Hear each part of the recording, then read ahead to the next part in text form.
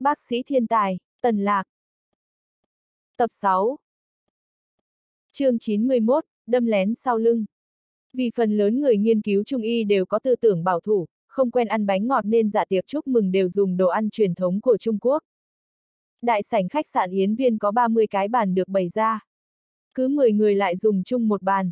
Vì để mọi người tự do thảo luận trong buổi tiệc nên ban tổ chức không không xếp bàn cố định cho mọi người. Tần lạc tìm bừa một cái bàn lớn rồi ngồi xuống. Không nghĩ được, hắn chỉ mới diễn thuyết lần thứ nhất đã trở thành danh nhân rồi. Mấy người cùng bàn lập tức đứng lên chào hắn. Tần lão đệ, nghe vua nói chuyện một buổi còn hơn đọc sách 10 năm. Rượu và đồ ăn sẽ được mang lên ngay bây giờ, tôi phải mời cậu ba ly mới được. Đúng vậy, tuổi còn trẻ mà đã có kiến giải như vậy, đúng là xem người không thể xem bề ngoài a. Tần lão đệ, đây là danh thiếp của tôi. Nếu có dịp đến Quảng Tây, nhất định phải đến nhà tôi chơi đấy nhé. Đúng vậy, đúng vậy.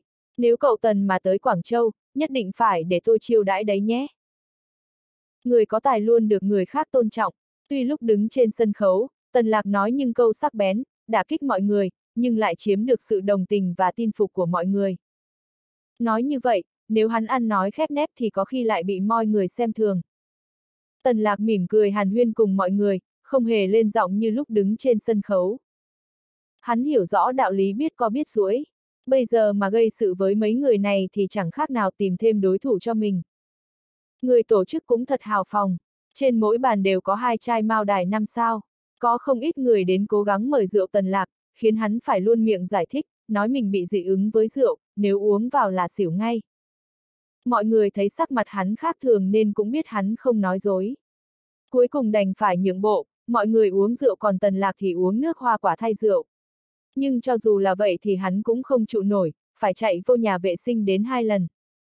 Tiếp đó, đám người lãnh đạo do Thái Công Dân dẫn đầu đi đến từng bàn kính rượu. Khi tới bàn tần lạc, Thái Công Dân cố ý đến trước mặt tần lạc, vỗ vỗ vai hắn, nói, tần lạc này, hôm nay cậu đúng là khiến mọi người mở rộng tầm mắt. Nói hay, phi thường hay, nhưng mà có một điểm cậu nói sai rồi. Điểm nào? Tần lạc hỏi. Chúng ta mở hội nghị này cũng không hẳn là lãng phí thời gian. Nếu không có cái hội nghị này, chúng ta làm sao có thể phát hiện một nhân tài như cậu được. Thái công dân nói vui. Tần lạc hơi kinh ngạc, không nghĩ tới người lúc nào cũng nghiêm túc như lão mà cũng nói giỡn. Mà đám người đi sau thái công dân nghe tiếng cười của sếp, cũng cười rộ lên, cứ như là vừa nghe được chuyện hài nhất thế giới. Bộ trưởng quá khen, tôi chỉ nghĩ gì nói lấy thôi. Mà những chuyện đó cũng không phải chỉ có tôi biết, chỉ cần để ý một chút là biết. Chỉ là không có ai muốn vạch mặt hoàng đế thôi. Tần lạc vừa cười vừa nói. Ý của hắn cực kỳ rõ ràng, nếu Thái công dân có thể tiếp thụ thì sau này nhất định sẽ là một lãnh đạo có thể nhờ cậy. Nhưng nếu Thái công dân không muốn trả lời thì rất có thể sau này sẽ có nhiều trở ngại. Thái công dân gật đầu, thở dài, đúng vậy. Nhưng điều này cũng dễ hiểu nhưng chẳng ai chịu nói cả. Tất cả đều giả như không biết, ai cũng không thừa nhận mình ngửi mấy mùi thối, một đám thịt nát cũng cũng chỉ có thể tiếp tục để nó tiếp tục nát. Tần lạc trong lòng vui vẻ, nếu Thái công dân giúp đỡ, với quyền thế của hắn, việc cứu Trung Y sẽ có rất nhiều trợ giúp. Sau này sẽ tốt, Tần lạc cười nói. Đúng vậy, sau này sẽ tốt. Nhiều quan điểm cậu nêu ra hôm nay khiến tôi hiểu ra nhiều điều. Quan điểm thành lập công đoàn Trung Y là rất chính xác. Đợi buổi tiệc này kết thúc, chúng ta tìm dịp bàn bạc kỹ lưỡng đi. Tần lạc tôi mời cậu một ly. Tôi không uống được rượu. Tần lạc cười khổ nói. Không sao, lấy nước trái cây thay rượu cũng được. Thái công dân thoải mái nói. Nếu người lãnh đạo như hắn mà mời rượu cấp dưới thì chỉ sợ cấp dưới phải cảm kích đến rơi lệ cạn ba ly. Làm sao có chuyện lấy lý do không uống được rượu như tần lạc từ chối. Mời Thái Bộ trưởng, tần lạc bưng ly nước trái cây cùng ly Thái công dân. Mọi người đứng sau lại phát hiện, hắn đối xử với tần lạc này rất khác thường. Tất cả những bàn tiệc trước mà hắn mời rượu, người khác uống cạn ly, còn hắn chỉ nhấp môi một chút thôi. Vậy mà lần cụng ly với tần lạc xong, hắn lại uống một hơi hết cả ly rượu. Tần lạc, quên mất không hỏi cậu, hiện nay cậu đang công tác ở đâu thế? Tần lạc vừa cười vừa nói, tôi làm giảng viên học viện Trung Y ở trường Đại học Y Thủ Đô. Ôi, đúng là lãng phí nhân tài mà. Nhưng mà lần này không ngờ học viện Trung Y lại đưa tới cho chúng ta một đại biểu tài giỏi đấy. Thái công dân cười ha ha. Tần lạc cười lạnh, hắn tuyệt sẽ không ngu ngốc làm chuyện tăng thêm chiến tích cho Quách Nhân Hoài. Thế là hắn tỏ vẻ xấu hổ nói, thật ra lúc trước tôi cũng muốn đại biểu học viện đến tham gia hội nghị nên cố gắng kiếm một danh ngạch. Nhưng học viện cho rằng tôi còn quá trẻ, lịch duyệt không đủ, không thích hợp để tham gia loại hội nghị cấp cao này nên loại tôi ra khỏi danh sách. Cũng may có Trâm Vương, Vương Thu Thân tiền bối đích thân đến yêu cầu cấp cho tôi một cái danh ngạch. Hơn nữa còn thuyết phục các thành viên khác trong tổ chuyên gia đồng ý để tôi lên phát biểu. Nếu không thì tôi cũng chẳng đứng ở đây được. Nghe Tần Lạc nói xong, mặt thái công dân chợt xa sầm, nói, biện pháp khảo hạch nhân tài của lãnh đạo học viện Trung y dược có vấn đề. Minh Hạo, cậu nhớ nói chuyện này với hiệu trưởng Lệ Vĩnh Cương. Tên thư ký đứng sau thái công dân lập tức vâng dạ rồi lấy cuốn sổ cầm tay ghi việc này lại. Giảng viên Chu ngồi bàn bên cạnh chỗ Tần Lạc nghe xong liền sợ đến toát mồ hôi hột. Thằng nhóc này thật quá âm hiểm, một đao đâm trộm này đúng là ngoan độc. Nếu Thái Bộ trưởng mà tin chuyện này thì tiền đồ quách chủ nhiệm hỏng rồi. Chủ nhiệm quách nhân hoài của chúng tôi chắc cũng có chỗ khó xử thôi. Tần Lạc cố gắng, nói giúp cho chủ nhiệm. Không làm thì thôi, đã làm thì làm cho đẹp. Cả tên họ quách chủ nhiệm nói ra không sót một chữ. Hừ, cái quan niệm cổ hủ xem tuổi dùng người đáng ra phải vứt bỏ lâu rồi. Tư tưởng của ông ta nhất định có vấn đề. Thái công dân chỉ vào đầu mình nói. Một câu, tư tưởng có vấn đề, có thể nói đã phán án tử hình cho tiền đồ quách nhân hoài. Thái công dân lại vỗ vỗ vai tần lạc rồi mới mang người đi đến bàn khác chúc rượu. Hội trưởng Hiệp hội Trung y Giang Thiện Thủy cũng cùng một ly với tần lạc, vừa cười vừa nói, cậu rất có tiền đồ đấy. Tôi rất thích cậu, nếu có vấn đề gì cứ gọi điện cho tôi. Nói xong lão liền đưa một tấm danh thiếp cho tần lạc. Tần lạc biết Giang Thiện Thủy có thái độ như thế với mình cũng là do thái công dân xem trọng mình, nhưng xã hội này chính là như vậy. Không có tự dưng quý, cũng không có tự dưng ghét. Hắn cũng không thể hiện suy nghĩ của mình ra mặt, tiếp tục cùng lão Hàn Huyên có vẻ rất thân thiết. Đợi đám người thái công dân đi rồi, Tần Lạc lại trở thành tâm điểm của mọi người trong bàn. Ai cũng nhận ra, Tần Lạc đã được Phó Bộ trưởng nhìn chúng, sau này hắn chắc chắn sẽ lên như diều gặp gió. Thế là mọi người càng mời rượu nhiệt tình hơn, khiến tần suất vào WC của Tần Lạc cũng tăng nhanh chóng. Giảng viên Chu cũng cầm ly rượu tới trước mặt Tần Lạc cười nịnh, nói, Tần Lạc, trước kia tôi đối với cậu đúng là có chỗ không phải. Lại thường cậy lớn tuổi lên mặt với người khác, vậy mong cậu đừng để trong lòng. Ly rượu này tôi kính cậu, những chuyện không vui trước kia bỏ qua hết được không? Tần Lạc híp mắt lại nhìn hắn, cười nói, tôi không uống rượu. Giản viên Chu cũng mới biết Tần Lạc không uống rượu, đến cả bộ trưởng mời rượu hắn còn uống nước trái cây nói gì đến mình. Nghĩ đến đây hắn lập tức cười trừ, không sao, cậu dùng nước trái cây cũng được. Tần Lạc lắc đầu nói, tôi uống no nước trái cây rồi. Soạt, mặt giảng viên Chu lập tức đỏ bừng. Hắn mặt mày xấu hổ đứng ở đó, đi không được mà đứng lại cũng không xong. Biết Tần Lạc vẫn còn thành kiến với mình, hắn đành cố gắng gượng, ta uống trước vậy. Nói xong liền uống cạn ly rượu của mình, sau đó mặt lộ vẻ chờ mong nhìn Tần Lạc. Tần Lạc nhìn hắn một lúc, cuối cùng thở dài một hơi, bưng ly nước hoa quả lên khẽ nhấp môi. Đa tạ, giảng viên Chu nói, chỉ một động tác nhỏ này của Tần Lạc thôi cũng khiến hắn cảm động muốn khóc. Nếu như nâng cốc rồi mà Tần Lạc vẫn ngồi im, lúc đó mới thật sự là bẽ mặt trước mọi người. Tần Lạc gật nhẹ đầu, giảng viên Chu vội cười, cầm ly rượu trở về vị trí của mình. Một chiếc Mercedes màu bạc phi vào yến viên, rẽ vào bãi đỗ xe rồi dừng lại. Lý lệnh Tây mở cửa xe rồi nói với quản tự vừa bước xuống, quản thiếu gia, không phải cậu nói với mình là muốn bàn chuyện làm ăn sao? Chúng ta đến chỗ này làm gì? Đến chỗ này mới dễ bàn chuyện mà. Quản tự cười nói. Đến chỗ này bàn chuyện, chỗ này thì có gì hay chứ? Nếu quản thiếu gia muốn tìm chỗ vui vẻ, không bằng chúng ta đi tâm viên. Cựu Yên Mị vừa mới tới tâm viên thật đúng là mỹ nhân. Nói không chừng chúng ta lại được gặp đó. Với bản lĩnh quản thiếu gia, lên giường với cô ta cũng không phải không thể đâu. Trời đất bao la, kiếm tiền là quan trọng nhất. Không có tiền, mọi thứ đều là hư ảnh. Quản tự vừa cười vừa nói. Sao quản thiếu gia lại nói vậy? Quản thiếu gia mà thiếu cách kiếm tiền sao? Không phải tìm cách kiếm tiền thì ta đến chỗ này làm gì? Tìm ở đây, ở đây thì có gì để kiếm tiền? Chỗ này đang tổ chức hội nghị nghiên cứu, thảo luận trung y toàn quốc lần thứ nhất. Quản tử vừa đi vào trong vừa giải thích. Hội nghị nghiên cứu, thảo luận trung y thì có liên quan gì đến chuyện kiếm tiền?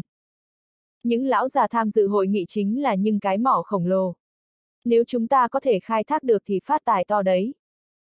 Quản thiếu gia, cậu đừng nói với mình là cậu về nước để kinh doanh trung y chứ không phải công nghệ gen nhé.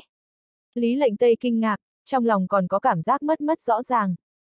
Làm sao, cậu coi thường trung y A Ca Quản tự quay đầu lại hỏi, trên mặt vẫn nở nụ cười như có như không.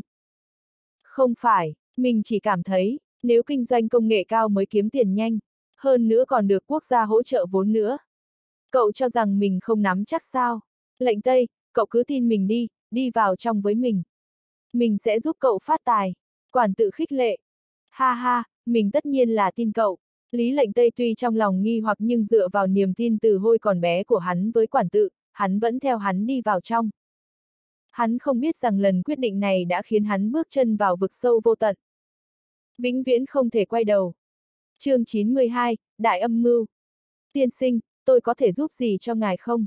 Thấy hai anh chàng đẹp dai đi tới, nữ tiếp tân của khách sạn Yến Viên lập tức nhiệt tình hỏi han. Quản tự nở một nụ cười cực kỳ mê người, dùng ánh mắt đầy ý tứ nhìn nữ tiếp tân, vừa cười vừa nói, xin hỏi các chuyên gia đến tham gia hội nghị nghiên cứu và thảo luận trung y hoa hạ ở tầng mấy. Cha tôi bị bệnh nên tôi muốn tìm một danh y tới chữa bệnh cho cha tôi xem sao. Nữ tiếp tân tiếp khác vốn đang bị nụ cười mê người của quản tự làm cho choáng váng, lại nghe hắn nói là tới để tìm thầy thuốc cho cha, lập tức bị lòng hiếu thảo của hắn làm cho cảm động, nhỏ giọng nói, hầu hết ở tầng 6. Còn một số ở tầng 7. Vậy phiền cô, đặt cho chúng tôi một gian ở tầng 6 được không? Quản tự cười nói. Tiên sinh, thật xin lỗi, toàn bộ tầng 6 đã được thuê hết rồi. Vậy tầng 7 cũng được. Được, xin chờ một chút, anh đưa chứng minh thư cho chúng tôi đăng ký. Quản tự mỉm cười đưa chứng minh thư của mình ra. Nữ tiếp tân nhìn khuôn mặt trên ảnh trên chứng minh thư rồi ghi nhớ cái tên, đan hành thư, vào trong lòng. Đan tiên sinh, gian phòng của ngài đã chuẩn bị xong. Đây là thẻ phòng của ngài. Đa tạ, hy vọng sau này có cơ hội ngồi uống trà với cô. Quản tự cười với nữ tiếp tân một cái rồi dẫn Lý lệnh Tây tới thang máy. Quản thiếu gia, sao cậu lại dùng chứng minh thư giả? Lý lệnh Tây nghi hoặc hỏi. Nếu chuyện không quá quan trọng thì mình cũng không muốn dùng tên thật của mình. Quản tự thản nhiên giải thích. Ha ha, quản thiếu gia đúng là người cẩn thận. Lý lệnh Tây tán thán nói. Mở cửa phòng, khi bọn họ vừa mới bước vào phòng, Lý lệnh Tây lướt mắt nhìn cách bố trí trong phòng, ngửi ngửi mấy cái rồi nói, chất lượng phòng kém quá. Nhà nước có nhiều tiền như vậy, lẽ ra phải tổ chức ở khách sạn 5 sao mới đúng. Đó là yêu cầu của cậu quá cao thôi. Cậu toàn ở phòng tổng thống trong khách sạn 5 sao, đã ở khách sạn kiểu này bao giờ đâu. Ở đây cao nhất là loại 3 sao. Ngồi tạm đi, cậu chịu khó một lát. Đợi bọn họ bế mạc hội nghị rồi chúng ta đi bái phòng từng người một. Bái phỏng từng người một, cậu không phải muốn mình bái phỏng hơn trăm người đó chứ? Lý lệnh Tây giật mình hỏi. Tất nhiên là không phải, chỉ cần bái phỏng những người có danh tiếng là được rồi. Chúng ta làm sao có thể bái phỏng toàn bộ được, quản tự lắc đầu cười. Quản thiếu gia, mình không hiểu, cậu làm sao lại nghĩ đến việc kinh doanh trung y, cái này thì có thể kiếm được bao nhiêu lợi nhuận chứ? Quản tự nhìn Lý lệnh Tây, cái tên bạn nối khố không gặp có vài năm mà hắn đã trưởng thành hơn rất nhiều. Lại còn có chủ kiến và biết nghi ngờ nữa chứ. Trước kia, bọn họ đều nghe mình hết. Nhưng bây giờ cả hắn cũng như vậy thì nhưng người khác làm sao có thể tín nhiệm mình 100% chứ? Nếu không chiếm lòng tin của bọn hắn, chuyến đi đến Yến Kinh lần này của mình sẽ rất khó khăn. Hy vọng mình có thể hoàn thành phòng thí nghiệm để giao nhiệm vụ. Quản tự móc trong túi ra một cái hộp thuốc lá, ném một điếu cho Lý lệnh Tây. Sau đó hắn đưa điếu thuốc khác lên miệng, bật lửa, rít một hơi rồi mới hỏi ngược lại, vì sao cậu không xem trọng trung y như vậy? Không phải mình không xem trọng mà chỉ cảm thấy, chưa có ai thành công mà, có mấy người kiếm được tiền từ trung y chứ? Mình biết, ngành hot nhất hiện nay chính là bất động sản và khoa học công nghệ mới. Nếu như làm hai ngành này thì cho dù không đại phú đại quý thì cũng không thể chết đói. Nhưng hai thị trường này có bao nhiêu người nhảy vào tranh đoạt chứ? Cậu có thể kiếm được bao nhiêu phần? Quản thiếu gia nói cũng phải. Lý lệnh Tây gật đầu đồng ý. Bọn họ không phải thái tử đảng cho nên không thể nào chiếm được những miếng đất tốt nhất.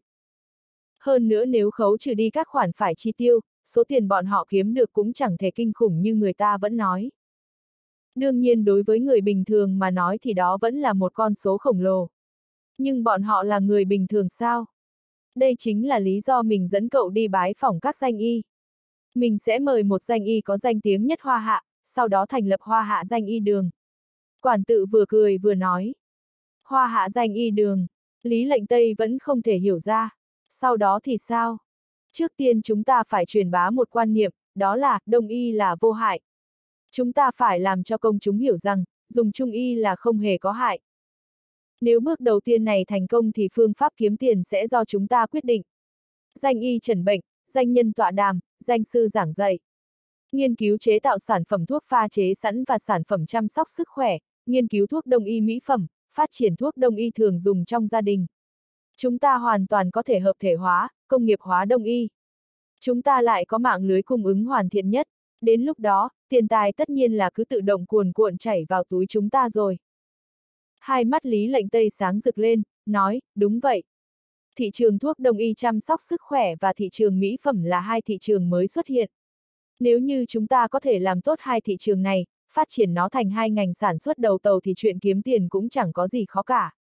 Nói ngay như Bạch Dược Vân Nam với đồ uống Vương Lão Cát, bọn họ đều dựa trên thuốc đông y, lợi nhuận hàng năm có bao nhiêu.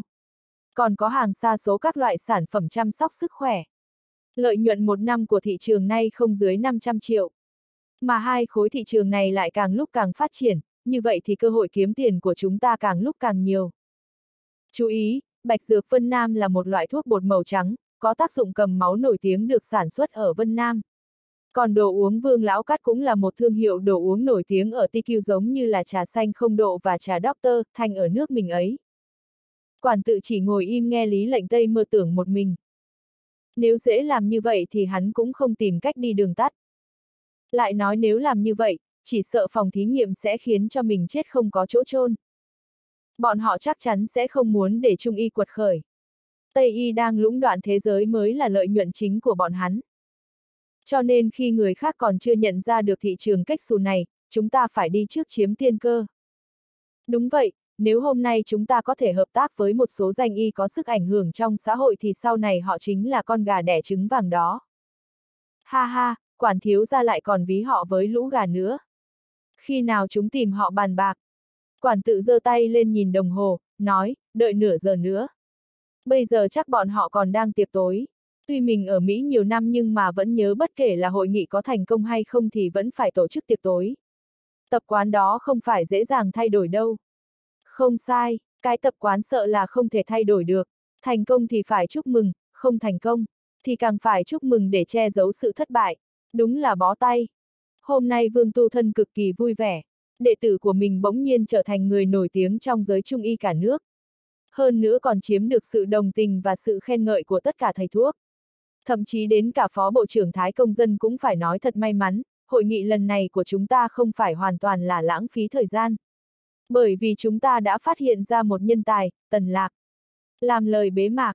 Bởi vì biểu hiện xuất chúng của đồ đệ, Vương Tu Thân làm sư phụ cũng cảm thấy tự hào. Người mời rượu nhiều vô số, ngay cả Thái Công Dân cũng đặc biệt tới kính hắn một ly. Ngày thường hắn cũng không uống quá nhiều rượu nhưng hôm nay hắn uống thả cửa, uống đến thiên hôn địa ám. Nếu không có người khuyên can chỉ sợ hắn đã uống đến bất tỉnh nhân sự rồi. Tần lạc này, em chưa bao giờ làm thầy thất vọng. Bất cứ chuyện gì thầy cũng tin tưởng em. Trước kia thầy có chút hoài nghi em có thể gánh được trọng trách đó hay không. Nhưng hiện tại thầy yên tâm rồi. Nếu như em không làm được thì ai có thể làm được chứ? Thầy, thầy uống say rồi. Để em dìu thầy về phòng nhỉ. Tần lạc đỡ vương tu thân, vừa cười vừa khuyên giải. Thân thể ta say nhưng lòng ta không say. Chuyện gì ta cũng biết rõ. Vương tu thân xua tay nói. Đúng rồi, lúc em phát biểu xong, Thái Bộ trưởng là người đầu tiên vỗ tay. Tiếp đó toàn trường đều đứng lên vỗ tay rào rào. Ha ha, lúc ấy thầy đã nghĩ, nếu ngày trước mình là học sinh của lão quách thì sao nhỉ? Đáng tiếc, ta thấy mấy, miếng, của ngươi cảm thấy thật chướng mắt.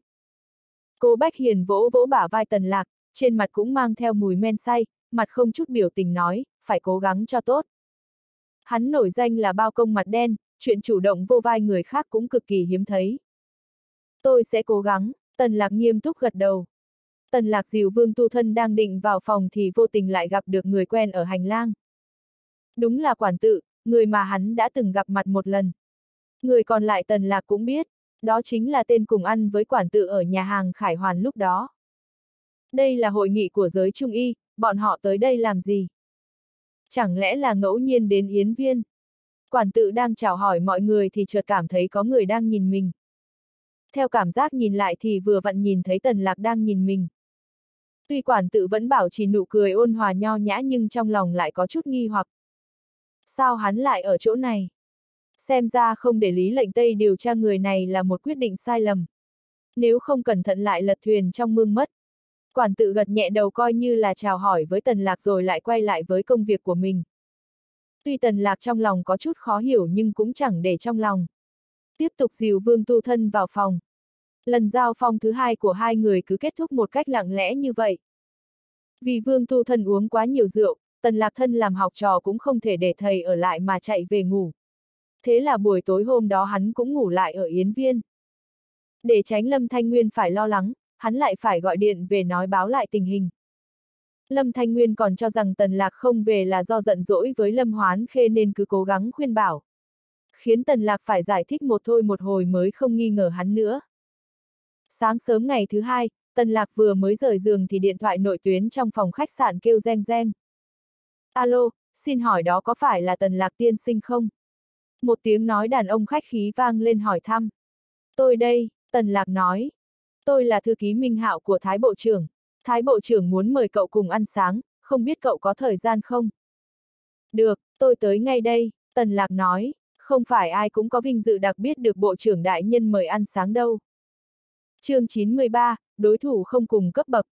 Tần Lạc rửa mặt xong rồi đi tới phòng ăn khách sạn. Vừa đến cửa phòng ăn hắn đã thấy Minh Hạo đợi sẵn ở đó. Làm thư ký thân cận của Phó Bộ trưởng, Minh Hạo cũng được coi như là kẻ có quyền cao chức trọng. Cho dù là cục trưởng cục giáo dục ở một số địa phương vào thủ đô cũng phải mời hắn đi ăn cơm rồi rút lót một phen. Vậy mà hôm nay hắn lại phải đứng chờ trực ở cửa phòng ăn để chờ một tên nhóc miệng còn hôi sữa.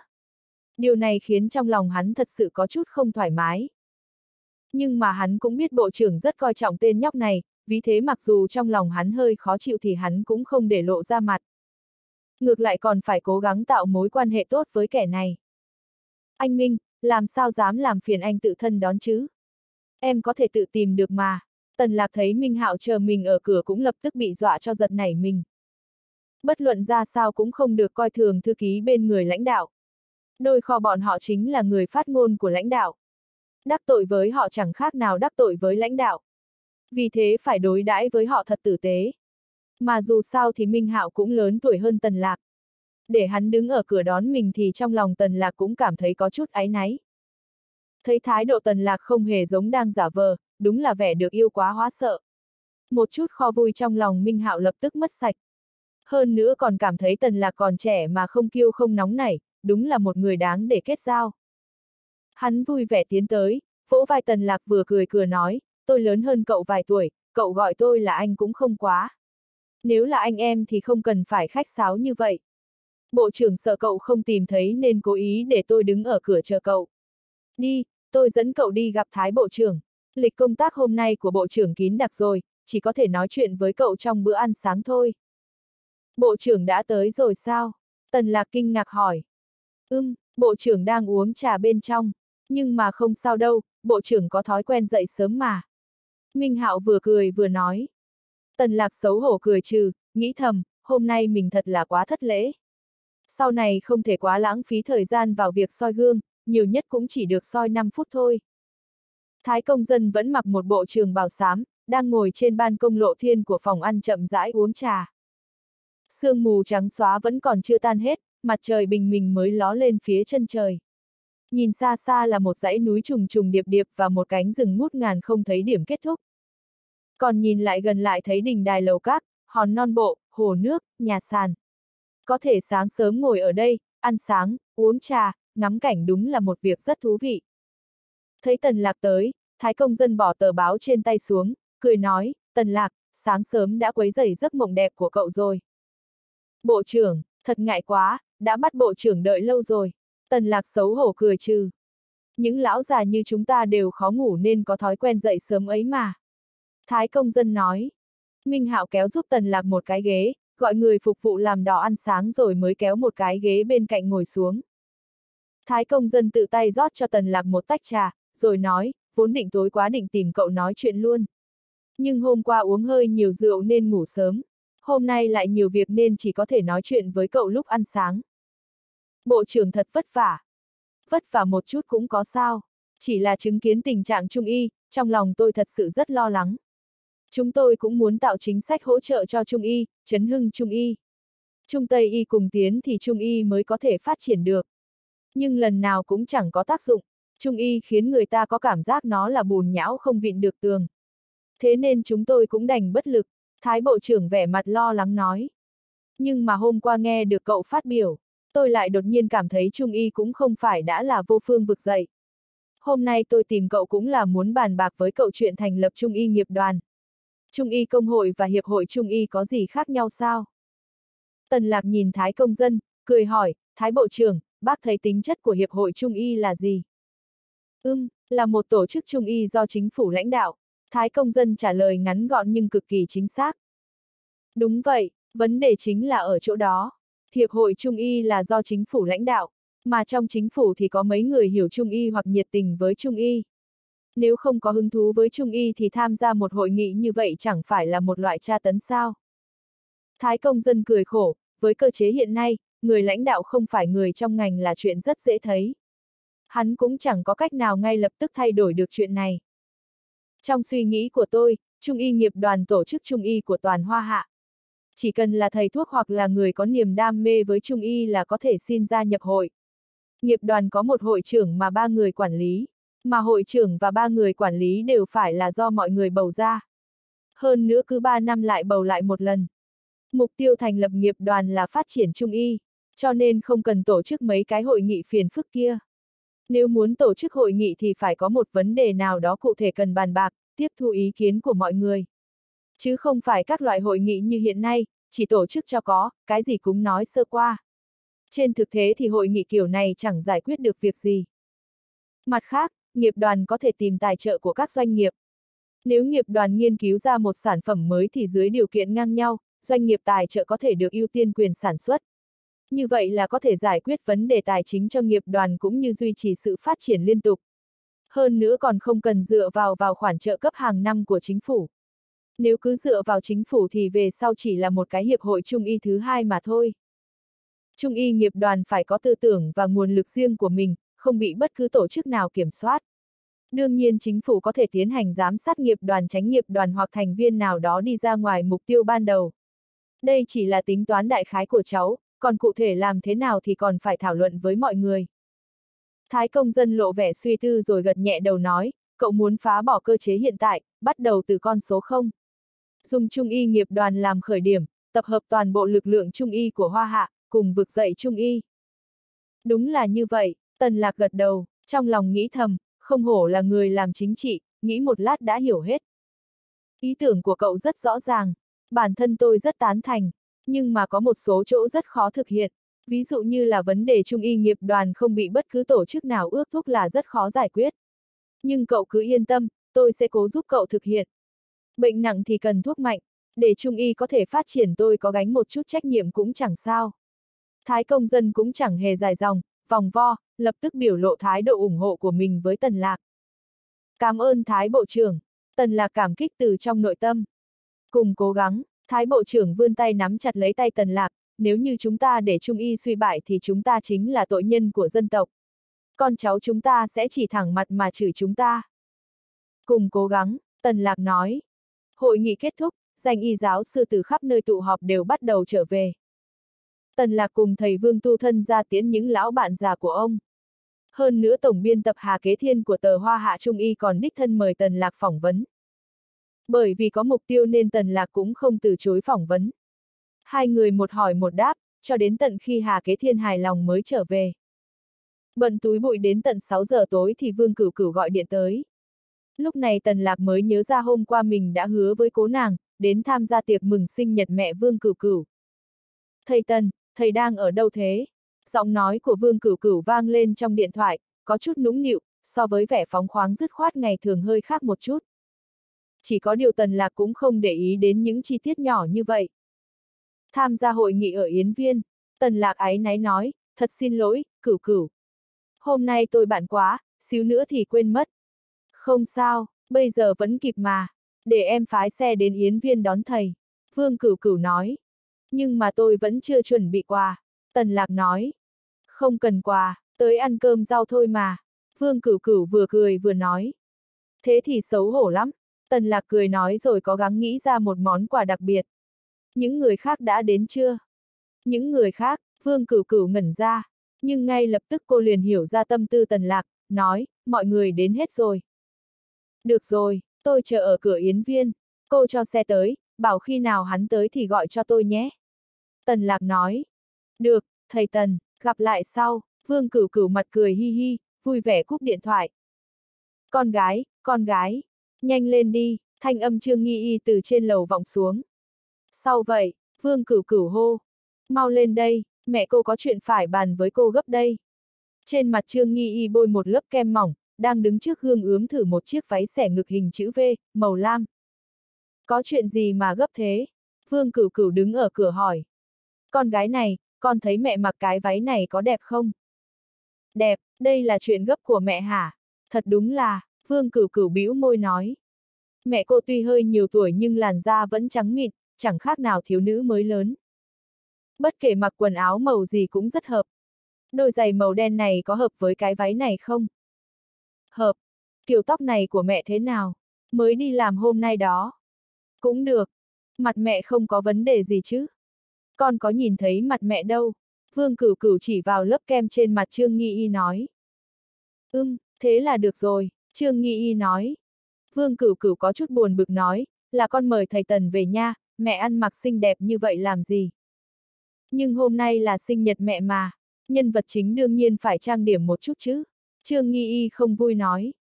Ai quy định nhân vật chính thì phải trang điểm thật đẹp. Với lại thầy Tần cũng không phải tới thăm mẹ, mẹ ăn mặc đẹp như vậy, hóa ra là chơi trội a ca. Hi hi, vậy con cũng trang điểm, gây sự chú ý đi. Con trẻ như vậy mà sợ không hơn được mẹ sao? Hừ, con đương nhiên là hơn mẹ. Vương cửu cửu hừ một tiếng rồi bỏ về phòng mình trang điểm. Trương Nghi Y nhìn hình ảnh con gái xoay người bỏ đi trong gương, trong lòng nghĩ thầm, tuổi tí, cô do tôi sinh ra mà cô cũng dám tranh với tôi. Ngực thì lép, mông cũng không có nốt. Trương Nghi Y dùng hai tay nâng bộ ngực ngạo nhân của mình lên, khẽ ưỡn người lên, vẻ mặt kiêu ngạo nói, căn bản là không phải đối thủ cùng cấp bậc. chương 914, cô dựa vào cái gì mà không gọi tôi là mẹ. Tần Lạc đứng đợi ở cửa Yến Viên một lúc thì một chiếc Audi mang biển quân đội phóng tới. Tần Lạc đoán chiếc xe này có lẽ là tới đón hắn. Quả nhiên điện thoại trong túi hắn reo lên. Tần Lạc mở máy, trong điện thoại vang lên một giọng nói của đàn ông, rất lễ độ nhưng hơi cứng nhắc. Alo, chào Tần Tiên Sinh, tôi là nhận lệnh tiểu thư tới đón cậu. Xe đã đến trước cửa Yến Viên. Xin hỏi cậu đang ở đâu vậy? Đang ở phía sau anh. Tần Lạc cười nói rồi giơ tay ra hiệu với lái xe. Cửa xe mở ra, một thanh niên khá trẻ bước xuống, giúp Tần Lạc mở cửa xe phía sau. Cảm ơn, Tần Lạc cười nói. Không cần khách khí, mặt người này mặt vẫn cứng đơ trả lời. Tần Lạc biết vì thân phận đối phương là quân nhân, có nhiều chuyện không thể nói. Mình và hắn không thể nào bắt chuyện được nên cũng không cố gắng tìm chủ đề. Hắn dựa lưng lên chiếc ghế mềm mại nghỉ ngơi một chút, trong lòng cũng nghĩ về buổi tiệc tối hôm nay. Cha Vương Cửu Cửu có thể nhà không? Nếu ông ấy ở nhà thì sẽ nói chuyện với hắn về những vấn đề gì? Hắn xem trên TV, tính tình quân nhân ai cũng cứng nhắc và đáng ghét. Chắc cũng không sai đâu. Nếu chọc giận ông ta, rồi ông ta lôi mình ra bắn, có cần gọi lão gia tử ra cứu mạng không nhỉ? ừm nhất định phải gọi, cái gì cũng không quan trọng tính mạng mà. Ăn nhiều cơm, ăn ít rau, không uống rượu, nói ít. Để tránh xuất hiện vấn đề, Tần Lạc thầm vạch ra những việc làm trong buổi tối hôm nay. Tuy tay lái xe này không nói chuyện được nhưng kỹ thuật lái xe đúng là không tệ. Lái nhanh nhưng ổn định, gần như không có cảm giác xe đang chạy. Hơn nửa giờ sau, xe dừng lại trước cửa một đại viện được canh phòng cẩn mật. Hai bên cửa chính có hai binh sĩ cầm súng, vẻ mặt nghiêm cẩn nhìn chằm chằm vào những chiếc xe qua lại. Hai tên binh sĩ đứng nghiêm chào chiếc xe của Tần Lạc rồi mới chạy tới xem xét bên trong xe hơi. Lái xe cũng rất phối hợp, hạ kính xe xuống để họ thuận tiện tra xét. Tên binh sĩ sau không không phát giác ra điều gì bất thường liền lại đứng nghiêm chào. Lúc này xe của Tần Lạc mới chậm rãi tiến vào. chẳng trách cửu cửu lại phải cho xe tới đón. Nếu không chỉ sợ mình tự đến cũng chẳng vào được. Tần lạc thầm nghĩ. Nhưng mà cả lớp có nhiều sinh viên như vậy. Nếu ai cũng được cho xe tới đón thì chẳng phải là rất phiền phức sao. Có lẽ là cô ấy chỉ mời những người thân quen thôi. Lúc này Tần Lạc vẫn còn chưa biết, khách khứa chỉ có một mình hắn mà thôi. Hắn đến là khách đã đến đủ luôn. Chiếc xe phóng vào trong sân, chay xuyên qua một dãy những căn nhà nhỏ, vượt qua một chậm kiếm soát nữa, tới trước cửa một tòa tiểu viện trong cùng mới dừng lại. Lái xe nhanh chóng xuống xe, mở cửa cho Tần Lạc. Sau đó xoay người gõ lên chiếc cửa sắt của tiểu viện. Chiếc cửa sắt từ từ mở ra, vương cửu cửu thanh tú, tràn đầy sức sống đứng trước cửa, cười nói, thầy Tần, hoan nghênh thầy tới nhà em. Vương cửu cửu mặc một bộ váy dài, lộ ra chiếc cổ trắng nõn và chiếc xương quai xanh gợi cảm. Thân hình cao giáo, chân dài, đôi chân trần mịn màng như ngọc, thẳng tắp không chút tỉ vết hiện ra trước mắt tần lạc. Dưới chân cô là một giày cao gót màu bạc đơn giản thời thượng, ôm lấy đôi bàn chân hoãn mỹ của cô. Trên mặt cô trang diễm thoáng qua một chút phấn, kiều diễm mà không mị tục xinh đẹp kiểu lẳng lơ. Toàn bộ những điều đó khiến vẻ kiều diễm của cô lại càng kiều diễm. Ánh sáng của đèn ven đường chiếu lên người cô, khiến cả người cô toát ra một khí chất ấm áp, thuần khiết. Cảnh tượng này thật giống với cảnh tượng, trong một đêm gió tuyết, anh trai về muộn, khi hắn làm ám hiệu đã ước định từ trước, cô em gái trong nhà lén chạy ra mở cửa cho hắn. Có một người em gái như vậy cũng không tệ, nếu ai ức hiếp mình thì thì gọi em gái ra đập chết bọn chúng. Trong lòng tần lạc nghĩ thầm, làm anh trai vương cửu cửu, hắn có cảm giác rất an toàn. Cửu cửu hôm nay đẹp quá, tần lạc cười nói. Trước kia vương cửu cửu thường thích mặc quần jean, đi giày vải, lưng đeo ba lô. Nhưng bây hát đột nhiên thay đổi sang phong cách khác, thật khiến cho người ta cảm thấy phi thường kinh ngạc. Thật sao, cảm ơn thầy Tần, vương cửu cửu mặt cười tươi giói. Mất cả buổi tối để trang điểm quả nhiên là không uổng phí. Xem ra sau này phải thường xuyên ăn mặc theo kiêu ẻ thục nữ mới được. Thật, rất đẹp, em so với trước kia đúng là khác nhau rất nhiều. Tần lạc gật đầu, những người khác đến rồi sao? Những người khác, còn có người nào sao? Vương cửu cửu giả vờ không biết hỏi. Không phải là em có mời cả bạn học sao? Em chưa từng nói là có mời bạn học khác mà. Trên mặt vương cửu cửu càng tỏ vẻ vô tội. Cái này, tần lạc nghĩ, thế mà vương cửu cửu lại nói như đã mời cả bạn học khác đến dự tiệc sinh nhật mẹ cô. Chỉ có một mình tôi thôi sao? Đúng vậy, khách chỉ có một mình thầy thôi. Vương cửu cửu cười hi hi. Trong lòng tần lạc bỗng cảm thấy lo lắng, sau đó cúi xuống nói nhỏ vào tai VCC, cha em có nhà không? Cha em hả? Không có nhà, ông ấy đi công tác, cả tháng nay em không gặp ông ấy rồi. Vương cửu cửu cười nói, bộ dáng lúc này của tần lạc lúc này thực sự trông rất thú vị. Cái này người ta gọi là, yêu ai yêu cả đường đi lối về. Nếu như người yêu mến một người thì tất cả những việc làm của người đó đều là đáng yêu trong mắt ngươi. Kể cả hắn ngoáy mũi, nhổ nước bọt trước mặt ngươi thì ngươi vẫn cảm thấy đó là điều bình thường. Lúc này tần lạc mới cảm thấy tảng đá lớn trong lòng biến mất, thở phào một hơi. Nhưng lập tức chán hắn lại đổ mồ hôi lạnh, sắc mặt lại trắng bệch. Nếu chỉ có mình hắn là khách, cha cô ấy lại không có nhà. Nói cách khác, tối hôm nay chỉ có hắn cùng Vương Cửu Cửu và mẹ cô ấy, đôi mẹ con như hoa như ngọc này, ba người ở với nhau. Tần lạc lập tức muốn xoay người bỏ chạy. Nếu để cha Vương Cửu Cửu biết chuyện này, hắn không lôi mình ra tặng cho mình vài viên kẹo động thì hơi phí. Thầy Tần, thầy làm sao vậy? Nhận thấy Tần Lạc vẻ mặt trắng bệch, Vương Cửu Cửu lo lắng hỏi thăm. Cửu Cửu, tôi đột nhiên nhớ ra tôi có một chuyện cực kỳ quan trọng phải làm ngay. Vậy, thay tôi chúc mẹ em sinh nhật vui vẻ nhé. Tôi đi trước đây, Tần Lạc cười khổ nói. Vương Cửu Cửu còn chưa kịp nói gì thì một giọng nói của phụ nữ sặc mùi thuốc súng từ phòng khách vọng ra, phải đi. Không có cửa đâu. Hai chân Tần Lạc khẽ run, chỉ muốn bỏ chạy thật nhanh. Tiếp đó giọng nói kia lại trở nên ngọt ngào vô cùng, tiểu Tần, đã đến đây rồi thì nếm thử nồi súp tôi vừa nấu đi. Sao lại cửa còn chưa vào mà đã vội bỏ về như vậy? Đúng đó thầy Tần, chuyện đó có quan trọng lắm không? Sao lại gấp gáp như vậy? Bất kể thế nào cũng phải ăn cơm tối xong mới đi chứ. Vương cửu cửu ai oán nói.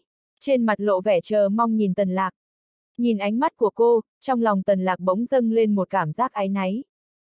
Mình đã thiếu nợ cô bé này khá nhiều lần nhân tình. Chuyện ở KTIV là do cô gọi người tới giải quyết. Chuyện Vương Hạo cũng vì có cô trợ giúp mà bắt được kẻ đầu sỏ, mình không bị đuổi việc cũng là do cô dẫn đầu học sinh cả lớp đấu tranh. Còn có mùi hương thơm ngát, thấm vào lòng người của trà long tỉnh cuối mỗi buổi học. Mình sao có thể phụ lòng cô ấy một lần nữa? Sao có thể từ chối một yêu cầu nho nhỏ này được? Cho dù cô ấy muốn thân thể, băng thanh ngọc khiết, của mình thì cũng phải không hề do dự cho cô ấy luôn mới phải. Cũng được, ăn chút bánh rồi đi. Tần lạc cười nói. Có thể chứ, làm sao lại có chuyện đến cửa nhà rồi lại bỏ về chứ? Vương Cửu Cửu nói, thầy Tần, vào nhà ngồi đi. Tần Lạc vừa cùng Vương Cửu Cửu bước vào nhà liền nhìn thấy Trương Nghi Y trong phòng khách. Chiếc váy màu lam, ngực xẻ hình chữ V để lộ ra một khoảng ngực trắng nõn, đầy đặn, quyến rũ đến mê người. Tà váy rất ngắn, thậm chí còn không dài đến đầu gối. Cũng may có một đôi tất lưới bao phủ toàn bộ những chỗ mà váy không thể che được. Hơn nữa vì ở trong nhà mình nên chân Trương Nghi Y chỉ đi một đôi dép phải. Nhìn rất phóng khoáng nhưng lại có nét gợi cảm. Tóc được làm xoăn, lông mi cong vút, đang luống cuống châm nến trên chiếc bánh gato. Nói thật nếu không phải đã gặp Trương Nghi Y từ trước thì chỉ sợ ai cũng cho rằng Trương Nghi Y là chị Vương Cửu Cửu chứ không phải là hai mẹ con. Vì được chăm sóc cẩn thận nên khuôn mặt Trương Nghi Y thật sự là mịn như da trẻ con, rất dễ làm người ta hiểu lầm. Đương nhiên Tần Lạc cũng biết đây chính là hiệu quả mà Trương Nghi Y mong muốn. Phụ nữ sợ già, mà Trương Nghi Y chính là một điển hình. Con rể, đến đây nào, ngồi đi, Trương Nghi Y cười nói với Tần Lạc. Con rể, Tần Lạc ngẩn người ra. Vương Cửu Cửu thấy vẻ mặt mờ mịt của Tần Lạc, trong lòng nhảy dựng lên, vội quát, Trương Nghi Y, mẹ nói gì thế? a à, mẹ nói gì hả? Vậy mẹ hỏi con, Cửu Cửu, mẹ con năm nay bao nhiêu tuổi? Trương Nghi Y rút một cây nến ra, vẻ mặt buồn bã hỏi Vương Cửu Cửu. 18, Vương Cửu Cửu tức giận nói. Mẹ hơi tí đã suýt làm lộ ra rồi. Mình còn chưa chuẩn bị tâm lý để thổ lộ mà. Hơn nữa cho dù muốn thổ lộ cũng phải xem trong lòng tần lạc có tình ý với mình không nữa chứ. Làm con gái trong gia đình quân nhân, bất kể là trên chiến trường hay trên tình trường, chỉ đánh khi đã nắm chắc trận chiến. 18. Trương Nghi Y mặt mày nhăn nhó, xấu hổ nói, không nhỏ như vậy chứ. Mẹ lúc nào cũng 18, hơn nữa còn 18 tuổi 20 năm nay rồi. Vương Cửu Cửu nói, tôi làm gì mà già như vậy chứ? Cô xem xem, nhìn thật cẩn thận lại xem, tôi mà hơn 30 tuổi sao? Phụ nữ hơn 30 tuổi làm sao trẻ như tôi? Trương Nghi Y hai tay chống hông, vẻ mặt hung dữ đáp trả con gái. Tần lạc toát mồ hôi hốt. Chẳng trách phương Cửu Cửu lại nói hai mẹ con thường xuyên cãi nhau. Nhà ai có một bà mẹ cực phẩm như vậy chỉ sợ cũng cãi nhau suốt ngày. Hơn nữa, hai mẹ con nhà này còn hiếu chiến nữa chứ. Vậy mẹ nói mẹ bao nhiêu tuổi? Cầm chứng minh thư của mẹ ra xem nào. Tại sao tôi phải cho cô xem chứng minh thư? Cô là cảnh sát đi tra hộ khẩu à? Con là con mẹ, chẳng lẽ con không được biết mẹ bao nhiêu tuổi? Ai nói cô là con tôi? Chúng ta đi xét nghiệm ADN. Cô là do tôi nhặt được trên đường, tôi sợ cô thương tâm nên mới không nói cho cô sự thật tàn khốc này thôi. Được, đây mà mẹ nói nhé. Sau này mẹ đừng mong con gọi là mẹ. Không gọi thì không gọi. Ai cần chứ? Không đúng, cho dù cô không phải do tôi sinh ra, nhưng cô có biết cô đã uống bao nhiêu hộp sữa quý không? Cô có biết bỉm bao nhiêu tiền một bịch không? Tôi nuôi cô lớn đâu có dễ dàng gì. Cô dựa vào cái gì mà không gọi tôi là mẹ? chương 95, thuốc phản lão hoàn đồng. Tần lạc thấy vương cửu cửu mặt mày xanh lét, lại lo hai mẹ con tiếp tục cãi nhau, vội chạy ra giữa giảng hòa, vừa cười vừa nói, gì, chúc gì sinh nhật vui vẻ. Nói thật tần lạc cũng chẳng biết xưng hô với Trương Nghi Y thế nào cho phải. Gọi là bác gái thì quá không phù hợp vì tướng mạo Trương Nghi Y thật sự quá trẻ. Gọi là chị Á, thế thì lại trẻ quá.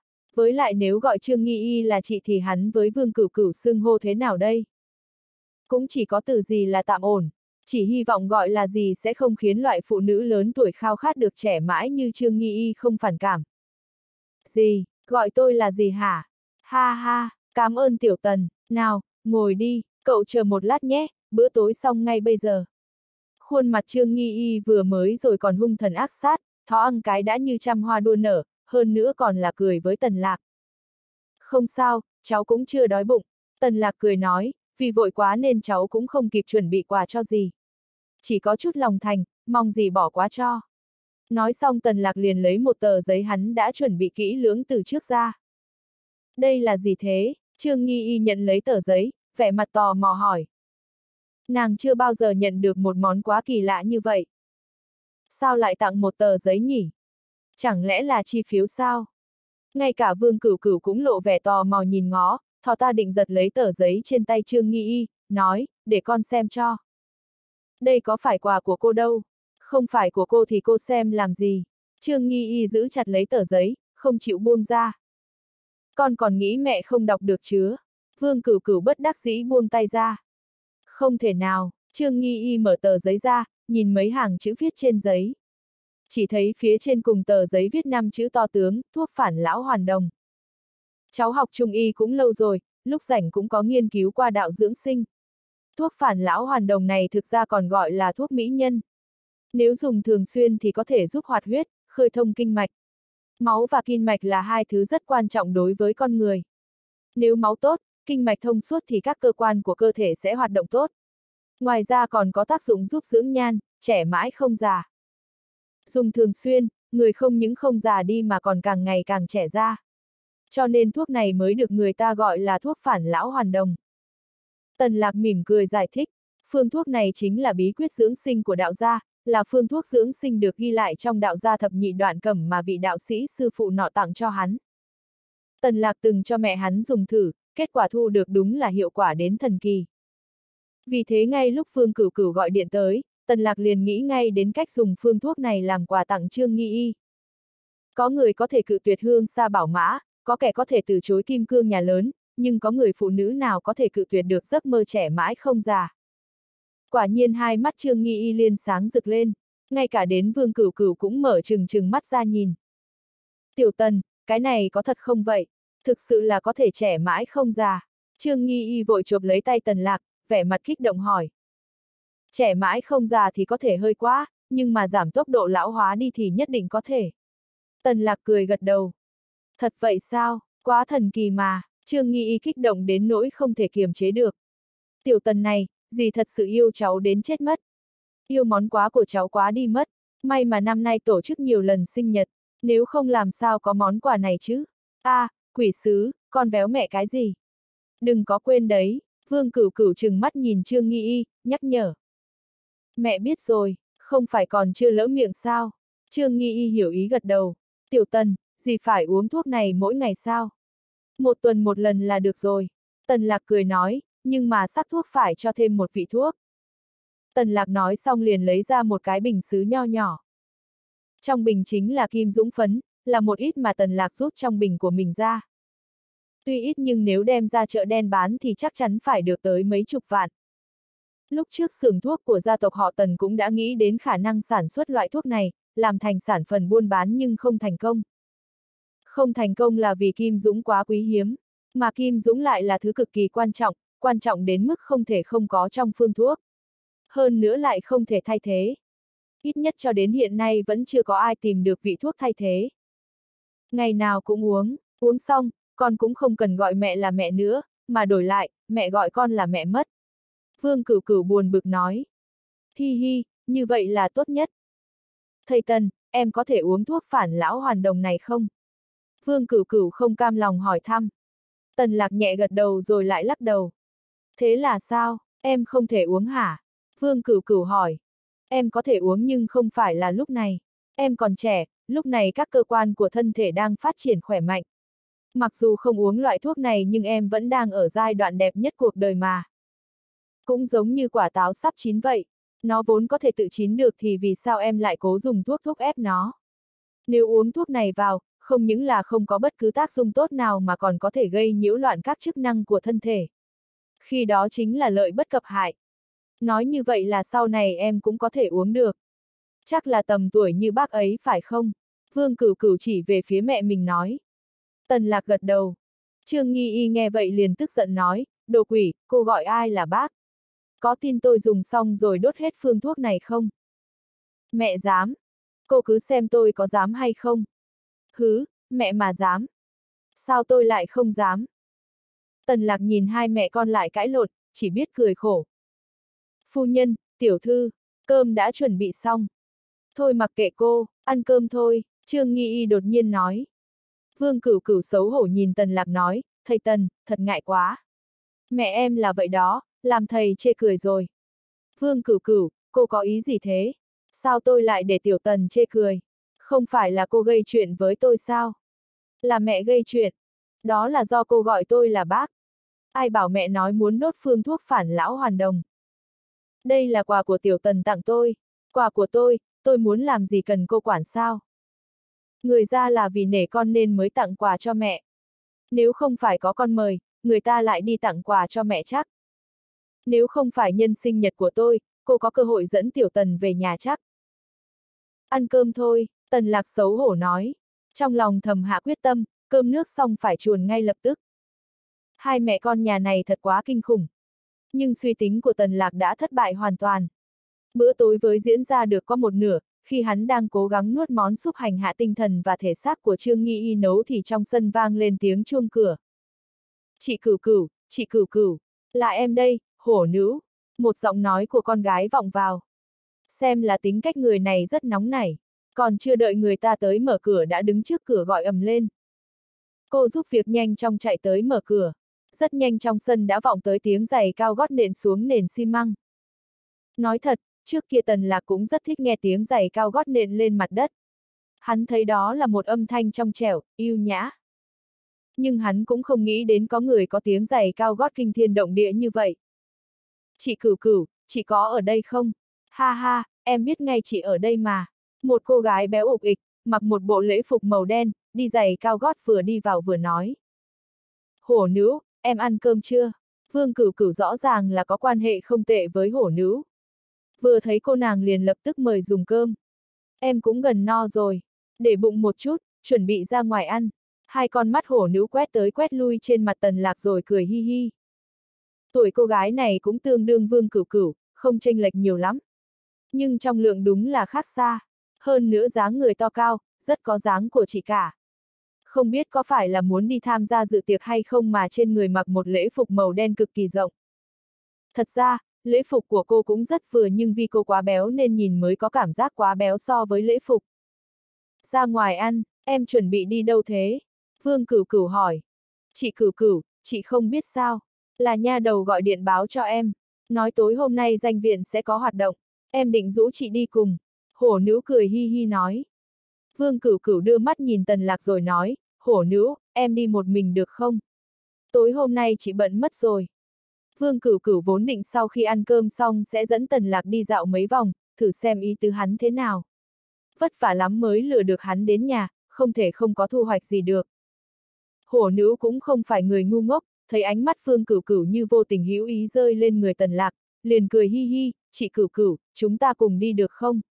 Chị dẫn bạn chị đi cùng cũng được, nếu chị không đi cùng, bọn họ chắc chắn lại trêu chọc em. Vương Cửu Cửu liếc mắt nhìn Tần Lạc, trong lòng hơi do dự hổ nữ cũng là bạn cùng đại viện của Vương Cửu Cửu. Vì người quá béo nên thường xuyên bị những đứa trẻ khác trong viện bắt nạt. Về sau, Vương Cửu Cửu nhìn thấy ngứa mắt liền đánh cho một tên sứt đầu mẻ chán. Từ đó những đứa trẻ khác mới không dám đến bắt nạt hổ nữ. Sau này lớn lên, hổ nữ lại càng như cái đuôi của Vương Cửu Cửu. Tuy hai người không học cùng một trường đại học nhưng chỉ cần hổ nữ có thời gian là lập tức chạy tới chơi với Vương Cửu Cửu càng không thể đạt được điều gì thì loại người càng mơ tưởng về nó. Hổ nữ là nữ nhân mà không giống nữ nhân nhất của danh viện, nhưng mỗi khi có người tổ chức dạ tiệc, vũ hội hóa trang, hoặc là tiệc rượu danh viện là cô đều nhảy nhót, cực kỳ vui vẻ.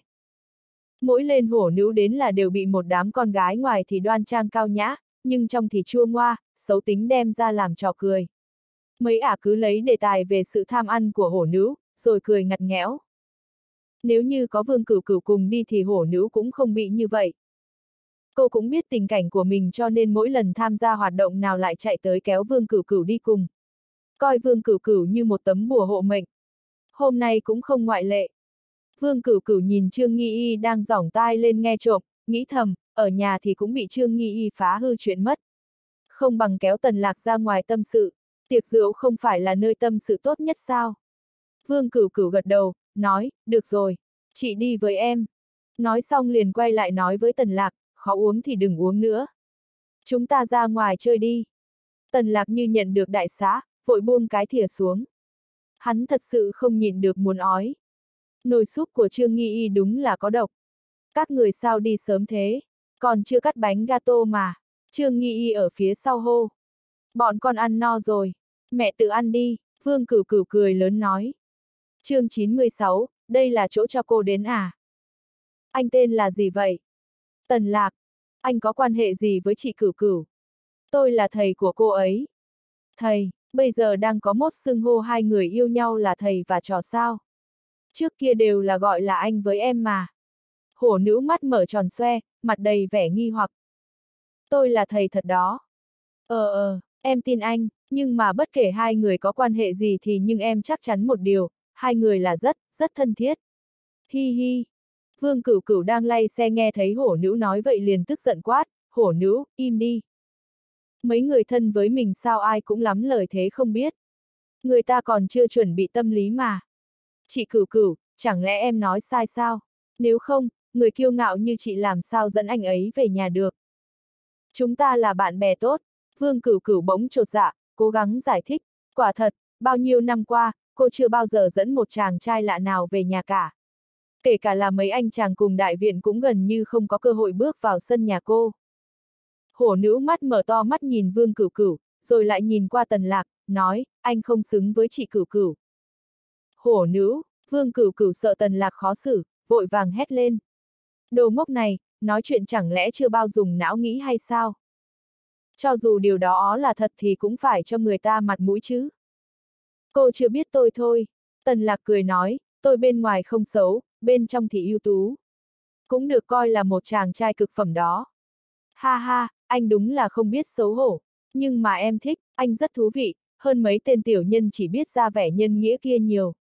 Bọn chúng theo đuổi chỉ cửu cửu, tên nào tên nấy đều ai cũng cố ra vẻ quân tử.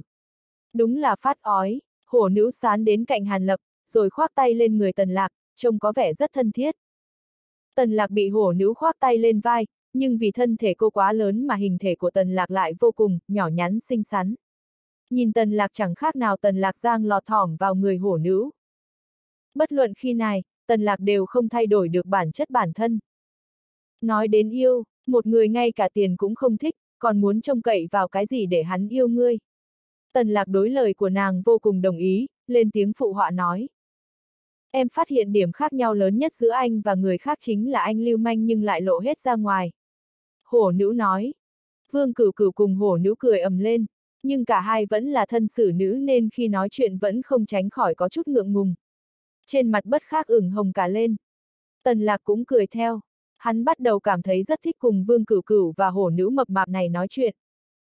Vương cửu cửu mạnh mẽ dứt khoát, bất kể làm chuyện gì cũng không dây dưa lằng nhằng thậm chí còn pha lẫn một chút bạo lực và một chút quật cường. Nhưng cái này hoàn toàn không làm mất đi sự hấp dẫn của cô mà còn tạo cho cô một vẻ đẹp năng động. Mà cô hổ nữ này chỉ sợ cũng không cho nghĩ mình là con gái. Đi đường thì ngẩng cao đầu mà bước, nói thì lớn tiếng, ăn cũng chẳng biết từ tốn, khi nói chuyện không biết kiêng nể ai cả. Nhưng điều đó lại làm cho người ta cảm thấy cô rất thật. Vì áp lực của cuộc sống mà người ta dùng tên thật nói láo, lúc lên mạng thì lại dùng tên giả nói thật rất khó có thể gặp được người dùng tên thật nói thật. Cái này cũng là cách nói chuyện lúc bình thường của Tần Lạc. Hắn hay đả kích người khác nhưng lại không làm người ta chán ghét. Đó là vì người khác không dám, mà hắn lại làm được.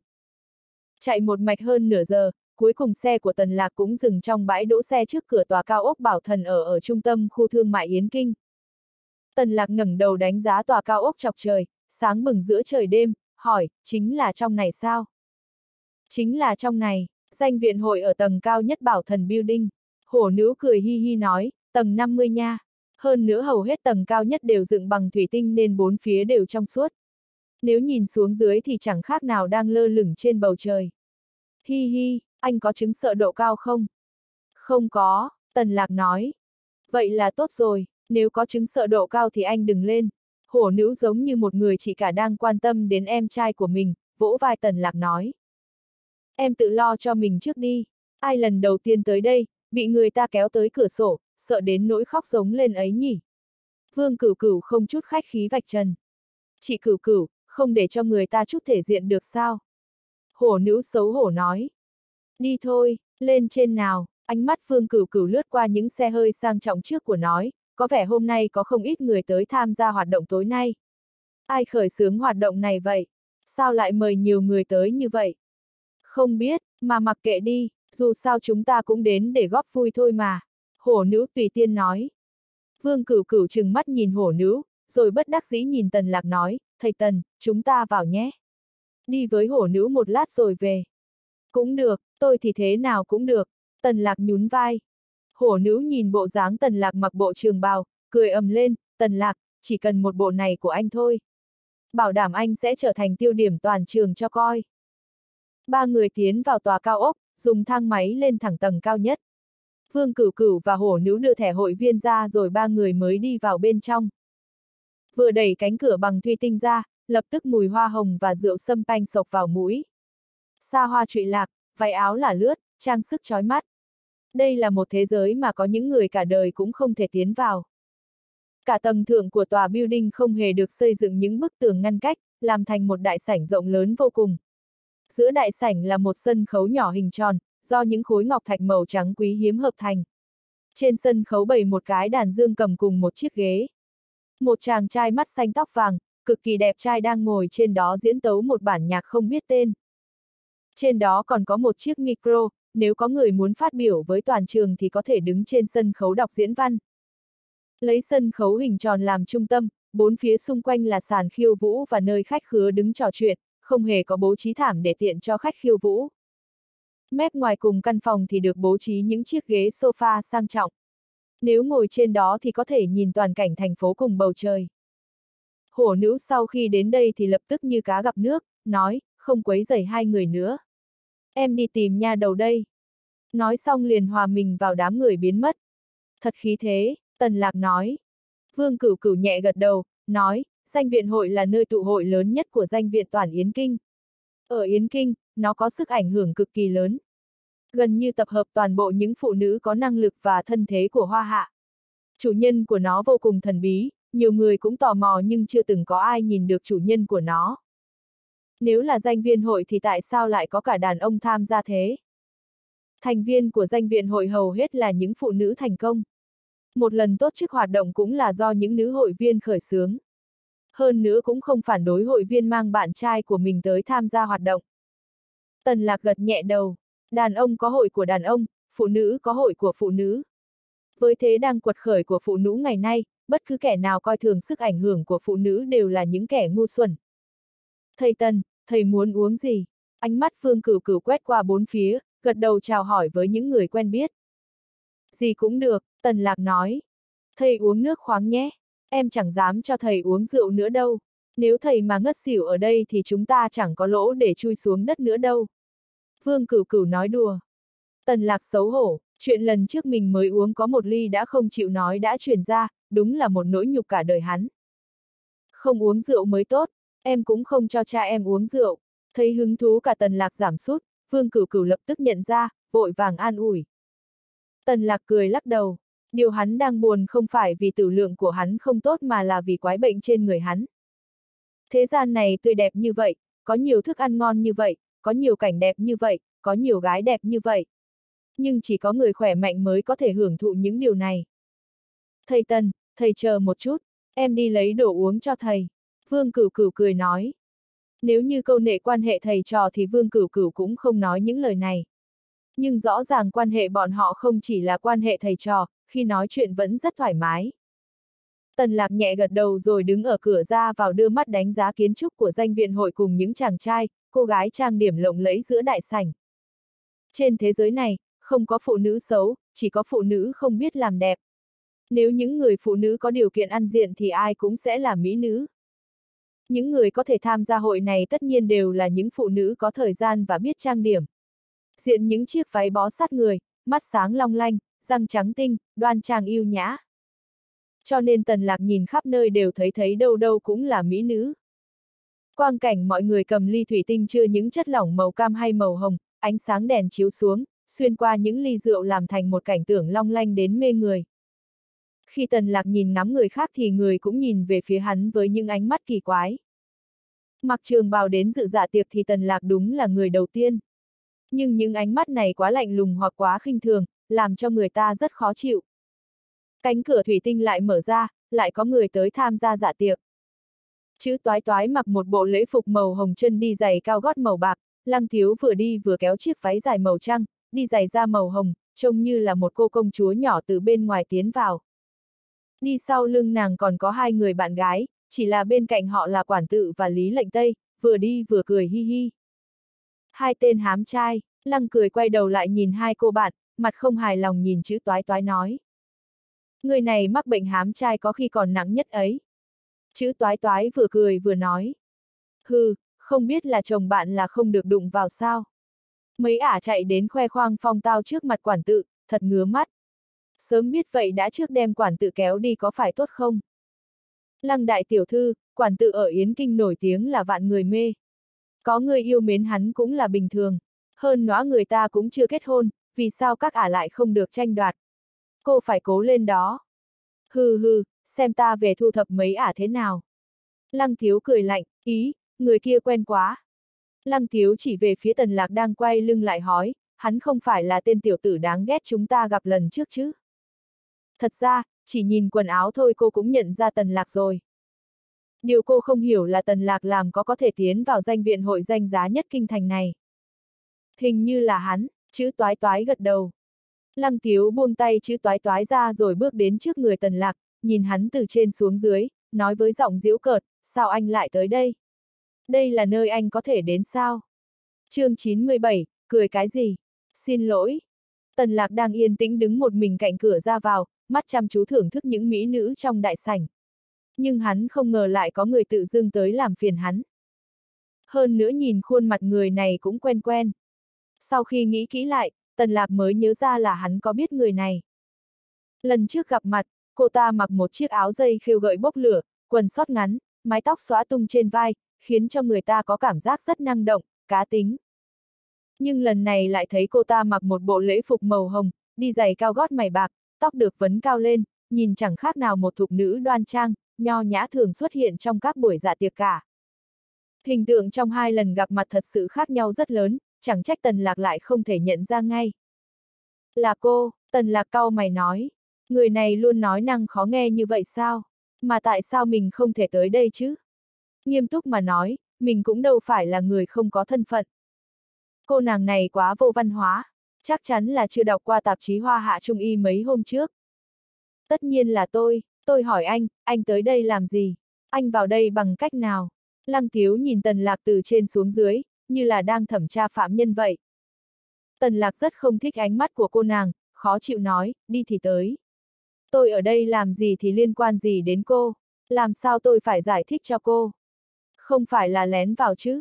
Mấy tên bảo vệ đúng là vô trách nhiệm, nếu có kẻ ăn trộm, ăn cắp trong này thì làm sao đây? Lăng thiếu cười lạnh nói. Đủ chưa? Khuôn mặt tần lạc trở nên âm trầm, gầm nhẹ. Hắn thật sự đã nổi giận.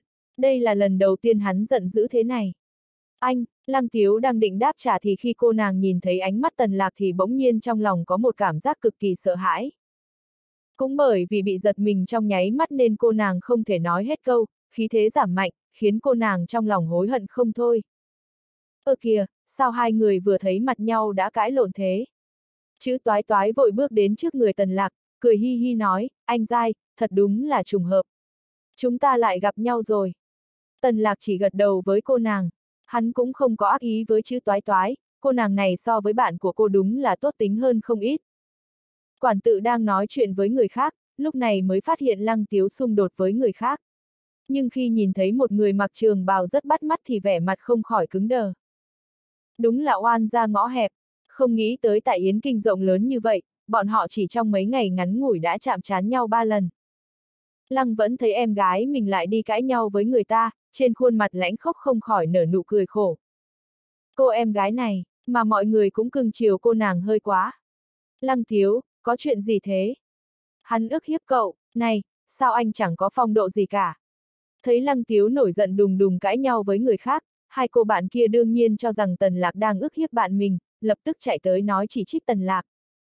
Quản tự đi tới, nhìn tần lạc cười nói, chúng ta lại gặp nhau rồi. Hy vọng lần sau sẽ không trùng hợp như vậy. Tần lạc liếc mắt nhìn lăng tiếu, cười lạnh. Hình như mọi người có xảy ra hiểu lầm phải không? Quản tự rất hài lòng với biểu hiện của tần lạc. Lúc này hắn càng kích động thì càng chứng tỏ tâm trí của hắn không đủ tỉnh táo, chín chắn. Một người dễ dàng để lộ tâm tình của mình ra ngoài mắt thường là kẻ dễ bị nắm thóp. Tôi cảm thấy đây là hiểu lầm, nhưng hy vọng vị tiểu thư này hãy tránh xa tôi ra. Tất nhiên tôi cũng làm như vậy, Tần Lạc nói. Được, tốt nhất là không bao giờ gặp lại. Lăng Thiếu hử lạnh nói. Quản tự nở một nụ cười ôn hòa, cưng chiều vỗ vỗ vai Lăng Thiếu, ra hiệu cô nàng không nên nói nữa, đem chuyện này giao cho mình. Lăng Thiếu lập tức gật đầu, mặt tràn đầy vẻ hạnh phúc. Con gái có chút nóng tính thì mới càng đáng yêu. Anh không cảm thấy thế sao? Chỉ hiểu lầm thôi mà, anh đừng để trong lòng. Anh là bạn hoán khê nên cũng là bạn của tôi. Hy vọng sau này chúng ta có cơ hội hợp tác, quản tự vừa nói vừa vươn tay ra ý muốn bắt tay với Tần Lạc. Hắn đã từ lý lệnh Tây lấy được những tư liệu có liên quan đến người này. Tần Lạc, cháu nội Dược Vương, Tần Tranh, giáo sư học viện Trung Y Dược, Đại học Y khoa Thủ đô. Bạn trai tai tiếng của Lâm Hoán Khê, đương nhiên quan trọng hơn là hắn chính là truyền nhân của Thái Ất Thần Trâm. Những tư liệu về Tần Lạc cũng không nằm ngoài dự đoán của hắn. Hiện nay các tạp chí và báo chí về y dược đều đã đăng tin truyền nhân Thái Ất Thần châm xuất thế. Trèo càng cao, ngã càng đau, danh tiếng càng lớn thì ảnh hưởng cũng càng tồi tệ.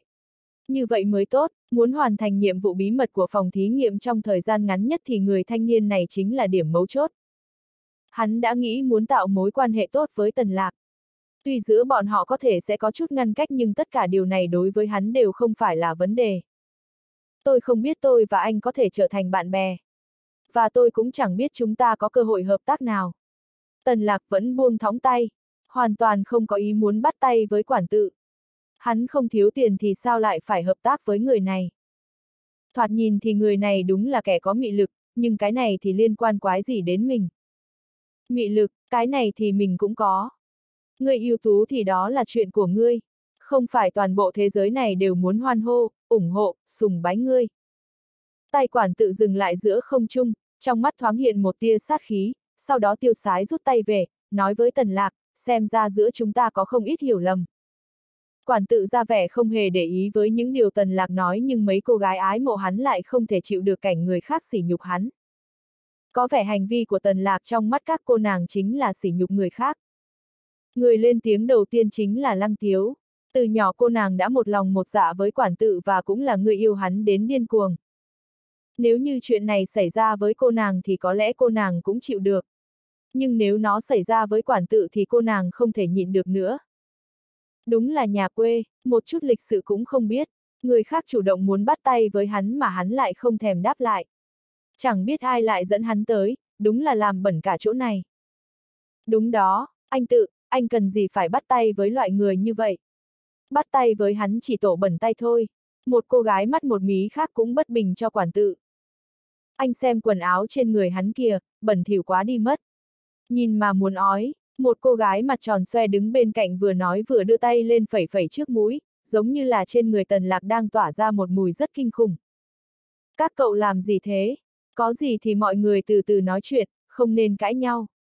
Chữ toái toái vội đứng ra hòa giải. Toái toái, em đừng lo, cứ để cho bọn quản tự giải quyết là được. Lý lệnh Tây tiến đến, nói nhỏ vào tai chữ toái toái.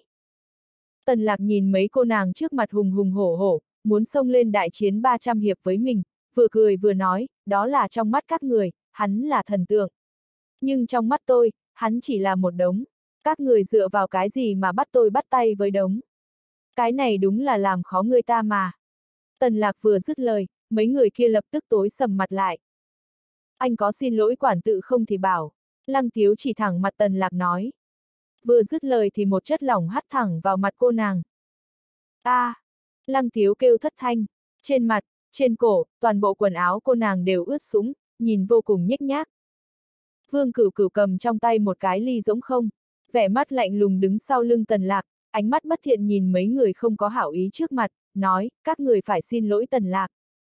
Cô dám hát nước và người khác, lăng vẫn thấy em gái bị làm nhục, quát lạnh một tiếng. Hắn vội bước tới dùng tay áo lau nước trên mặt em gái mình. Thế là còn may đấy, nếu không phải trong tay tôi là ly nước thì thứ bay vào mặt cô ta không phải là nước mà là tay tôi rồi. Trong mắt Phương Cửu Cửu thoáng hiện một tia cực kỳ hung ác, vẻ mặt cứng rắn nói. Đứng ép tôi đánh đàn bà. Lăng vẫn cố áp chế lửa giận trong lòng, rít lên. Anh không phải là đối thủ của tôi. Phương Cửu Cửu lạnh giọng nói. Nếu không phải em gái đang khóc trong lòng mình thì có lăng vẫn đã xông tới đánh người rồi. Cô đúng là đồ nhà quê, sở thích khác người. Một tên chửi người, một tên đánh người. Đúng là trời sinh một cặp, ta không hiểu sao danh viện hội là cho loại người như ngươi vào. Vì sao chúng ta lại không vào được? Danh viện hội là nhà các người mở chắc, không biết hổ nữ từ chỗ nào chui ra, cao giọng quát. Đúng vậy, có kẻ đã ngu còn cố tỏ ra vẻ mình nguy hiểm kia. Một cô gái đứng bên cạnh hổ nữ, tướng mạo thanh tú, mắt đeo một chiếc kính gọng vàng, thoạt nhìn có vẻ rất điềm đạm. Nhưng lời nói đúng là sắc bén, như dùng kim châm người ta vậy. Chị cửu, muốn động thủ thì nhớ gọi em. Chúng ta không chủ động gây chuyện nhưng không có nghĩa là chúng để người khác ức hiếp. Một chàng trai đi phía sau bọn họ cười hì hì nói. Bọn họ cùng xuất thân từ Đại Việt, hiện giờ xảy ra chuyện thì tất nhiên là phải chạy tới giúp đỡ. Người đứng xung quanh xem càng lúc càng nhiều. Chỗ tần lạc đứng là cạnh cửa ra vào, vốn là chỗ vắng vẻ nhất. Nhưng khi xảy ra cãi vã thì chỗ đó nghiễm nhiên trở thành trung tâm đại sảnh. Quản tự nhìn vương cửu cửu và đám người đứng ra nói giúp vương cửu cửu, đôi mày không khỏi nhíu lại, liếc mắt sang nhìn Lý lệnh Tây. Thấy sắc mặt hắn mờ mịt lắc đầu, hắn chỉ biết người con gái này lai lịch chắc chắn không nhỏ. Trong lòng thở dài một tiếng, không ngờ thằng cha này lại có chỗ dựa mạnh mẽ như vậy. Quản tự gặp chuyện không kinh, trên mặt hắn vẫn nở nụ cười ấm áp đến mê người, nhìn tần lạc cười ha ha nói, hiểu lầm thôi mà, cần gì phải ồn ào như vậy. Nếu như làm hỏng buổi dạ tiệc này thì chính là tội của chúng ta đó. Không bằng bỏ qua chuyện này nha. Bây giờ tôi kính mọi người một ly, thế nào? Những người biết quản tự tất nhiên dã nhận ra đây chính là kẻ có tiếng là vạn người mê ở Yến Kinh. Nhưng người không biết quản tự thì cũng bị khí chất tuấn lãng, nho nhã hấp dẫn, nhỏ giọng bàn luận, nghe ngóng thân phận của người thanh niên này. Trong nháy mắt quản tự đã trở thành tiêu điểm toàn trường. Tần lạc còn chưa kịp mở miệng nói chuyện thì vương cửu cửu đứng bên cạnh hắn đã quát lạnh, cười cái gì? Xin lỗi. chương 98, cửu yên mị. Tại một góc danh viện hội, trong một căn phòng yên tĩnh. Tuy diện tích không lớn lắm, thua xa đại sảnh rộng tới mấy ngàn mét vuông của đại sảnh dạ tiệc nhưng cách bài trí trong phòng lại cực kỳ tinh tế, hợp lý, hơn xa bố cục của đại sảnh bên ngoài. Lúc này trong phòng chỉ có ba người, hai người giàn ông và một cô gái. Có những người thích đứng dưới ánh mặt trời, nhưng cũng có những người ẩn nấp trong bóng tôi. Người đứng đối diện xạ đăng là một cô gái. Khuôn mặt của cô cực kỳ đẹp, khiến cho bất kỳ người đàn ông nào chỉ cần nhìn qua cũng suốt đời khó quên. Không chỉ có khuôn mặt rất đẹp mà cô còn có một thân thể hoàn mỹ. Bộ ngực cao vút, cặp mông tròn lẳn, cái eo thon mềm mại và một đôi chân thon dài. Một người đàn bà chỉ cần có một thân thể như vậy nhưng khuôn mặt người đó có hơi khó coi một chút thì đó tuyệt đối vẫn là vưu vật mà đám đàn ông mơ ước. Huống chi cô còn có một khuôn mặt đẹp đẽ đến như vậy. Đương nhiên nếu chỉ dùng mấy từ trên để hình dung vẻ mỹ lệ của cô thì thật quá thô tục. Thực tế, điều khiến người ta mê mẩn nhất vẫn là ánh mắt mê người cùng khí chất tản mát trong mỗi cái giơ tay nhấc chân của cô. Cô vẫn yên lặng đứng đó, khiến cho người ta cảm thấy một cỗ khí chất thành thục, cao quý của một nữ vương. Tựa như một trái đào chín mọng, chỉ cần nhẹ nhàng là có thể bóc đi lớp vỏ bên ngoài, thì có thể hương thụ vẻ thơm ngọt bên trong. Toàn thân người con gái này tựa như một dòng nước mềm mại, êm đềm. Nếu đàn ông được nặn từ bùn thì tất nhiên là cực kỳ khao khát có được một người phụ nữ như nước tưới mát. Cô nhìn xuyên qua tấm kính một chiều, quan sát cuộc cãi vã trong đại sảnh, trên mặt nở một nụ cười hiền hòa đầy mẫu tính. Bất cứ ai đã từng gặp bà đều có cảm giác như đang tắm ánh sang dịu dàng của mặt trời, vô cùng thư thái. Cô bé này thật ngang ngược, mọi người thường nói phụ nữ phương Nam đều hơn phụ nữ phương Bắc, nhưng xem ra quá võ đoán rồi. Nếu nói về nhu thuận, dịu dàng thì đúng là phụ nữ phương Nam hơn. Nhưng so về dũng khí gánh vác công việc và vẻ mạnh mẽ nhiệt tình thì phụ nữ phương Bắc lại hơn hẳn. Nhất là cô bé này, ta vừa nhìn đã thích rồi. Người phụ nữ khẽ nhấp chút rượu đỏ trong ly, cười nhẹ nói. Cô bé có thể khiến Yên Mị thích thú đúng là hiếm đấy. Một giọng nam tràn đầy mị lực vang lên. Người đó ngồi góc tối duy nhất trong phòng, không thể nhìn rõ khuôn mặt của hắn, trong tay hắn cầm một ly rượu, lười nhác nằm ngả người trên chiếc ghế salon. Nhưng tư thế ngồi tùy tiện vào giọng điệu bất cần lại làm cho người ta cảm thấy sự tự tin, chuyện gì cũng nằm trong lòng bàn tay của hắn. Tôi thấy cô ta không thể so được với mị tỷ. Một tên tuấn tú như con gái lên tiếng nói. Hắn nhìn cửu yên mị với một ánh mắt rất đặc biệt, rất tham lam nhưng không hề có chút dục vọng nào. giống như ánh mắt một đứa trẻ nhìn mẹ của mình vậy. Tiểu chiếu, có phải trong mắt cậu, chỉ cần là phụ nữ nhỏ hơn tôi thì đều không có mị lực như ta sao? Cửu yên mị rời ánh mắt lên người văn nhân chiếu, nhìn khuôn mặt xinh như hoa của hắn, cười nhẹ nói. Nàng rất có thiện cảm với chàng trai trẻ này, đương nhiên, hầu hết những người đơn thuần đều dễ dàng chiếm được thiện cảm của người khác. Đúng, mà không phải, văn nhân chiếu mặt mày xấu hổ, khuôn mặt tuấn tú, trắng bóc chẳng mấy chốc đã ửng hồng. Hắn hiểu rằng, chắc chắn cửu yên mị đã từ ai đó mà biết được mình ưa thích phụ nữ thành thục nên mới hỏi như vậy. Nói như vậy tôi không phải là đã chiếm hết tiện nghi sao? Nếu trẻ hơn tôi thì không có thành thục bằng tôi, nếu lớn tuổi hơn tôi thì lại không đẹp bằng tôi. Thế thì trong mắt tiểu chiếu, tôi là đệ nhất mỹ nữ rồi.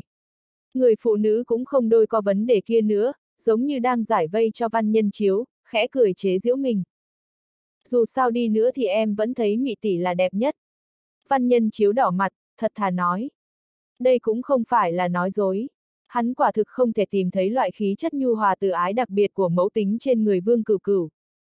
Yên mị mới đến Yến Kinh có mấy ngắn ngủi mà phương danh đã lan xa. Xưng là đệ nhất mỹ nhân cũng không quá đâu. Người đàn ông trong bóng tối cười nói. So với văn nhân mục nguyệt thì thế nào? Cô ấy so với cô thì đẹp hơn. Câu trả lời của người này thật sự làm người ta phải ngạc nhiên. Hắn hoàn toàn không hề khách khí nói mấy câu như, Xuân Lan Thu Cúc, một hoa mỗi vẻ, mà trực tiếp nhận xét. Sao vừa còn nói tôi là đệ nhất mỹ nữ? Đây không phải là nói dối sao? Cửu Yên Mị cũng không hề tức giận mà chỉ cười rộ lên như trăm hoa đua nở, nói. Người tôi thích là cô ấy nên tất nhiên thấy cô ấy là đẹp nhất. Nếu như tôi cảm thấy cô ấy đẹp nhất thì người tôi yêu mến chính là cô ấy. Đệ nhất mỹ nhân không thể chỉ dùng ánh mắt của tôi để định đoạt mà phải dùng ánh mắt của mọi người. Luận địa vị trong lòng đàn ông ở Yến Kinh thì cô hơn một chút. Người đàn ông cười ha ha nói. Ai, nói như vậy thì tôi lại nhận ra tranh lệch của tôi và văn nhân mục nguyệt. Nếu cô ấy là tiên tử trên trời, cao cao tại thượng, chẳng ai chạm tới được thì tôi cùng lắm chỉ là một đóa mẫu đơn của nhân gian. Chỉ cần cố gắng một chút là có thể ngắt được.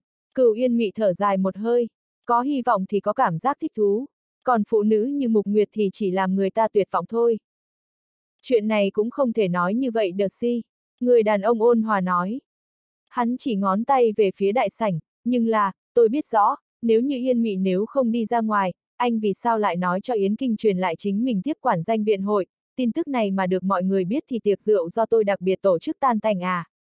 Chà không nên xem thường con gái nhà họ Vương. Họ Vương sao, có thể khiến anh nhớ kỹ thì lai lịch hẳn cũng bất phàm rồi. Tôi cũng đang chuẩn bị đi gặp cô bé ngang ngược này một lần đây. Cửu Yên Mị gật đầu nói. Đợi cho đến khi buông chiếc váy dài màu hồng xuống, để lộ ra một mảng lưng trắng muốt rồi dần đi khuất tầm mắt, văn nhân chiếu mới thu hồi lại ánh mắt mất hồn của mình. Tiểu chiếu, em cho anh biết chàng trai kia là ai được chưa? Người đàn ông ngồi trong góc đột nhiên lên tiếng hỏi. Ủa, Túng Hoành ca, anh cũng nhìn ra rồi sao? Văn nhân chiếu kinh ngạc nói. Ha ha, em đúng là người đơn thuần, bất cứ cảm xúc nào em cũng để lộ ra mặt. Vừa rồi khi em vừa nhìn thấy hắn thì lộ vẻ tức giận, thế thì người ta không nghi ngờ sao được chứ? Người đàn ông cười khẽ, lắc dầu nói. Hi hi, em cũng cố kiềm chế rồi, nhưng mà không ngờ lại không qua được mắt anh. Văn nhân chiếu xấu hổ nói. Hắn chính là người mà cửu cửu thích, tần lạc. À, thì ra là hắn. Cũng họ tần sao, xem ra cũng là người gia tộc chúng ta. Hai mắt của người đàn ông trong bóng tối lóe lên ánh sáng, nhưng biến mất rất nhanh. Túng Hoành ca, anh không tức giận sao? Văn nhân chiếu chăm chú nhìn vẻ mặt của Tần Túng Hoành, nhưng ngoài vẻ mặt chẳng buồn chẳng vui của Tần Túng Hoành ra, hắn chẳng phát hiện thêm được điều gì. Chẳng phải người ta hay nói, bất cứ người đàn ông nào khi đối mặt với tình địch của mình đều cực kỳ tức giận sao?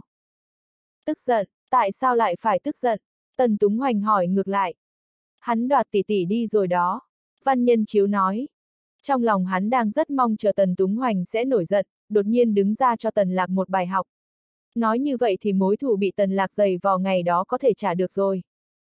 Thế sao? Tần Túng Hoành cười khẽ. Đồ ngu, tỷ tỷ ngươi là loại con gái nào chứ? Làm sao có thể thích một thằng tầm thường như vậy?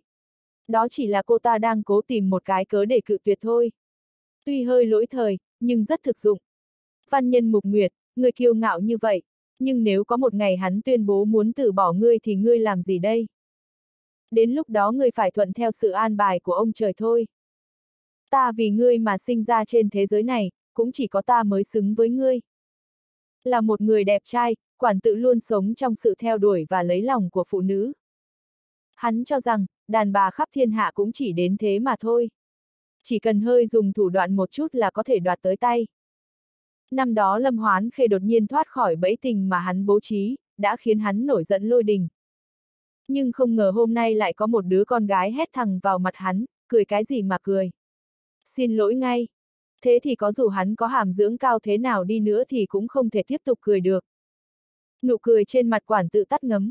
Hắn cố gắng kiềm chế cơn giận của mình, từ từ nói, tiểu thư, tôi đã biểu thị thành ý của mình. Mọi người cùng tồn tại cùng một nơi, ngẩng lên không thấy cúi đầu lại gặp.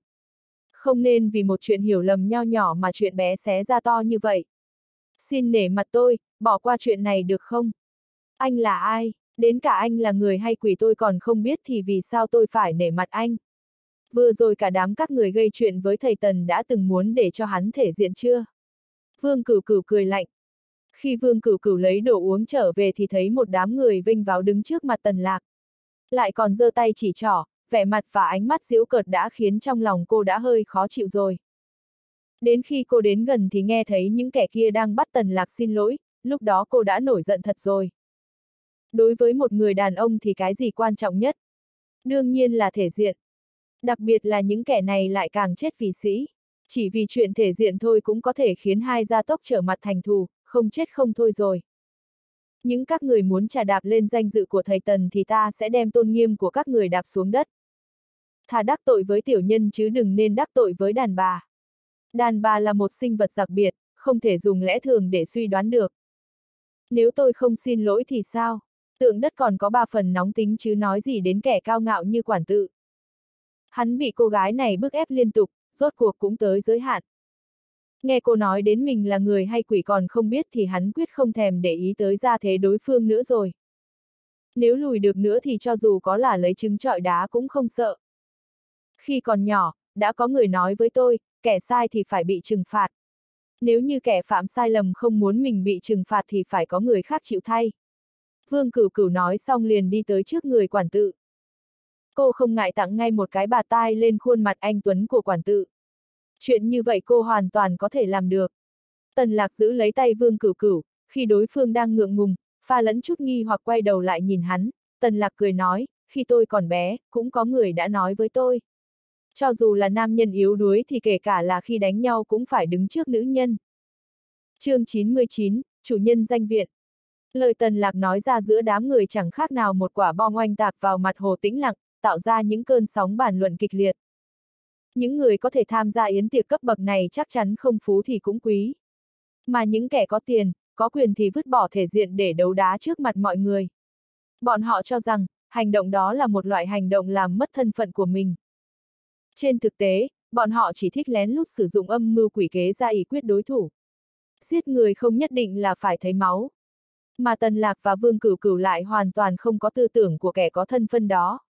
Bọn họ chỉ cần thấy trong lòng không thoải mái là sắn tay áo chuẩn bị đánh lộn luôn. Nhưng điều khác biệt là Vương Cửu Cửu đúng là muốn đánh lộn với người khác. Cô cũng từng học qua quân thể quyền, võ trong quân đội, và thuật cầm nã mấy năm, thân thủ cũng không tệ. Người bình thường hoàn toàn không phải là đối thủ của cô. Mà Tần Lạc chỉ muốn trừng phạt đối phương một chút thôi. Ví dụ như là dùng ngân châm đâm vào một số huyệt đối phương hoặc dùng ngón tay kích thích bàng quang bên hông. Dù cho gặp phải chuyện gì thì cũng không nên đắc tội với một thầy thuốc. Đặc biệt là thầy thuốc trung y, bởi vì họ có vô số biện pháp khiến người sống không bằng chết. Quản tự thấy tần lạc đi về phía mình thì nghi hoặc, hắn thì có thể gây thương tổn gì cho mình chứ? Bất kể là đầu óc hao là thể trạng thì tần lạc cũng không bằng hắn. Huống chi hắn luyện taekwondo đến đai xanh rồi. Vì để hoàn thành kế hoạch, đồ long, mà phòng thí nghiệm giao cho, hắn đã phải trải qua một đợt huấn luyện một năm rất nghiêm khắc. Hắn đang suy tính trong lòng, nên dạy dỗ thằng cha cuồng vọng này như thế nào trước mặt mọi người. Tuy điều này hoàn toàn khác xa với ý định ban đầu của hắn. Theo kế hoạch ban đầu, hắn sẽ mua chuộc tần lạc, lôi kéo tần lạc vào kế hoạch xây dựng hoa hạ danh y đường. Đáng tiếc là sự tình đã phát triển đến nước này, khả năng thực hiện đã giảm còn bằng không rồi. Để cho tôi, Lăng vẫn lên tiếng, hắn vỗ vỗ bả vai em gái, ra hiệu cô nàng cứ yên tâm. Lăng tiếu mắt ngân ngấn lệ, vẻ mặt tràn đầy oán hận nhìn chằm chằm vương cửu cửu. Không trải nghiệm thì không biết đời nông sâu thế nào. Vì thế những hiếu nữ sống trong nhung lụa từ nhỏ dễ bị người ta lợi dụng. Cô nàng làm thế là bênh vực người mình yêu, mà vương cửu cửu cũng có mong muốn như vậy. Nghe Lăng Vân muốn ra tay, quản tự lập tức mỉm cười tránh qua một bên. Lăng vẫn hiện tại vẫn còn đang tại ngũ, tuy đánh lộn có thể gây ảnh hưởng tới lý lịch của hắn, nhưng hắn tức giận thay có em gái, làm chuyện hơi quá khích cũng có thể chấp nhận được. Hơn nữa gia tộc sau lưng hắn cũng không phải không có năng lực giải quyết chuyện này. Tuy lúc này hắn đang mặc âu phục rất lịch sự nhưng vẫn khó thể che được khí chất quân nhân rất đặc biệt trên người hắn. Vẻ mặt lạnh lùng, vóc người cao to, mày kiếm, mỗi một động tác đều rất có khí thế. Hắn đi về phía tần lạc, vẻ mặt không chút biểu cảm. Thấy thân thể to lớn, trần ngập mi lực của hắn, không ít thục nữ danh viện ở đây nhũn người ra, hạ thân bắt đầu ẩm ướt. Hắn là ai thế, thật nam tính. Rất không tệ, hợp với sở thích của mình. Lily, đúng là hơn xa mấy tên mặt trắng nha. Như thế kia mới gọi là đàn ông chứ. Những lời của mấy cô gái nói nhỏ với nhau, Lăng vẫn vẫn có thể loáng thoáng nghe được mấy câu. Nghe xong hắn không khỏi nhíu mày nhìn lại, trong lòng rất khó chịu. Anh xin lỗi em tôi đi. Lăng vẫn đứng trước mặt Tần Lạc nói. Anh có biết đầu đuôi câu chuyện không? Tần Lạc cười hỏi. Không biết, mà cũng chẳng cần biết. Tôi chỉ biết là anh đã ức hiếp em gái tôi. Vậy thì không nói chuyện được rồi. Tôi chỉ biết là em gái anh chạy tới gây chuyện với tôi. Tần Lạc nhún vai nói. Đã không thể nói chuyện thì đành dùng sức mạnh vậy. Lăng vẫn chưa nói hết câu thì đột nhiên vươn tay chụp vào vai Tần Lạc. Đây là một chiêu cầm nã trong võ thuật quân đội. Nếu như vai Tần Lạc bị hắn bắt được, hắn chỉ cần phát lực là có thể khiêng Tần Lạc lên vai, hất văng Tần Lạc đi như một bao cát. Tốc độ của hắn rất nhanh, nhưng Tần Lạc lại không phản ứng, đứng ngây ngốc giống như không biết nên né tránh thế nào. Thế là vai Tần Lạc bị hắn nắm được một cách dễ dàng. Bước đầu tiên hoàn thành thuận lợi, thân thể hắn nhanh chóng cúi xuống, đẩy vai vào bụng Tần Lạc. Chỉ cần vai hắn chạm thân thể Tần Lạc là hắn có thể hất bay Tần Lạc đi. Lúc này Tần Lạc mới bắt đầu động thủ. Dưới ánh đèn thủy tinh sáng ngời của đại sảnh, trong lòng bàn tay của Tần Lạc bỗng lóe lên ngân quang. Lập tức cánh tay trái của Lăng vẫn đang đặt trên vai Tần Lạc rút về nhanh như chớp. Tần Lạc thừa thế truy kích, ngâm châm lại đâm vào eo hắn. Lăng vẫn phản ứng rất nhanh, vội lùi lại phía sau ba bước mới tránh được ngân châm của Tần Lạc. Khi hắn định phản kích thì đột nhiên phát hiện ra tay trái bị cắm ngân châm của hắn không thể cử động được. Thậm chí cả nắm tay vào cũng không thể. Cả cánh tay đột nhiên mất đi chi giác giống như bị trúng gió, hắn đã hoàn toàn mất đi quyền điều khiển.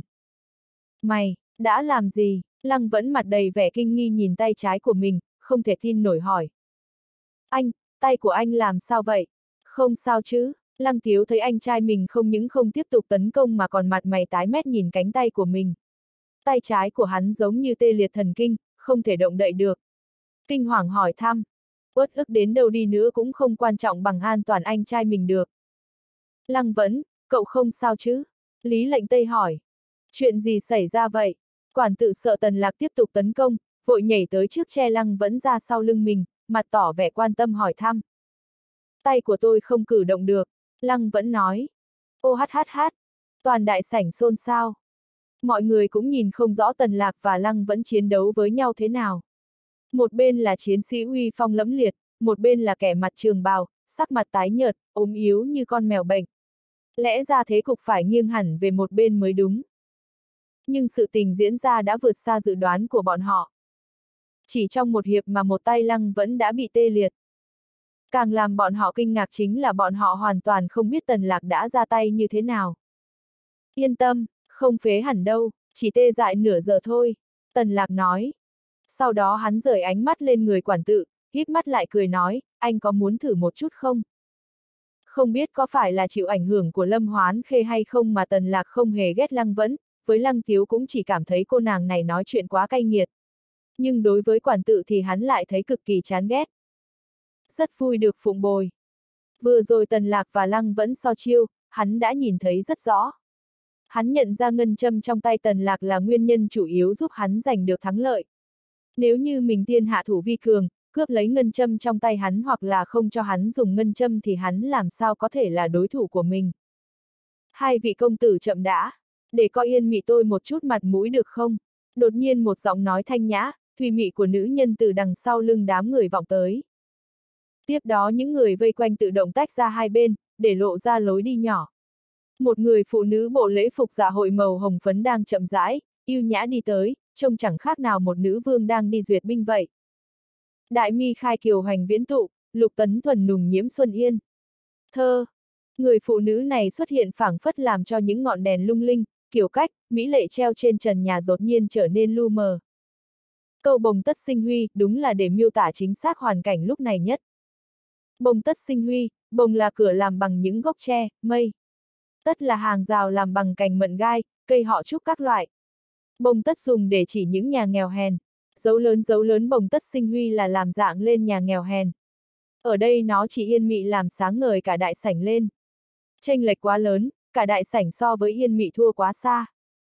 Cô là ai? Vương cửu cửu nhìn người phụ nữ tên là Yên Mị, lên tiếng hỏi.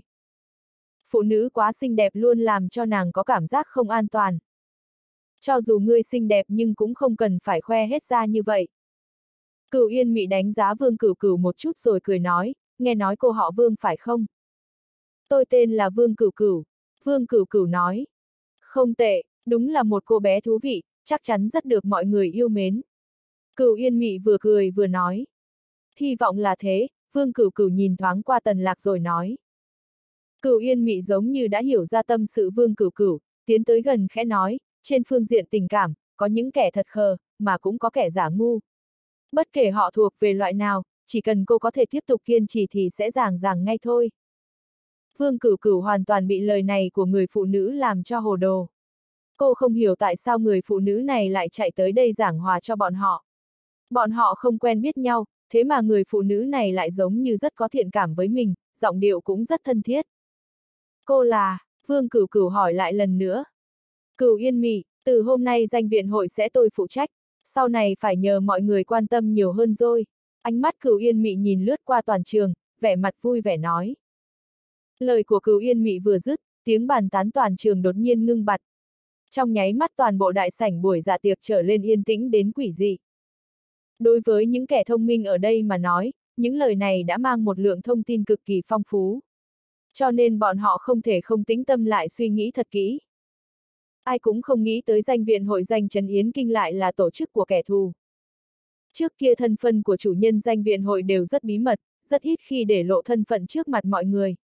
Bây giờ lại đột nhiên cao giọng tuyên bố như vậy, điều này có nghĩa là gì chứ? Những người không rõ chi tiết lại khiếp sợ nhìn Yến Kinh đệ nhất thục phụ, cửu yên mị.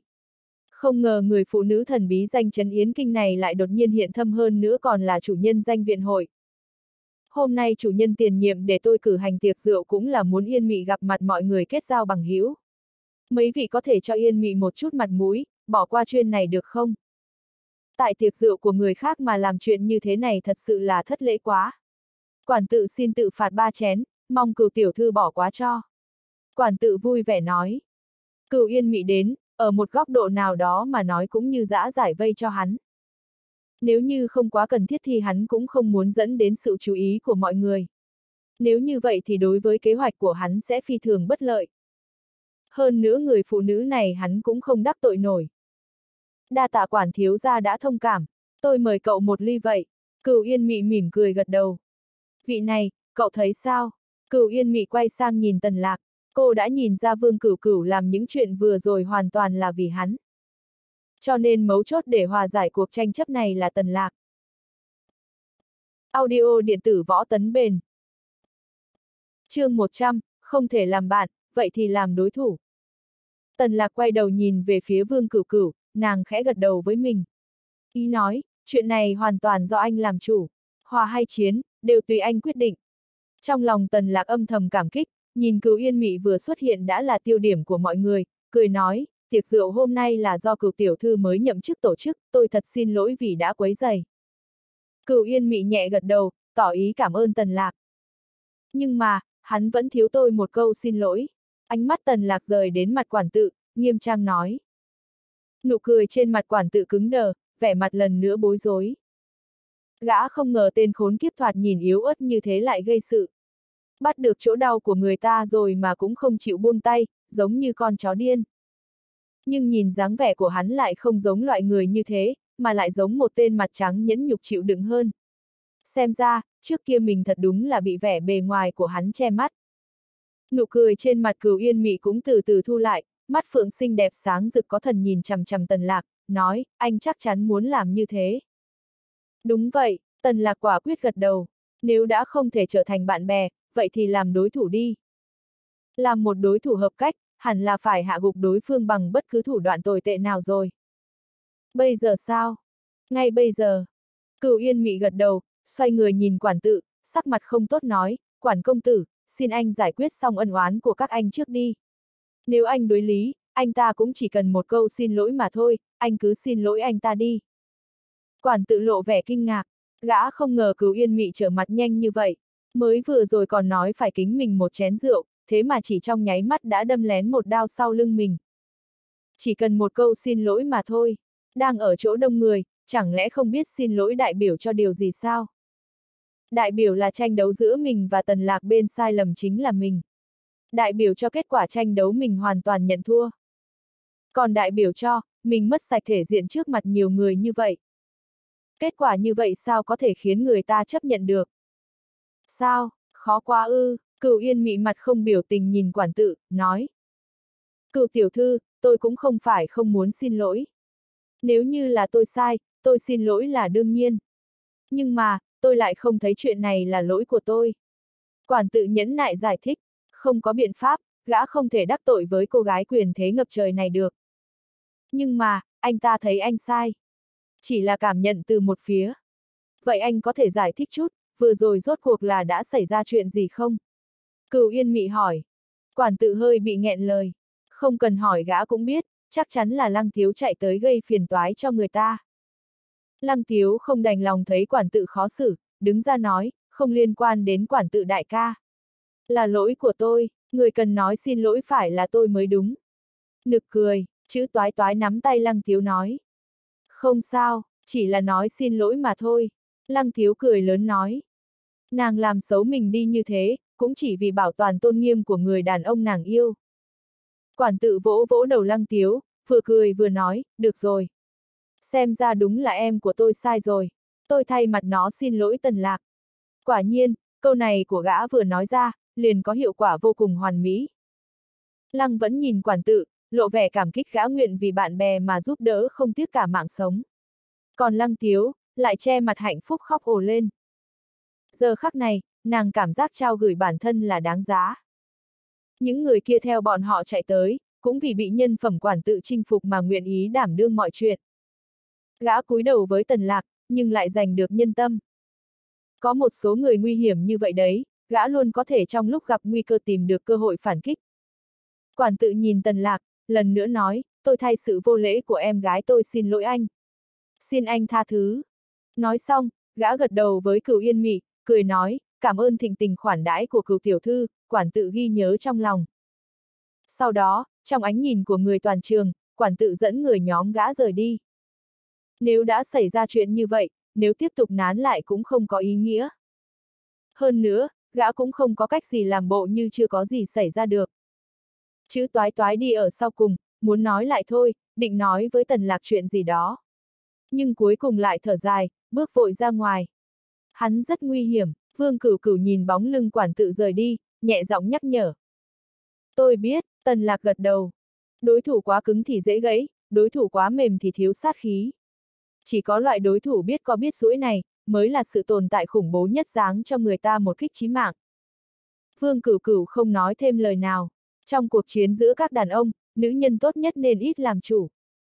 Vương Cửu Cửu giới thiệu tần lạc cho các bạn của nàng, nhà đầu, bé gái cẩu hùng, gấu chó tử đạn đầu, viên đạn chết và công binh đều xuất thân đại viên quân khu. Nhà đầu chính là nữ sinh thanh tú đeo kính, cha là thượng tướng. Cẩu hùng là một gã to cao, là con của phó tham mưu trưởng quân khu. Tử đạn đầu và công binh là hai anh em, cũng xuất thân quan quân thế gia. Đương nhiên, nếu không có chút thân phận, thì sẽ không có cơ hội tham gia nhóm này. Bởi vì thái độ của Vương Cửu Cửu với Tần Lạc, cho nên, bọn họ lúc nói chuyện với Tần Lạc thân mật vô cùng. Lúc cả nhóm đang muốn tìm chỗ vắng nói chuyện phiếm thì Cửu Yên Mị ở phía sau gọi, hai vị xin chờ một chút. Tần Lạc và Vương Cửu Cửu quay đầu lại, vẻ mặt nghi hoặc nhìn cửu yên mị. Không biết cô gái bí hiểm này còn muốn làm gì đây? Vừa rồi tần lạc nói tuẹt không giữ mặt mũi cho nàng, chẳng lẽ nàng muốn kiếm chuyện?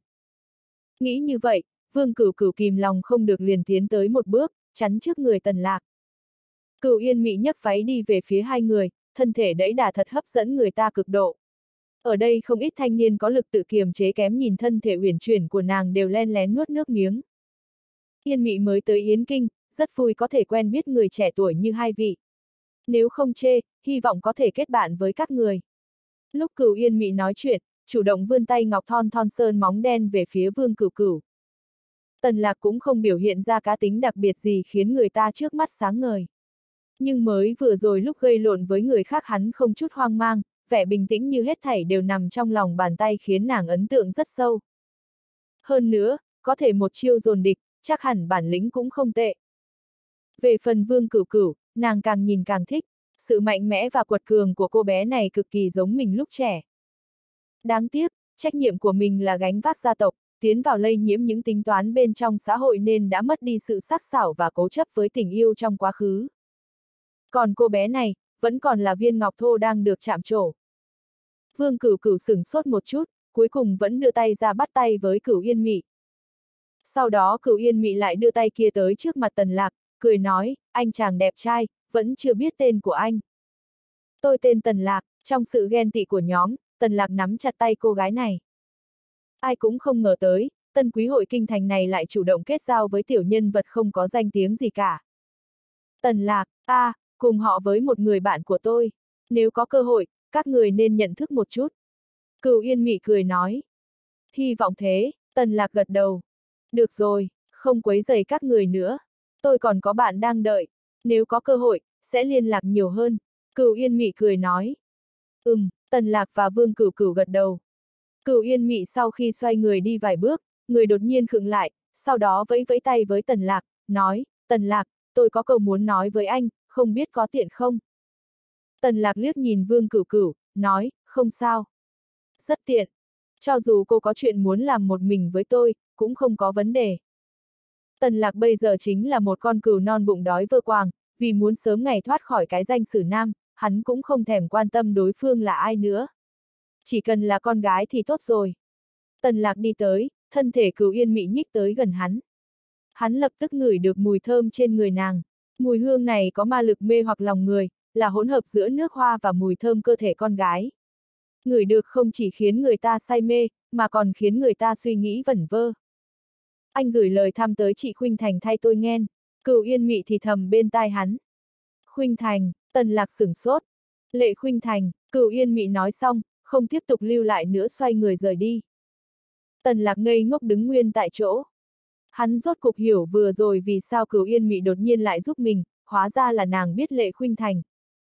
Nhưng mà, chuyện này làm sao có thể chứ? Mặc dù lệ khuynh thành cũng có chút thực lực, nhưng mà, nàng chẳng qua là một giáo viên đại học y khoa, một bà chủ thẩm mỹ Việt, một đại cổ động đứng thứ hai công ty làm đẹp. Cổ đông đứng đầu chính là mình. Lúc mới tới, Vương Cửu Cửu đã giới thiệu qua bối cảnh và thực lực danh viện hội. Cửu Yên Mị này là bà chủ mới nhậm chức của danh viện hội, bối cảnh sau lưng chắc là kinh người. Sao nàng lại có quan hệ với Lệ Khuynh Thành chứ? Sao thế? Vương Cửu Cửu đi tới cạnh Tần Lạc, thấp giọng hỏi. Không có gì, cô ta nhờ tôi gửi lời thăm một người bạn. Tần Lạc nói. Vương Cửu Cửu gật đầu, nói, chúng ta về thôi. Ừ, Tần Lạc đồng ý. Đêm đã khuya, bầu trời không có ngôi sao nào. Không khí có chút oi bức, âm u, giống như sắp mưa. Nhưng, chuyện này cũng chẳng thể ảnh hưởng đến sự yêu thích của nam nữ đô thị với ban đêm. Bọn họ đi qua những nơi ánh sáng rực rỡ, đi tới những nơi rộn ràng tiếng cười. Cửu cửu, cảm ơn em. Tần lạc cười nói, tối nay vương cửu cửu ra mặt giúp hắn lần nữa, khiến hắn có loại cảm giác vô dụng. Cảm ơn gì chứ, sau này không cho phép khách khí với em như vậy nữa.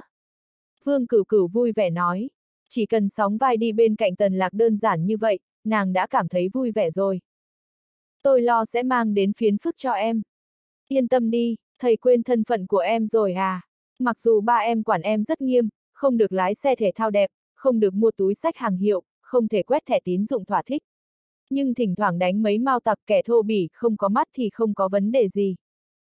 Ở trong miệng của nàng, quản tự đã trở thành mau tặc không có mắt.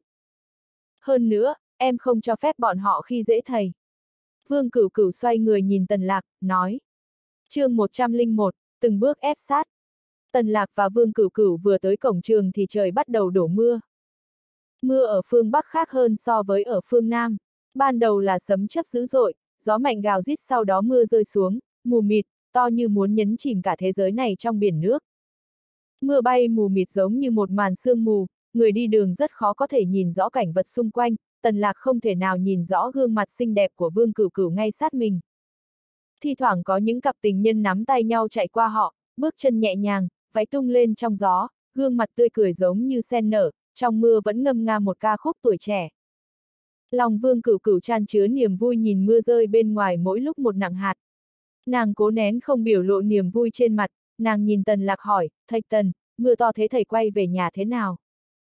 Không sao, lát nữa trời sẽ tạnh tần lạc cười nói. Trời mưa quá to nên trước cổng trường không có taxi.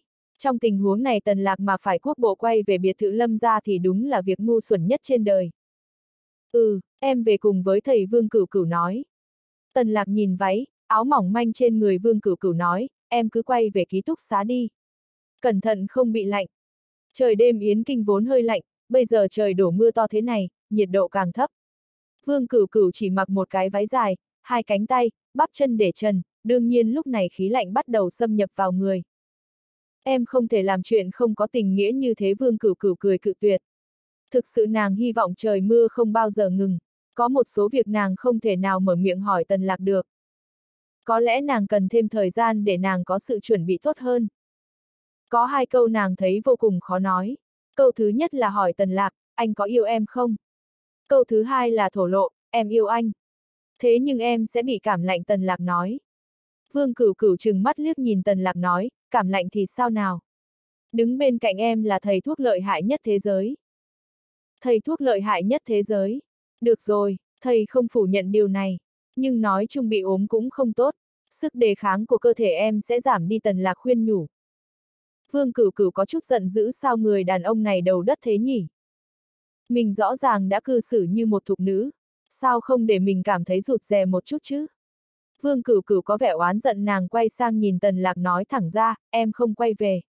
Em thích ở cùng với thầy. Chấm móc lửng, Tần Lạc kinh ngạc nhìn Vương Cửu Cửu. Trong bóng đêm, ánh mắt nàng nhìn thẳng vào mắt hắn không chút khoan nhượng, Tần Lạc cảm thấy bối rối, giống như có tật giật mình hắn vội vàng quay nhìn đi chỗ khác. Em lạnh không, tần lạc khó khăn lắm mới thốt ra được, là một sử nam hắn lúng túng không biết nên làm gì với tình huống hiện tại. Lạnh vương cửu cửu nhìn chằm chằm tần lạc nói. Anh đã hỏi thế thì em cứ nói thật, xem anh sẽ làm gì bây giờ nào. Cái này, tần lạc nhìn áo trường bào trên người mình rồi nói, nếu thầy cởi áo cho em mặc thầy cũng bị lạnh. Vương cửu cửu tức muốn hộc máu, nói thế thì nói làm gì. Thế nhưng nước mưa ngấm vào người nàng làm cái lạnh lan ra rất nhanh, thoáng chốc đã lan ra khắp người, nàng vẫn kiên cường như một đấu sĩ nói, không sao. Em vẫn chịu được, thầy là thầy thuốc, dù em ngã bệnh thầy vẫn chữa khỏi cho em, có đúng không? Trong lúc nói chuyện nàng lại cố ý ho khan hai tiếng. Ai không biết xấu hổ, người đó sẽ vô địch thiên hạ. Nếu phụ nữ không biết xấu hổ, khắp đất trời sẽ không có địch thủ. Vì vậy tần lạc đương nhiên thất bại trong tay nàng. Tần lạc vừa cởi áo vừa nói, tôi thực sự không quen cởi áo trước nơi công cộng thế này. Thầy không cần cởi vương cửu cửu nói. Nàng nhích lại gần rồi áp sát người nàng vào người tần lạc, như thế này là tốt rồi. Như này là tốt rồi. Thân thể ngọc ngã áp vào ngực, cầm của hắn áp vào mái tóc nàng, thoang thoảng mùi thơm, hai tay tần lạc lúng túng dơ lên cao hắn thực sự không biết phải làm gì nữa. Có thể khung cảnh tĩnh mịch của buổi tối đã cho nàng có dũng khí làm điều đó, nàng cảm thấy như trên thế gian chỉ hiện diện hai người. Có thể vì lý do đó mà nàng không nói gì hoặc không dám nói gì. Trái tim vương cửu cửu đập thình thịch, giống như nàng đang ngồi trên chiếc xe leo đường núi. Có phải mình đã chủ động quá không? Nhưng nếu mình không chủ động, mình phải đợi tới khi nào? Phụ nữ rất chóng già, mỗi ngày trôi đi là lãng phí một ngày, nàng chỉ muốn đồng hành cùng hắn trong những ngày này. Bây giờ nàng đã bộc lộ tình cảm của mình, nàng chỉ còn chờ sự lựa chọn của hắn. Tiếp nhận hay cự tuyệt? Yêu hay không yêu? Nàng muốn có câu trả lời. Dù nàng hơi vội vàng nhưng ít nhất nàng đã ngầm thông báo cho hắn nàng yêu hắn. Dù tần lạc có đẩy nàng ra, nàng vẫn đang chờ đợi vận mệnh của mình. Nàng cũng muốn nói cho hắn biết nàng đang chờ đợi hắn, không chờ đợi bất kỳ ai khác. Một giây, hai giây, ba giây. Những hạt mưa rơi tí tách, thời gian trôi qua từng giây một. Thế nhưng tần lạc vẫn đứng ngây như phóng, cả người cứng đơ, thẳng băng, hai tay giơ lên trời, không buồn để ý tới hành động ép sát của nàng.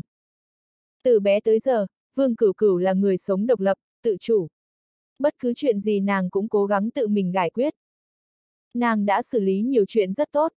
Có rất nhiều chuyện mình nàng cũng giải quyết được, nhưng có một việc phải cần hai người đồng tâm mới làm được.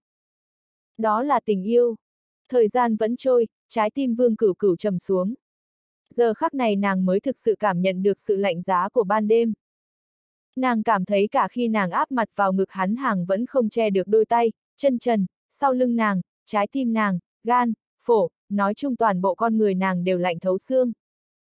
Vương cửu cửu khẽ thở dài trong lòng. Nàng khó khăn lắm mới có can đảm bộc lộ tấm chân tình, nhưng e rằng nàng đã thất bại. Anh ấy do dự chứng tỏ anh ấy không muốn mình.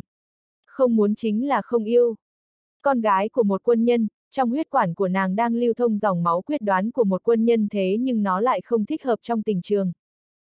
Vương cửu cửu cử động, nàng đang định nhích ra khỏi người tần lạc. Chủ động ôm cái cột nhà này nàng không thấy bất kỳ sự ấm áp nào. Đúng lúc này, không biết do hai tay tần lạc dơ lên cao quá mỏi hay hắn cảm thấy là một người đàn ông hắn nên ôm cô gái đó trong lòng. Hai tay của tần lạc từ từ hạ xuống, nhẹ nhàng, ngập ngừng, có vẻ sợ hãi vòng sau lưng ôm vương cửu cửu vào lòng. Khi hai thân thể áp sát vào nhau, vương cửu cửu nép vào ngực tần lạc, nghẹn ngào không nói. Nàng giống như một em bé sinh ra nhưng không khóc, chỉ mở to đôi mắt xinh đẹp mê mẩn nhìn thế giới xa lạ, gương mặt đẫm nước mắt. Nàng không quá hy vọng đây là lời hứa hẹn của hắn. Nàng chỉ hy vọng, hy vọng lúc nàng nói với hắn, em yêu anh, hắn không bối rối bỏ chạy. Ít nhất nàng cũng có chút hy vọng.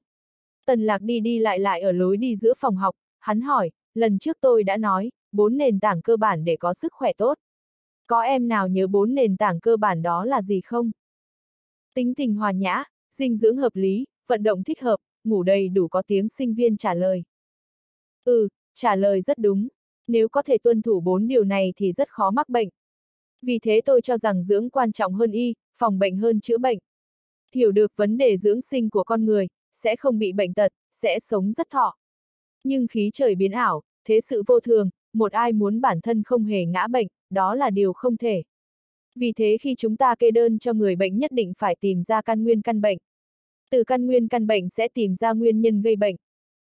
Tần Lạc đang chậm rãi giải thích, cửa phòng học đột nhiên mở ra. Chủ nhiệm Quách Hoài Nhân và một đám người nước ngoài tóc vàng mắt xanh bước vào trong. Nhìn thoáng qua Tần Lạc đã hiểu ngay những người này chính là đoàn đại biểu của Đại học Giai Út bên Mỹ sang thăm trường Đại học Y khoa thủ đô. Theo thông lệ, lãnh đạo học viên chịu trách nhiệm đón tiếp phái đoàn, cẩn thận chuẩn bị mọi việc giống như chuẩn bị đánh trận với cường địch. Căn dặn giảng viên giảng bài từng ly từng tí một, thậm chí có giảng viên còn muốn thông qua nội dung bài dạy trước với lãnh đạo, giúp bọn họ sửa chữa sai sót. Tần lạc lại không nắm được tình hình, khi những người này đi thẳng vào lớp học hắn mới hiểu hôm nay là ngày phái đoàn đó viếng thăm. Xem ra khi hắn châm chọc Quách Hoài Nhân trước mặt Thứ trưởng ở hội thảo Trung Y đã tới tai Quách Hoài Nhân. Lúc này đây Quách Hoài Nhân đang chờ đợi gây bất lợi cho hắn. Bởi vì chương trình giảng dạy của Tần Lạc rất được sinh viên hoan nghênh nên mỗi khi tới giờ của hắn phòng học đều chật kín.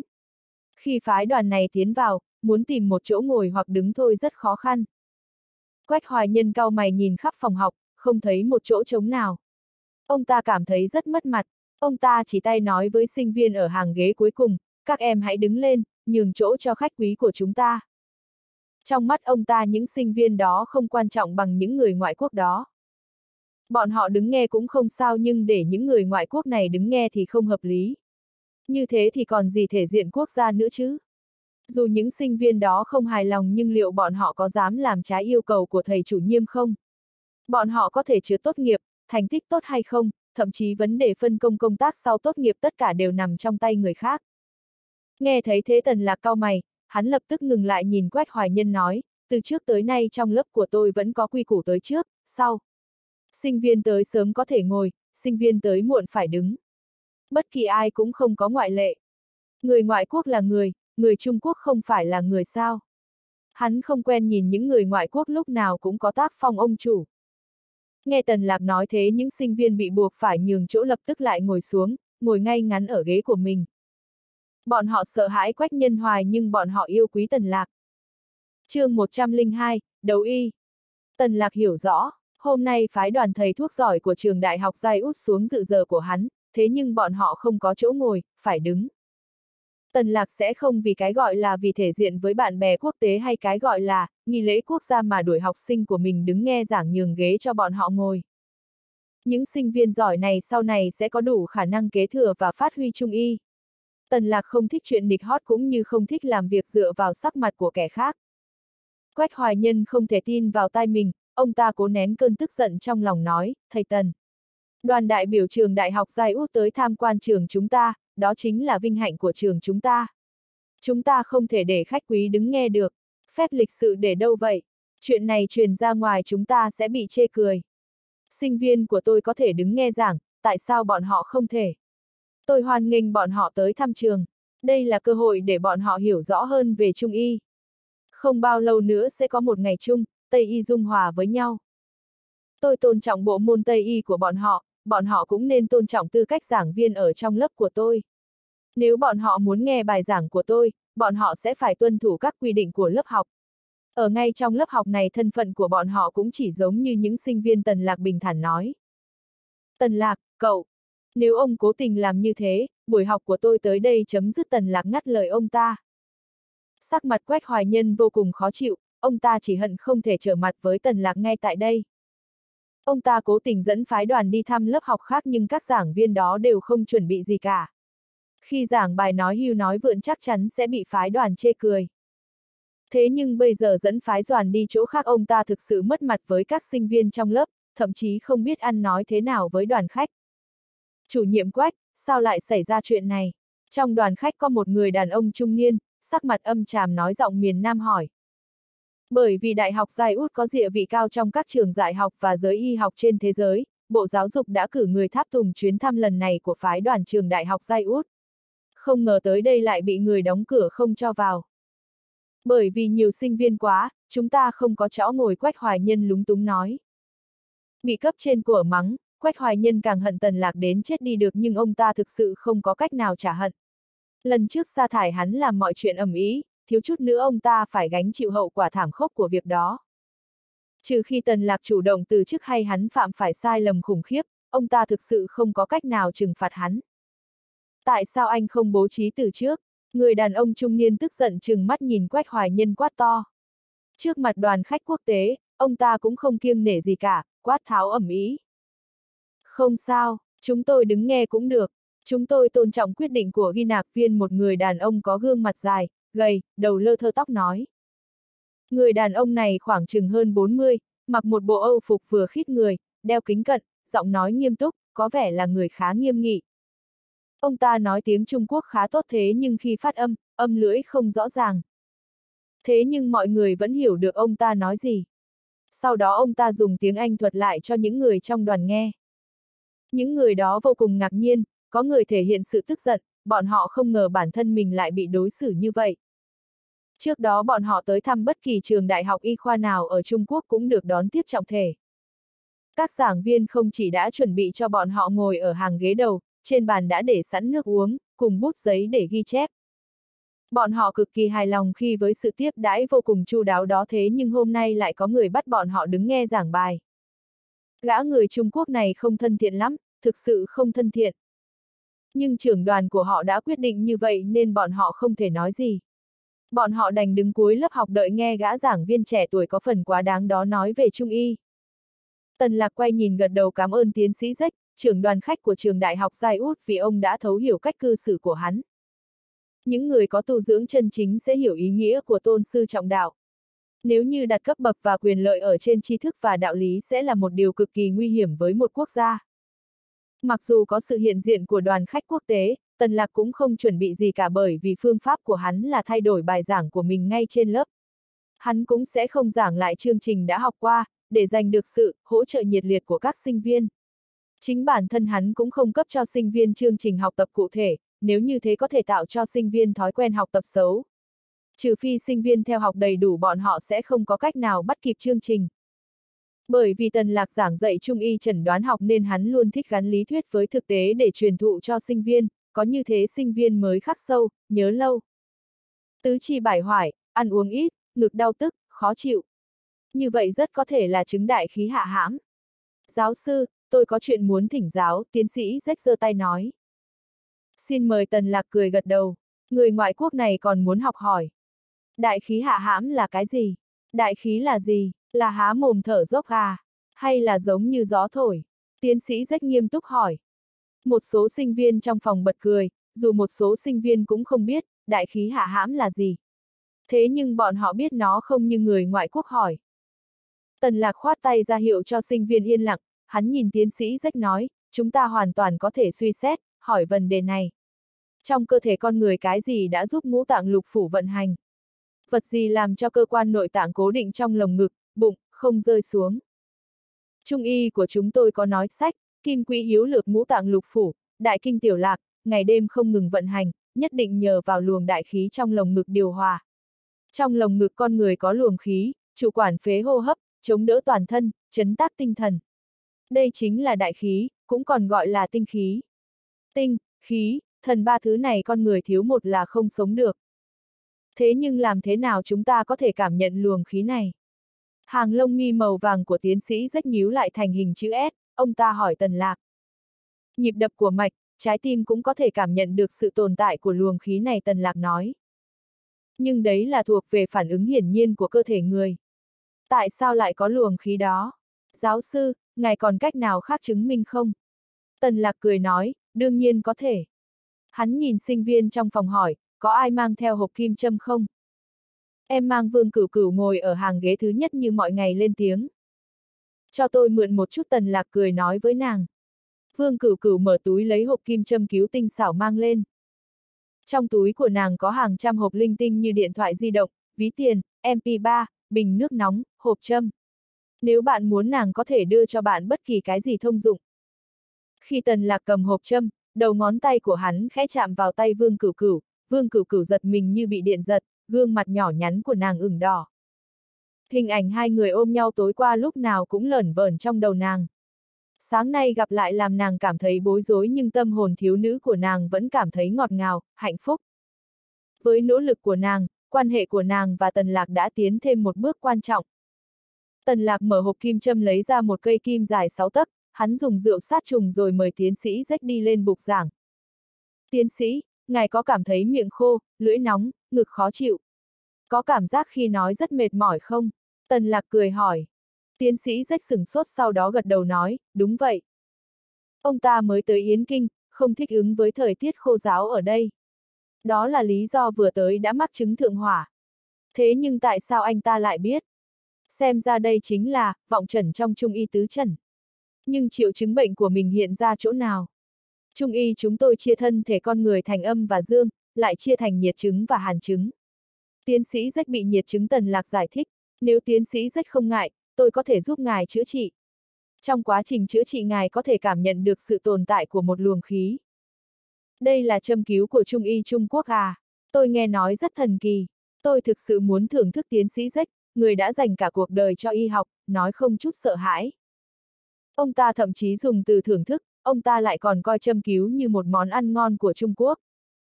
Hãy cởi áo khoác, sau đó ông đặt tay lên đây tần lạc nói. Tiến sĩ rách cầm sổ ghi chép đưa cho một người bạn, sau đó ông cởi áo khoác, chia tay ra. Xin mời ngài hãy cởi cúc áo tay ra tần lạc nói. Tiến sĩ rách rất hợp tác, ông ta nhanh chóng cởi cúc áo tay ra. Tần lạc vén tay áo tiến sĩ rách lên tận khủy, lộ ra cánh tay có khá nhiều lông. Tây tần lạc đè cánh tay tiến sĩ rách, sau đó ngân châm trong tay hắn đâm xuống nhanh như chớp. Một nữ giáo sư đại học dài út nhìn thấy tần lạc cầm cây châm dài đâm vào tay tiến sĩ rách hoảng sợ hét lên, luôn miệng kêu, oh, my god. Nhưng bà ta thấy tiến sĩ rách vẫn không có cảm giác gì, chỉ chăm chú nhìn cây ngân châm đang hoạt động trên cánh tay mình thì cảm thấy rất kỳ quái. Tại sao một vật sắc bén như vậy đâm vào thân thể mà lại không có cảm giác đau đớn? Nếu như không châm đúng vào vị trí huyệt đạo thì rất đau đớn. Nhưng tìm đúng vị trí huyệt đạo thì không đau đớn, ngược lại còn có cảm giác vô cùng dễ chịu. Tần lạc hiển nhiên sẽ không mắc phải sai lầm sơ đẳng đó. Hai ngón tay tần lạc miết châm, hắn nhẹ nhàng xoa xoa châm, tiếp tục đâm châm đi vào sâu. Cảm giác thế nào? Tần lạc cười hỏi. Cảm giác gì? Khí, một luồng khí lạnh lưu truyền từ cánh tay tần lạc nhắc nhở. Tiến sĩ rất cẩn thận cảm nhận thân thể mình, sau đó ông ta kinh ngạc kêu lên, a, à, tôi cảm thấy rồi. Tôi cảm giác được nó tồn tại. Một luồng khí lạnh giống như con rắn nhỏ lan ra. Trời ơi, rất thần kỳ. Đây là đại khí à? chương 103, ai cũng không ngăn cản được. Tần Lạc biết rất khó giải thích dương hư, nội công đại khí là gì cho những người ngoại quốc này hiểu cặn kẽ. Giao giải phẫu của bọn họ rất sắc bén, khi giải phẫu bọn họ không phân biệt vị trí gì cả, tất cả chỉ rạch một đường. Đương nhiên trong mắt bọn họ kinh mạch chỉ là mạch máu mà thôi. Tần lạc cười nói, đây là khí, chứ không phải hơi thở. Mỗi người trong cơ thể đều có một luồng khí lưu thông. Trung y của chúng tôi chú ý tới việc khai thông kinh lạc. Kinh lạc thông suốt, bệnh tật bị loại trừ. Ôi, thật sự rất thần kỳ tiến sĩ rách than thở. Tần lạc cười gật đầu, đón nhận sự thán phục của tiến sĩ rách, hắn nói tiếp, ngài cảm thấy thân thể thế nào? Thân thể, tiến sĩ rách nghe ngóng cảm nhận thân thể, ngay lập tức ông ta cảm nhận sự thay đổi trong cơ thể mình, trong cơ thể ông luồng khí nóng đã hoàn toàn bị trừ bỏ, từ cổ họng của ông truyền xuống một luồng khí mát mẻ, khắp cơ thể ông ta lập tức cảm thấy mát lạnh. Mi gót, thật sự rất kỳ diệu, bệnh của tôi đã chữa được rồi à? Tiến sĩ rất kinh ngạc hỏi. Chắc chắn như thế tần lạc tự tin nói. Hắn đã phát động thái ất thần châm để làm tâm lạnh, ngay cả một người bị chứng thượng hỏa hắn cũng không chữa được thì thật sự quá mất mặt ư. Rất thần kỳ tiến sĩ rách nói. Đúng vậy, tôi biết sự uyên thâm của Trung Y còn hơn thế này tần lạc nắm chặt cơ hội quảng bá Trung Y. Nếu hắn có thể làm cho trường đại học đó phái người tiếp nhận Trung Y, con đường để Trung Y tiếp cận với thế giới ngắn hơn rất nhiều. Đây là châm pháp gì? Tôi muốn ghi lại tiến sĩ rách mở sổ của mình ra chăm chú nhìn tần lạc. Thái ất thần châm, một châm chữa bệnh cho ngài có tên là thấu tâm lương. Từ tên gọi của nó có thể thấy nó đại diện cho tính lạnh tần lạc kiên nhẫn giải thích. Vừa nói chuyện tần lạc vừa rút cây châm trên tay tiến sĩ rách ra. Ngài thử xem một châm này thế nào. Tần lạc lại ra châm, cùng một vị trí nhưng tốc độ xuất châm lần này hơi chậm, hơn nữa khi chọc châm châm rung mạnh hơn, cong hơn. Đương nhiên nếu không tinh mắt không thể phát hiện ra sự khác biệt này. Sau khi châm chọc vào thịt, hai ngón tay cầm châm của tần lạc siết mạnh, cây châm nhanh chóng cắm lút và rồi lại nhanh chóng bị nhổ ra liên tiếp như thế, giống như cử động của trai gái khi yêu nhau. Cảm giác thế nào? Tần lạc hỏi. Lúc này đôi mắt xanh của tiến sĩ rách mở to, đầy kinh ngạc, lạ lùng. Trời ơi, nóng quá, sao lại nóng như vậy? Rất thần kỳ, thực sự thần kỳ ông ta xoay người nhìn đồng nghiệp của mình kích động nói. Đây là thủ pháp thiêu sơn hỏa của Thái ất thần châm. Đại diện cho thuộc tính nhiệt tần lạc giải thích, hắn nhanh chóng rút cây châm trên tay tiến sĩ rách ra. Tiến sĩ rách vốn bị chứng thượng hỏa, tần lạc lại dùng thiêu sơn hỏa có thuộc tính nhiệt châm cho ông ta. Tối nay ông ta chắc chắn sẽ bị miệng nôn, trôn tháo. a à, thật thần kỳ, tôi có thể học cái này không? Tiến sĩ rách kỳ vọng hỏi hắn. Người Mỹ có nhưng đức tính đặc biệt, chỉ cần bọn họ cảm thấy cái gì đó tốt, hữu ích bọn họ đều muốn cố gắng học hỏi. Người Trung Quốc lại có tính sĩ diện, cho dù bên trong rất tán thưởng cũng không bao giờ để đặt nguyện vọng như vậy. Nói như thế có nghĩa là mình không có năng lực gì. Tần lạc lắc đầu nói, thực sự không thể được. Ồ, tôi có xem qua y thư của Trung Quốc, tôi biết người Trung Quốc thích che giấu thần kỹ của mình. Xin lỗi, tôi đã rất mạo muội tiến sĩ rách ái náy nói. Tiến sĩ rách, ngài hiểm lầm rồi, tần lạc cười giải thích. Không phải tôi không muốn truyền thụ, thực sự là kỹ thuật châm cứu này rất khó học. Hơn nữa muốn học phải tuân thủ một điều kiện rất đặc biệt. Điều kiện gì? Muốn học kỹ thuật châm cứu này phải biết khí công.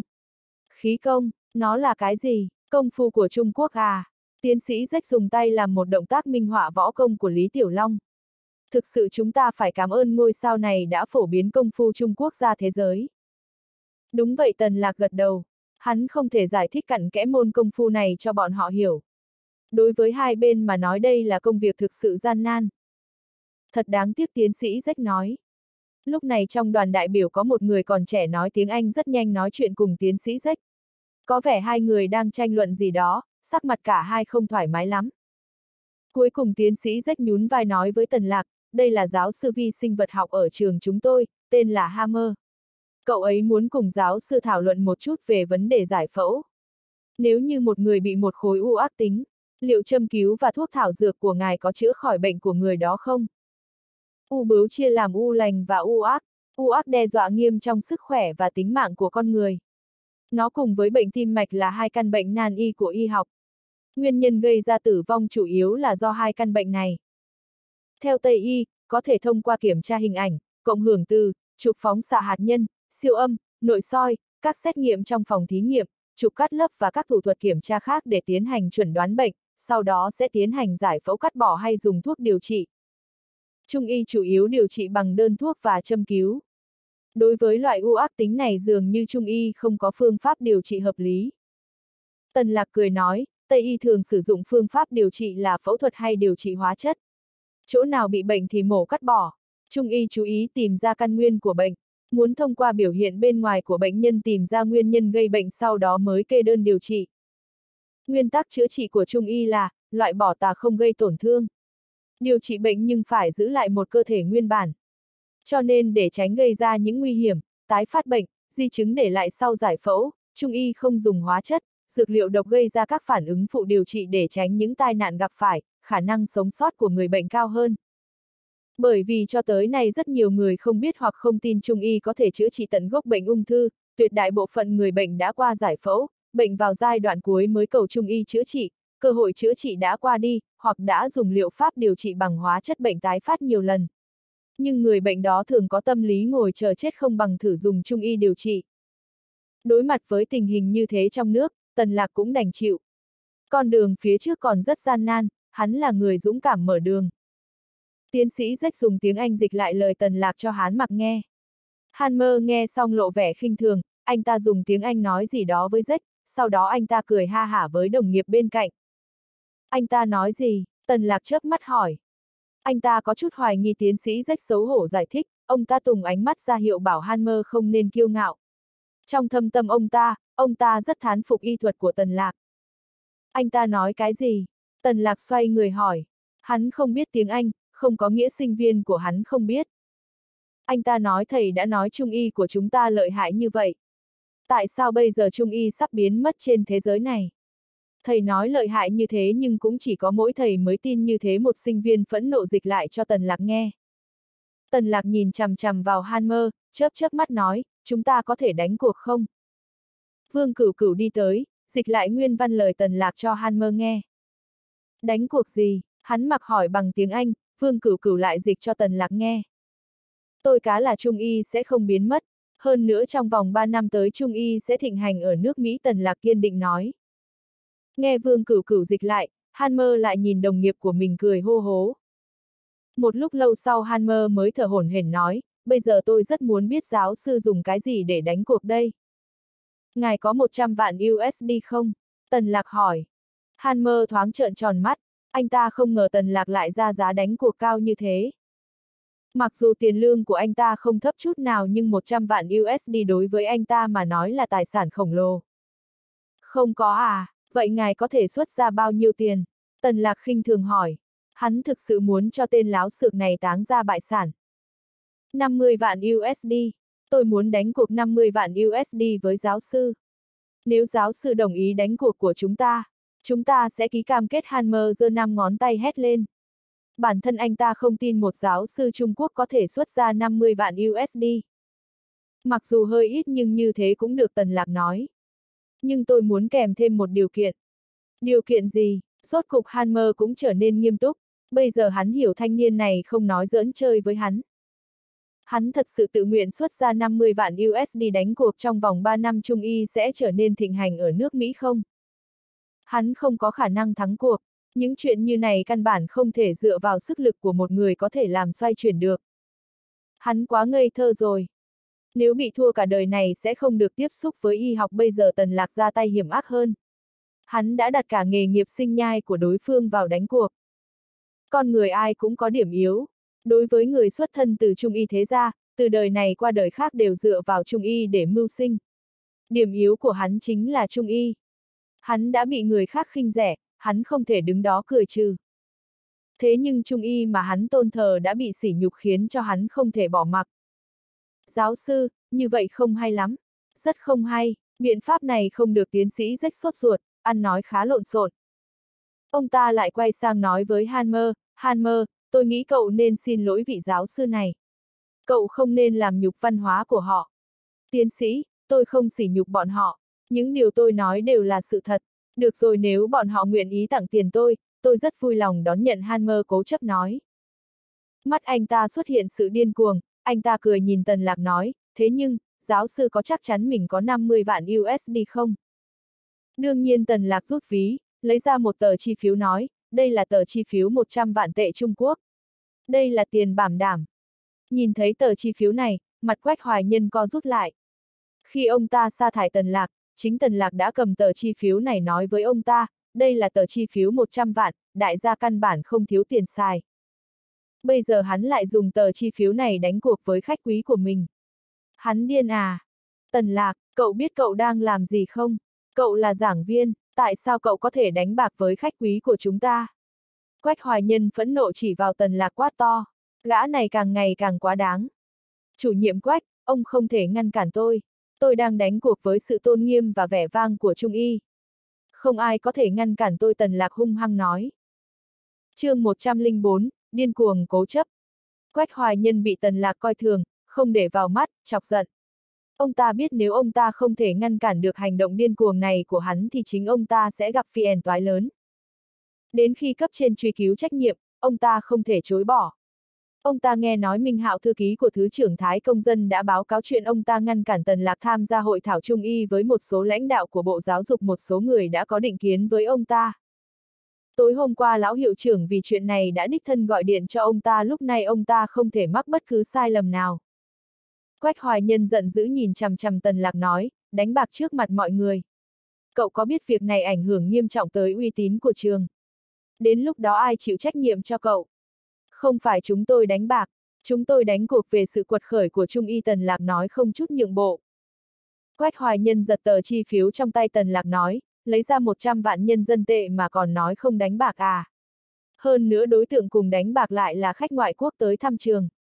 Nếu bị các phương tiện truyền thông biết được sẽ gây tai tiếng thế nào trên trường quốc tế. Cậu là giảng viên y khoa, cậu không chỉ đại diện cho chính cậu, cậu còn đại diện cho cả trường của chúng ta.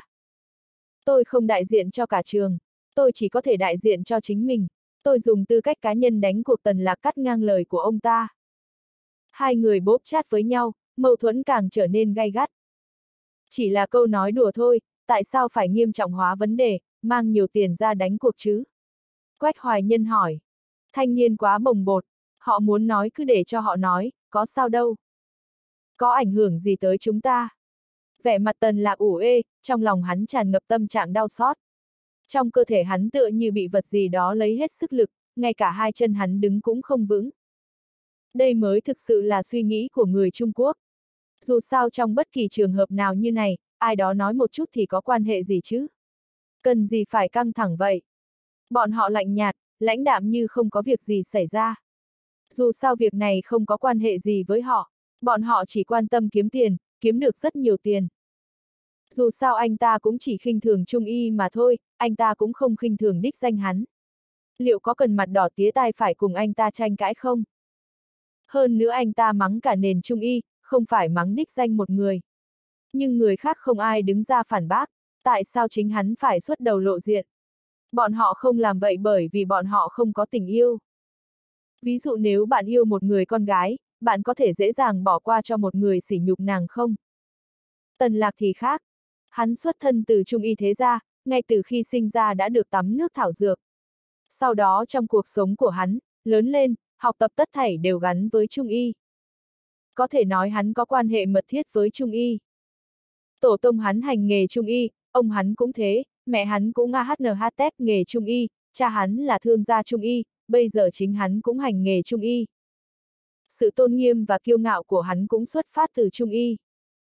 Trung y đối với hắn không chỉ là phương tiện mưu sinh mà giống như một bậc trưởng giả ân cần chỉ bảo, dạy dỗ hắn, sớm chiều làm bạn với hắn. Một người bạn lặng lẽ nhất tâm chiếu cố hắn, quan tâm tới người thân của hắn.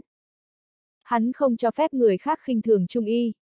Quách Hoài Nhân chỉ biết có một điều nếu việc hắn và khách quốc tế đánh cuộc bị các phương tiện truyền thông đưa tin sẽ làm cho nhà trường mất mặt.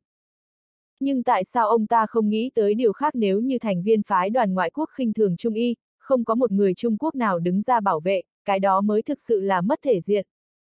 Có một số thứ đòi hỏi phải dùng tính mạng của mình để bảo vệ. Tôi thấy đây là việc phải làm giọng nói của Tần Lạc trầm xuống, không hài lòng, mỗi chữ thoát ra từ miệng hắn gây cho người khác cảm giác có lực cản ngàn cân cản lại. Mọi người có thể không quan tâm, tôi quan tâm. Mọi người có thể không tin tưởng, nhưng phải có người tin tưởng. Trung y sẽ thịnh hành ở nước Mỹ trong vòng 3 năm tới. Đây là mục tiêu của tôi, tôi sẽ nỗ lực thực hiện mục tiêu này. Nếu như trong vòng 3 năm tôi không làm được, cả đời này tôi không sử dụng trung y nữa, cũng không xứng đáng sử dụng. Cậu thật hồ đồ quách hoài nhân cười nhạt nói. Hồ đồ thì làm sao? Chúng em cần nhưng giảng viên tâm huyết như vậy. Đúng thế, thầy Tần, em ủng hộ thầy. Thầy Tần, thầy nhất định sẽ làm được. Đây là hồ đồ sao? Chủ nhiệm quách, nếu thầy có thể hồ đồ như thầy Tần một lần, chúng em sẽ thực tâm ủng hộ thầy. Thầy Tần, chúng em học Trung Y vì lòng tự hào. Nguyên nhân chúng em tự hào là bởi vì có một giáo viên Trung Y như thầy. Thầy Tần, chính thầy đã làm chúng em phải cố gắng vì tương lai và hy vọng. Thầy Tần, thầy cứ đánh cuộc, nếu thiếu tiền em sẽ hỏi ba em. Đám sinh viên nhao nhao lên tiếng ủng hộ Tần Lạc dưới đủ các hình thức khác nhau. Tuổi trẻ đều có tâm huyết, đây không phải bị kích động mà là một phẩm chất đáng quý. Nếu như toàn bộ người tuổi trẻ của một quốc gia là họ ẩn quan, quốc gia đó cũng sẽ sụp đổ. Giống như trong bóng đá, nếu một đội tuyển quốc gia thiếu sức mạnh tinh thần, đội tuyển đó vĩnh viễn không đạt được thành tích như mong đợi, vĩnh viễn không bước lên đỉnh cao của vũ đài thể thao thế giới. Sắc mặt quách hoài nhân xám đen, ông ta chỉ vào một sinh viên nói, thầy Tần hồ đồ, các em cũng hồ đồ theo. Đúng vậy, chúng em nguyện ý hồ đồ cùng thầy Tần có tiếng sinh viên đáp lại. Được, được lắm quách hoài nhân nói năng lộn xộn, ông ta đi tới nói với trương trưởng phòng, trương trưởng phòng, ngài xem những giảng viên như vậy tôi không thể quản lý được. Thấy rồi sắc mặt trương trưởng phòng cũng rất khó chịu. Đợi khi buổi học này kết thúc ông ta sẽ tìm lãnh đạo nhà trường làm việc cụ thể về việc giảng dạy của giáo viên này. Tiến sĩ rách lại chăm chú quan sát câu chuyện của Tần Lạc, Quách Hoài Nhân và các sinh viên, ghi chép gì đó trong cuốn sổ tay của mình. Nhìn thấy các sinh viên nhao nhao nói ẩm ý, tỏ vẻ bất mãn với phái đoàn đại biểu, tiến sĩ rất khép lại cuốn sổ của mình và nói với Tần Lạc, giáo sư Tần, tôi muốn nói mấy câu với các sinh viên, được không? Không thành vấn đề Tần Lạc gật đầu. Mặc dù hắn không biết người ngoại quốc này nói gì, nhưng ông ta đã có yêu cầu đương nhiên hắn đồng ý. Bất kỳ chuyện gì cũng không bằng thấp kém hơn. Nếu như hắn thực sự không muốn toàn bộ sinh viên của mình có cái nhìn thiên lệch về sự thấp kém của Trung Y, chính hắn đã tự hủy hoại chính bản thân mình. Hắn rất tin tưởng sinh viên của mình. Hắn tin tưởng bọn họ có khả năng phân biệt được sự việc. Tiến sĩ rách bước lên bục giảng, ông đưa mắt nhìn sinh viên trong khắp phòng học, nói bằng tiếng Trung Quốc, tôi rất vinh hạnh được gặp gỡ nhiều người trẻ tuổi như thế này ở Yến Kinh. Sau đó là quãng thời gian trầm tĩnh. Ngưng lại một lát tiến sĩ rách nói tiếp, căn cứ theo thông lệ, lúc này mọi người phải vỗ tay, đúng không? Ồ! Mọi người bật cười trước câu nói hài hước của tiến sĩ rách. Dưới sự lĩnh sướng của tần lạc, tiếng vỗ tay nổi lên rầm rầm. Cũng vì câu nói hài hước đó không khí trong phòng học trở nên hòa hoãn rất nhiều. Nói thật tôi cũng không thích Hiến Kinh bởi vì thành phố này rất khô hanh, môi trường thực sự tồi tệ. Hơn nữa từ lúc xuống máy bay cơ thể tôi không khỏe lắm. Thật sự cảm tạ giáo sư Tần đã dùng kỹ thuật thần kỳ như vậy. Tiến sĩ rách cúi đầu mở sổ ra nhìn rồi nói tiếp, dùng thái ất thần châm kỳ diệu chữa khỏi bệnh cho tôi. Tôi thực sự cảm kích, giáo sư Tần là một thầy thuốc thần bí, đã làm thay đổi suy nghĩ của tôi về Trung Y. Tôi cũng yêu thích Trung Y, đã cố gắng nghiên cứu nhưng không thể nghiên cứu sâu được. Đúng thế giống như có một cánh cửa đóng sập trước mắt tôi. Cũng vì nguyên nhân này tôi tưởng Trung Y chỉ là sự thổi phồng. Bây giờ khi giáo sư Tần biểu diễn thần kỹ châm cứu của mình tôi mới hiểu trước kia tôi không hiểu cách dùng Trung Y mà thôi. Về vấn đề này tôi thực sự xin lỗi các bạn đồng nghiệp của tôi. Lúc trước giáo sư của các bạn xảy ra chuyện mâu thuẫn với người trong đoàn tôi. Hanmer không phải là người xấu, chỉ là suy nghĩ của cậu ấy giống như suy nghĩ của đại đa số mọi người, không chịu thừa nhận Trung Y bởi vì nói về thành tựu, Trung Y tới bây giờ vẫn chưa đạt được một kết quả để người khác phải tôn trọng. Thế nhưng tôi biết Hanmer chắc chắn sẽ thua trận đánh cuộc này. Dù cậu ấy là người của đoàn tôi, tôi vẫn thực sự không tin cậu ấy sẽ thắng lợi. Tôi thực sự ngưỡng mộ các bạn, các bạn có một giáo sư y thuật cao minh, đạo đức cao thượng. Y thuật cao minh của giáo sư đã chiếm được lòng tin của tôi. Tôi nghĩ rằng cho dù chúng ta làm bất cứ điều gì nếu như không kiên trì, cố chấp tới cùng sẽ rất đạt được thành công. Đối với những người làm công tác nghiên cứu như chúng tôi, các bạn có thể tin rằng nếu như không phải Einstein là người có tính cố chấp khủng khiếp, liệu ông ấy có phát minh ra bóng điện ở lần thí nghiệm thứ 1001 sau 1000 lần thất bại không? Không thể các sinh viên đồng thanh hô to. Người ngoại quốc này nói rất hợp ý bọn họ. Hơn nữa ông ta cũng rất tán thưởng y thuật của Tần Lạc, không giả dối chút nào. Sắc mặt quách hoài nhân trắng bệch, ông ta không ngờ sau khi làm trò khôi hài, vị đoàn trưởng không có bất kỳ phản ứng nào với Tần Lạc, trái lại còn khen ngợi hắn. Gã ngoại quốc này đúng là không có não, không có lòng tự trọng. Tần Lạc coi thường người của ông ta, ông ta ngược lại đi ca ngợi Tần Lạc.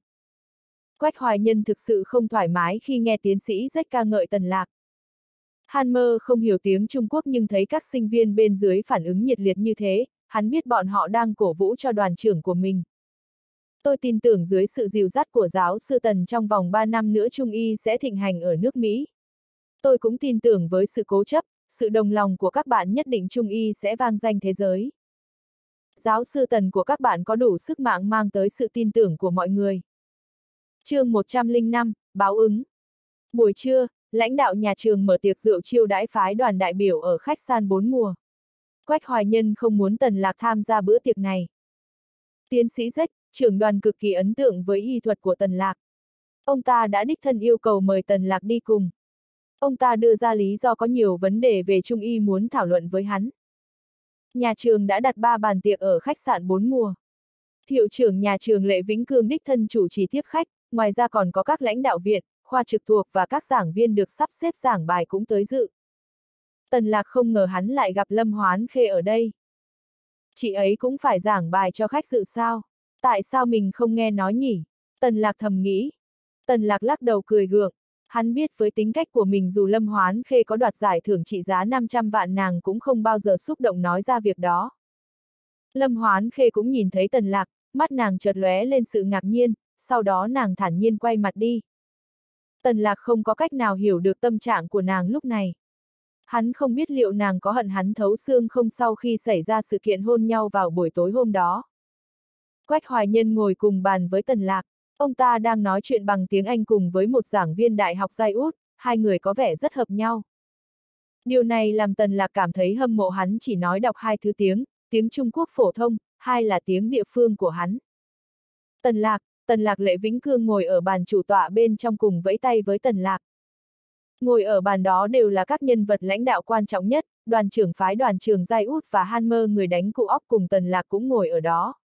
Sau này Tần Lạc mới biết Hanmer là phó đoàn trưởng, địa vị cũng không thấp. Thảo nào khi tiến sĩ rách đề nghị anh ta xin lỗi Tần Lạc anh ta lại cự tuyệt. Lệ hiệu trưởng, có chuyện gì vậy? Tần Lạc đi tới cười hỏi. Thường ngày hiệu trưởng lệ khá bận việc, ít khi gặp hắn. Thế nhưng sau vài lần tiếp xúc với Tần Lạc ông biết nhân phẩm của Tần Lạc hoàn toàn không xấu. Cách đối nhân xử thế của Tần Lạc rất trong sáng, đặc biệt quang minh chính trực. Chính nghĩa trường tồn mãi mãi, ta không thể thắng chính. Làm người thì phải luôn luôn tu dưỡng bản thân. Nghe nói sự sự hôm nay của cậu rất tốt, tiến sĩ Rách rất ngưỡng mộ cậu Lệ Vĩnh Cương chỉ tiến sĩ Rách đang ngồi cạnh nói. Tiến sĩ Rách gật đầu mỉm cười nói với Tần Lạc, hiệu trưởng Lệ, tôi đã rất may mắn trong lần thăm Trung Quốc này. Thông qua tiếp xúc tôi mới thực sự hiểu được sự hấp dẫn của Trung Y. Quan điểm trước kia của chúng tôi về Trung Y quá lệch lạc. Ngay khi quay về tôi sẽ viết bài nói về cảm nhận của tôi trong chuyến viếng thăm khảo sát này đăng trên báo. Tới lúc đó bác sĩ Tây Y sẽ tới đây nhiều hơn thể nghiệm sự thần kỳ của Trung Y. Tiến sĩ Rách, tôi thực sự cảm ơn ngài về thành ý của ngài. Tôi đại diện cho giới Trung Y chân thành cảm tạ ngài Tần Lạc nói đích thân một người rất có tiếng tăm trong giới y học Mỹ viết bài khen ngợi Trung y sẽ mang tới những ảnh hưởng phi thường. Tần Magic, đây là điều ngài đáng nhận được, chỉ cần là người có tài năng thì ở bất kỳ quốc gia nào cũng được kính trọng. Sự kiên trì, tình yêu nhiệt thành với Trung y của ngài làm tôi cảm động. Tôi nguyện ý giúp ngài tiến sĩ rách nói. Hai người trò chuyện với nhau rất vui vẻ. Lại đây, lấy thêm một cái ghế. Tần lạc ngồi đây nào Lệ Vĩnh Cương cười nói. Lệ Vĩnh Cương không cần sắp đặt, một người có địa vị thấp nhất trong bàn lập tức đứng lên nhường chỗ cho Tần Lạc. Cái gọi là lấy thêm ghế của Lệ Vĩnh Cương chỉ là cách nói của lãnh đạo mà thôi. Ông ngốc hay sao để các vị lãnh đạo ngồi chen chúc nhau? Đừng nói chúng ta không có cái gọi là đệ nhất, đối với nghiên cứu về quan trường học, người Trung Quốc đã đạt tới trạng thái cực đỉnh. Nhìn thấy Tần Lạc ngồi ở bàn lãnh đạo, tâm trạng mọi người trong bữa tiệc rất khác nhau. Có người vui mừng, có người lại thầm cảm thấy không thoải mái. Quách Hoài Nhân là người đứng đầu một viện nhưng không có cơ hội ngồi ở bàn lãnh đạo. Cái thằng cha suốt ngày đối mặt với ông ta, hôm nay còn làm cho ông ta cực kỳ khó xử lại được ngồi ở bàn lãnh đạo. Ông ta dự định sau chuyến viếng thăm của đoàn khách này, ông ta sẽ báo cáo lên cấp trên tội trạng của hắn, để cấp trên sa thải hắn hay điều đi nơi khác. Bây giờ xem ra khả năng này cực kỳ nhỏ.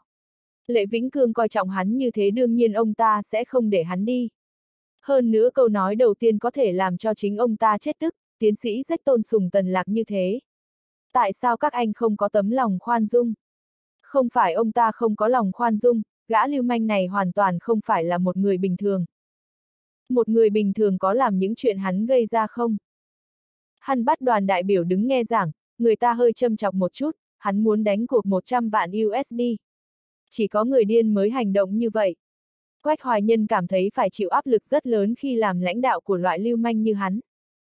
Giáo sư Tần, nếu có thể được, tôi mong muốn mời giáo sư tới giảng dạy ở Đại học Giai Út. Tôi nghĩ nước Mỹ cũng cần trung y, càng cần những người có y thuật cao minh như giáo sư tiến sĩ Rách nói. Không phải tiến sĩ Rách cố ý tân bốc tần lạc, ông ta thực sự có thành ý. Nước Mỹ là cường quốc hàng đầu thế giới. Thế nhưng đối với việc coi trọng nhân tài thì các quốc gia khác không thể sánh được. Thông qua cuộc thí nghiệm của bản thân mình hôm nay tiến sĩ rất cảm thấy Trung Y rất thần bí, nếu như có thể mời Tần Lạc tới cùng nghiên cứu và giảng dạy Trung Y ở Đại học Giai Út đó sẽ là thành công tuyệt vời của bọn họ. Tin dùng tinh hoa, vứt bỏ bã đậu, đây là tiêu chí làm việc của bọn họ.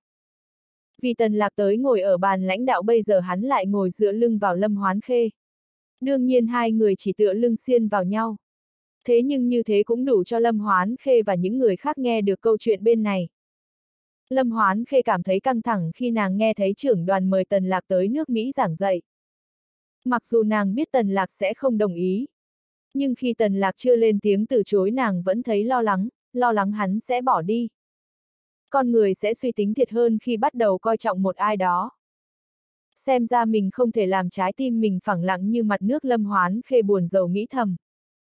Nàng thực sự muốn quay đầu nhìn vẻ mặt lúc này của Tần Lạc nhưng nàng cố gắng đè nén cảm xúc này. Ha, ha, cảm ơn nhã ý của tiến sĩ. Bây giờ thời cơ để tôi tới nước Mỹ chưa rõ ràng. Hơn nữa tôi còn những sinh viên vô cùng đáng yêu. Tôi không nỡ bỏ bọn họ Tần Lạc khéo léo từ chối. Bây giờ hắn tới Mỹ để làm gì? Nhận lương cao, hắn không cần. Bỏ đi, hắn lại làm lại từ đầu ở cái quốc gia không coi trọng trung y của hắn ư. Hắn sẽ đi nước Mỹ, nhưng không phải bây giờ. Đợi khi hắn đã chuẩn bị kỹ càng trong nước, tất cả mọi người đã tiếp nhận trung y, lúc đó hắn sẽ đưa trung y xuất ngoại. Tới lúc đó thì không ai có thể ngăn cản được hắn. Ồ, thực sự đáng tiếc, tiến sĩ Rách nói, những sinh viên của giáo sư cũng thật sự đáng yêu. Nghe thấy Tần Lạc từ chối lời mời tới Đại học Giai Út tâm trạng căng thẳng của Lâm Hoán Khê lập tức tan biến. Hoán Khê, hãy thử món này đi. Có vị ngọt, chắc hẳn thích hợp với khẩu vị của em, Vương Tử Hào chỉ vào một đĩa thức ăn trên bàn nói. Tôi không ăn ngọt Lâm Hoán Khê lạnh nhạt nói. Ha, ha, thì ra thế, món ăn này ngon lắm, mùi rất thơm Vương Tử Hào xấu hổ nói. Hắn biết Lâm Hoán Khê thích ăn ngọt, hắn đã siêu tầm các thông tin về nàng. Khẩu vị của Lâm Hoán Khê khá đơn giản, nàng cũng thích ăn những món ăn có vị ngọt. Nàng nói thế chứng tỏ nàng tỏ thái độ cự tuyệt. Chẳng lữ vì anh ta. Vương Tử Hào quay đầu nhìn Tần Lạc, thầm suy đoán. Bởi vì những thành viên trong đoàn không có thói quen uống rượu mạnh. Trên bàn ăn chỉ có rượu vang đỏ. Tần Lạc không uống rượu, hắn cầm ly nước hoa quả chạm cốc với các thành viên đoàn khách. Điều này làm Hanmer khinh thường hắn. Tiến sĩ rách chừng mắt nhìn anh ta nên anh ta không dám ăn nói lung tung nữa. Đang trong tiệc rượu Hanmer đột nhiên ôm ngực ngã gục trên ghế, anh ta ho khan dữ dội, mặt đỏ gay, hơi thở khó khăn. Mọi người kinh hãi náo loạn cả lên. Có người hét lên bảo gọi xe cứu cứu, có người bảo khách sạn mau cho xe đưa người tới bệnh viện cấp cứu. Vì phần lớn người ở đây là thầy thuốc, có một vài người đang quan sát triệu chứng bệnh của Hanmer. Hanmer, cậu làm sao vậy? Tiến sĩ rách cầm tay Hanmer, hỏi bằng tiếng Anh. Hanmer đau đớn lắc đầu, anh ta muốn nói gì nhưng lại ho dữ dội. Lệ Vĩnh Cương sốt ruột quát, thầy thuốc, mau tới xem cho một chút. Ông sẽ phải gánh chịu trách nhiệm rất lớn nếu thành viên trong đoàn bị trúng độc thức ăn hay một vấn đề gì khác. Hanmer, cậu bị làm sao vậy? Có đau ở đâu không? Ôi, chết tiệt, hay là cậu bị bệnh hen suyễn? Cậu có mang theo thuốc không? Tiến sĩ rách sốt ruột hỏi. Sự việc xảy ra đột ngột, không có thiết bị kiểm tra. Biểu hiện của người bệnh giống như bị bệnh hen suyễn. Nhưng hen suyễn làm gì ho khan dữ dội như thế? Gáo sư tần, làm ơn hãy xem qua bệnh tình của Hanmer. Hãy châm cứu cho cậu ấy đi tiến sĩ rách nóng ruột quay nhìn nói với tần lạc. Tần lạc chỉ dùng một cây châm chữ khỏi chứng thượng hỏa cho ông ta nên ông ta rất tin tưởng thuật châm cứu của tần lạc. Dù tần lạc không có cảm tình với Hanmer, nhưng hắn biết nếu Hanmer xảy ra chuyện không may ở Trung Quốc, sẽ có rất nhiều người phải chịu trách nhiệm. Thậm chí hiệu trưởng Lệ Vĩnh Cương người hắn rất tôn trọng cũng phải chịu trách nhiệm. Tần lạc bước nhanh tới kiểm tra ngực Hanmer, sau đó hắn lại nâng cầm Hanmer lên, bành miệng ra rồi hắn cầm một cái đũa trên bàn không rõ của ai đó luồn vào trong miệng Hanmer, chọc sâu vào tận cổ họng. Nhìn thấy chiếc đũa dính đờm trắng dưới dạng bọt biển, Tần Lạc đã hiểu nguyên nhân gây bệnh. Hắn nói, bị ho khan, khó thở, hơi thở khò khè, trong cổ họng có đờm màu trắng như bọt biển. Đây là trứng, phấn hoa hao xuyễn. Anh ta bị chứng dị ứng phấn hoa. Dị ứng phấn hoa, tại sao anh ta lại dị ứng phấn hoa? Bánh điểm tâm có dùng phấn hoa đào một người chỉ vào đĩa bánh màu hồng trên bàn nói. Chết tiệt lệ Vĩnh Cương tức giận mắng. Ông quay nhìn Tần Lạc sốt ruột hỏi, Tần Lạc, cậu mau nghĩ cách cứu cứu Hanmer, cần phải đảm bảo an toàn tính mạng của khách quý. Hiệu trưởng cứ yên tâm, không có chuyện gì Tần Lạc cười nói lệ Vĩnh Cương, bảo ông không phải lo lắng. Hắn không ngờ báo ứng lại tới nhanh thế. Những người khác cũng bị lây truyền vẻ tự tin của tần lạc hình như hắn nói không việc gì thì người bệnh nhất định sẽ không sao. Tất cả mọi người bình tĩnh trở lại, chờ đợi bàn tay diệu thủ hồi xuân của người thần y trẻ tuổi. Lâm Hoán Khê nhìn vẻ mặt tươi cười của tần lạc, trong lòng nàng xuất hiện một cảm giác ấm áp. Có lẽ chính bản thân nàng ngày càng lún sâu vào hắn. Chỉ nhìn thấy hắn xem bệnh cho người cũng đã cảm thấy ấm lòng. chương 106, không đủ tư cách. Xuân về hoa nở, trăm hoa khoe sắc trong vũ trụ, tràn đầy sức sống nhưng bên trong đó lại ẩn giấu sự nguy hiểm với một số người. Bột phấn hoa phát tán trong không khí, khi hô hấp con người dễ dàng hít thở vào trong, đối với những người quá mẫn cảm với bột phấn hoa sẽ sinh ra phản ứng đây chính là chứng dị ứng phấn hoa. Đại khái chứng dị ứng phấn hoa chủ yếu ở mấy vị trí, mũi rất ngứa, đột nhiên hắt xì hơi liên tục, nước mũi chảy nhiều, ngạt mũi. Đây chính là viêm mũi do phấn hoa. Cổ họng ngứa, ho khan, khó thở, đờm trắng dạng bọt biển, hơi thở khò khè. Đây chính là hen suyễn do phấn hoa. Hai mắt ngứa, mí mắt sưng, mưng mủ, hoặc chảy nước mắt. Đây chính là viêm kết mô do phấn hoa. Nhưng bây giờ Yến Kinh đang vào đông, tại sao lại có chứng bệnh này? Vốn dĩ khi còn bé Hanmer đã có tiền sử mắc chứng dị ứng phấn hoa, nhưng anh ta không cho người ngoài biết. Bản thân anh ta cũng là thầy thuốc, bình thường anh ta khá chú trọng chăm sóc sức khỏe, rất ít khi tiếp xúc với phấn hoa. Nhưng hôm nay anh ta cảm thấy rất thích món điểm tâm trộn bột hoa đào. Trong lúc chưa ai nói gì anh ta đã ăn liền một lúc mấy cái. Trong bột mì có trộn một lượng lớn phấn hoa đã làm cho anh ta phát bệnh. Một khi tần lạc đã dựa vào hơi thở khò khè, đờm trong khoang miệng chẩn đoán chứng bệnh của anh ta, vấn đề còn lại chỉ là phương pháp điều trị. Trong phòng ăn không có các loại thuốc kháng dị ứng. Hanmer đột nhiên phát bệnh, chuyển tới bệnh viện sẽ mất rất nhiều thời gian.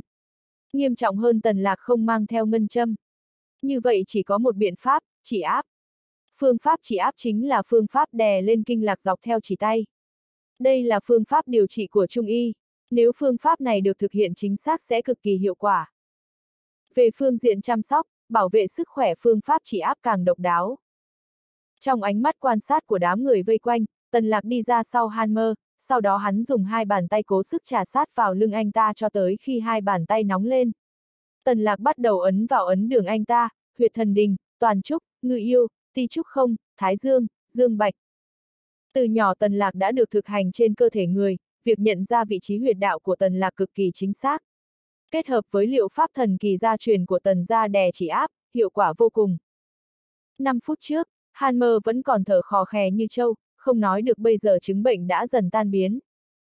Mọi người không ngớt khen ngợi, có người còn xít xoa nói kỳ diệu. Tần lạc chỉ cười, hắn tiếp tục xoa bóp 5 phút nữa, vẻ đau đớn trên mặt Hanmer đã hoàn toàn biến mất, sắc đỏ trên mặt cũng đã biến mất bây giờ anh ta trở lại như bình thường. Lúc này ánh mắt mọi người nhìn tần lạc rất kỳ lạ. Các thành viên phái đoàn Mỹ không ngờ, không cần châm cứu, không cần uống thuốc, chỉ cần dùng hai ngón tay xoa bóp một hồi đã có thể trị được chứng cấp cứu này. Thật sự thần kỳ. Chúa ơi, chúa ơi, tần Magic, tôi thực sự có một bữa cơm no đủ tiến sĩ rất kinh ngạc nói. Ông không thể dùng chính xác từ Trung Quốc nên dùng từ có một bữa cơm no đủ. Tần lạc cười gật đầu. Hắn ngừng xoa bóp, đi tới trước mặt Hanmer hỏi, anh thấy thế nào? Hanmer lúng túng nói một câu tiếng Anh, đáng tiếc tần lạc không hiểu gì. Tần Magic, cậu ấy nói cậu ấy cảm thấy rất khỏe. Cậu ấy rất hối hận khi đã đánh cuộc với giáo sư tiến sĩ rách tiến tới ôm vai tần lạc cười ha hả nói. Không ai thực sự thích đánh cuộc như vậy, chỉ là do tôi không muốn để cái gì mình yêu quý bị sỉ nhục mà không làm gì cả. Tần lạc nhìn Hanmer nói. Tiến sĩ rách dịch lại lời tần lạc cho Hanmer nghe. Hanmer nghe xong anh ta đứng dậy, cúi dạp đầu thi lễ với tần lạc. Cậu ấy nói cậu ấy rất tự kiêu, không biết trung y kỳ diệu như vậy. Sau này cậu ấy chắc chắn sẽ tận tâm học hỏi trung y. Cậu ấy xin giáo sư tha thứ. Hơn nữa cậu ấy xin giáo sư hủy bỏ việc đánh cuộc giữa hai người tiến sĩ rất nhìn tần lạc cười nói. Tôi sẽ không hủy bỏ việc đánh cuộc tần lạc nói. Tiến sĩ rất ngạc nhiên, đáng lẽ lúc này tần lạc phải nói không thành vấn đề. Chẳng lẽ người này không phải là người Trung Quốc sao? Suy nghĩ của anh ta không giống người Trung Quốc chút nào. Người Trung Quốc xử lý công việc rất khéo léo, trơn tuột như cá chạch. Anh ta lại thể hiện sự ngang bướng, mạnh mẽ tấn công, ăn nói ngang ngược như cua.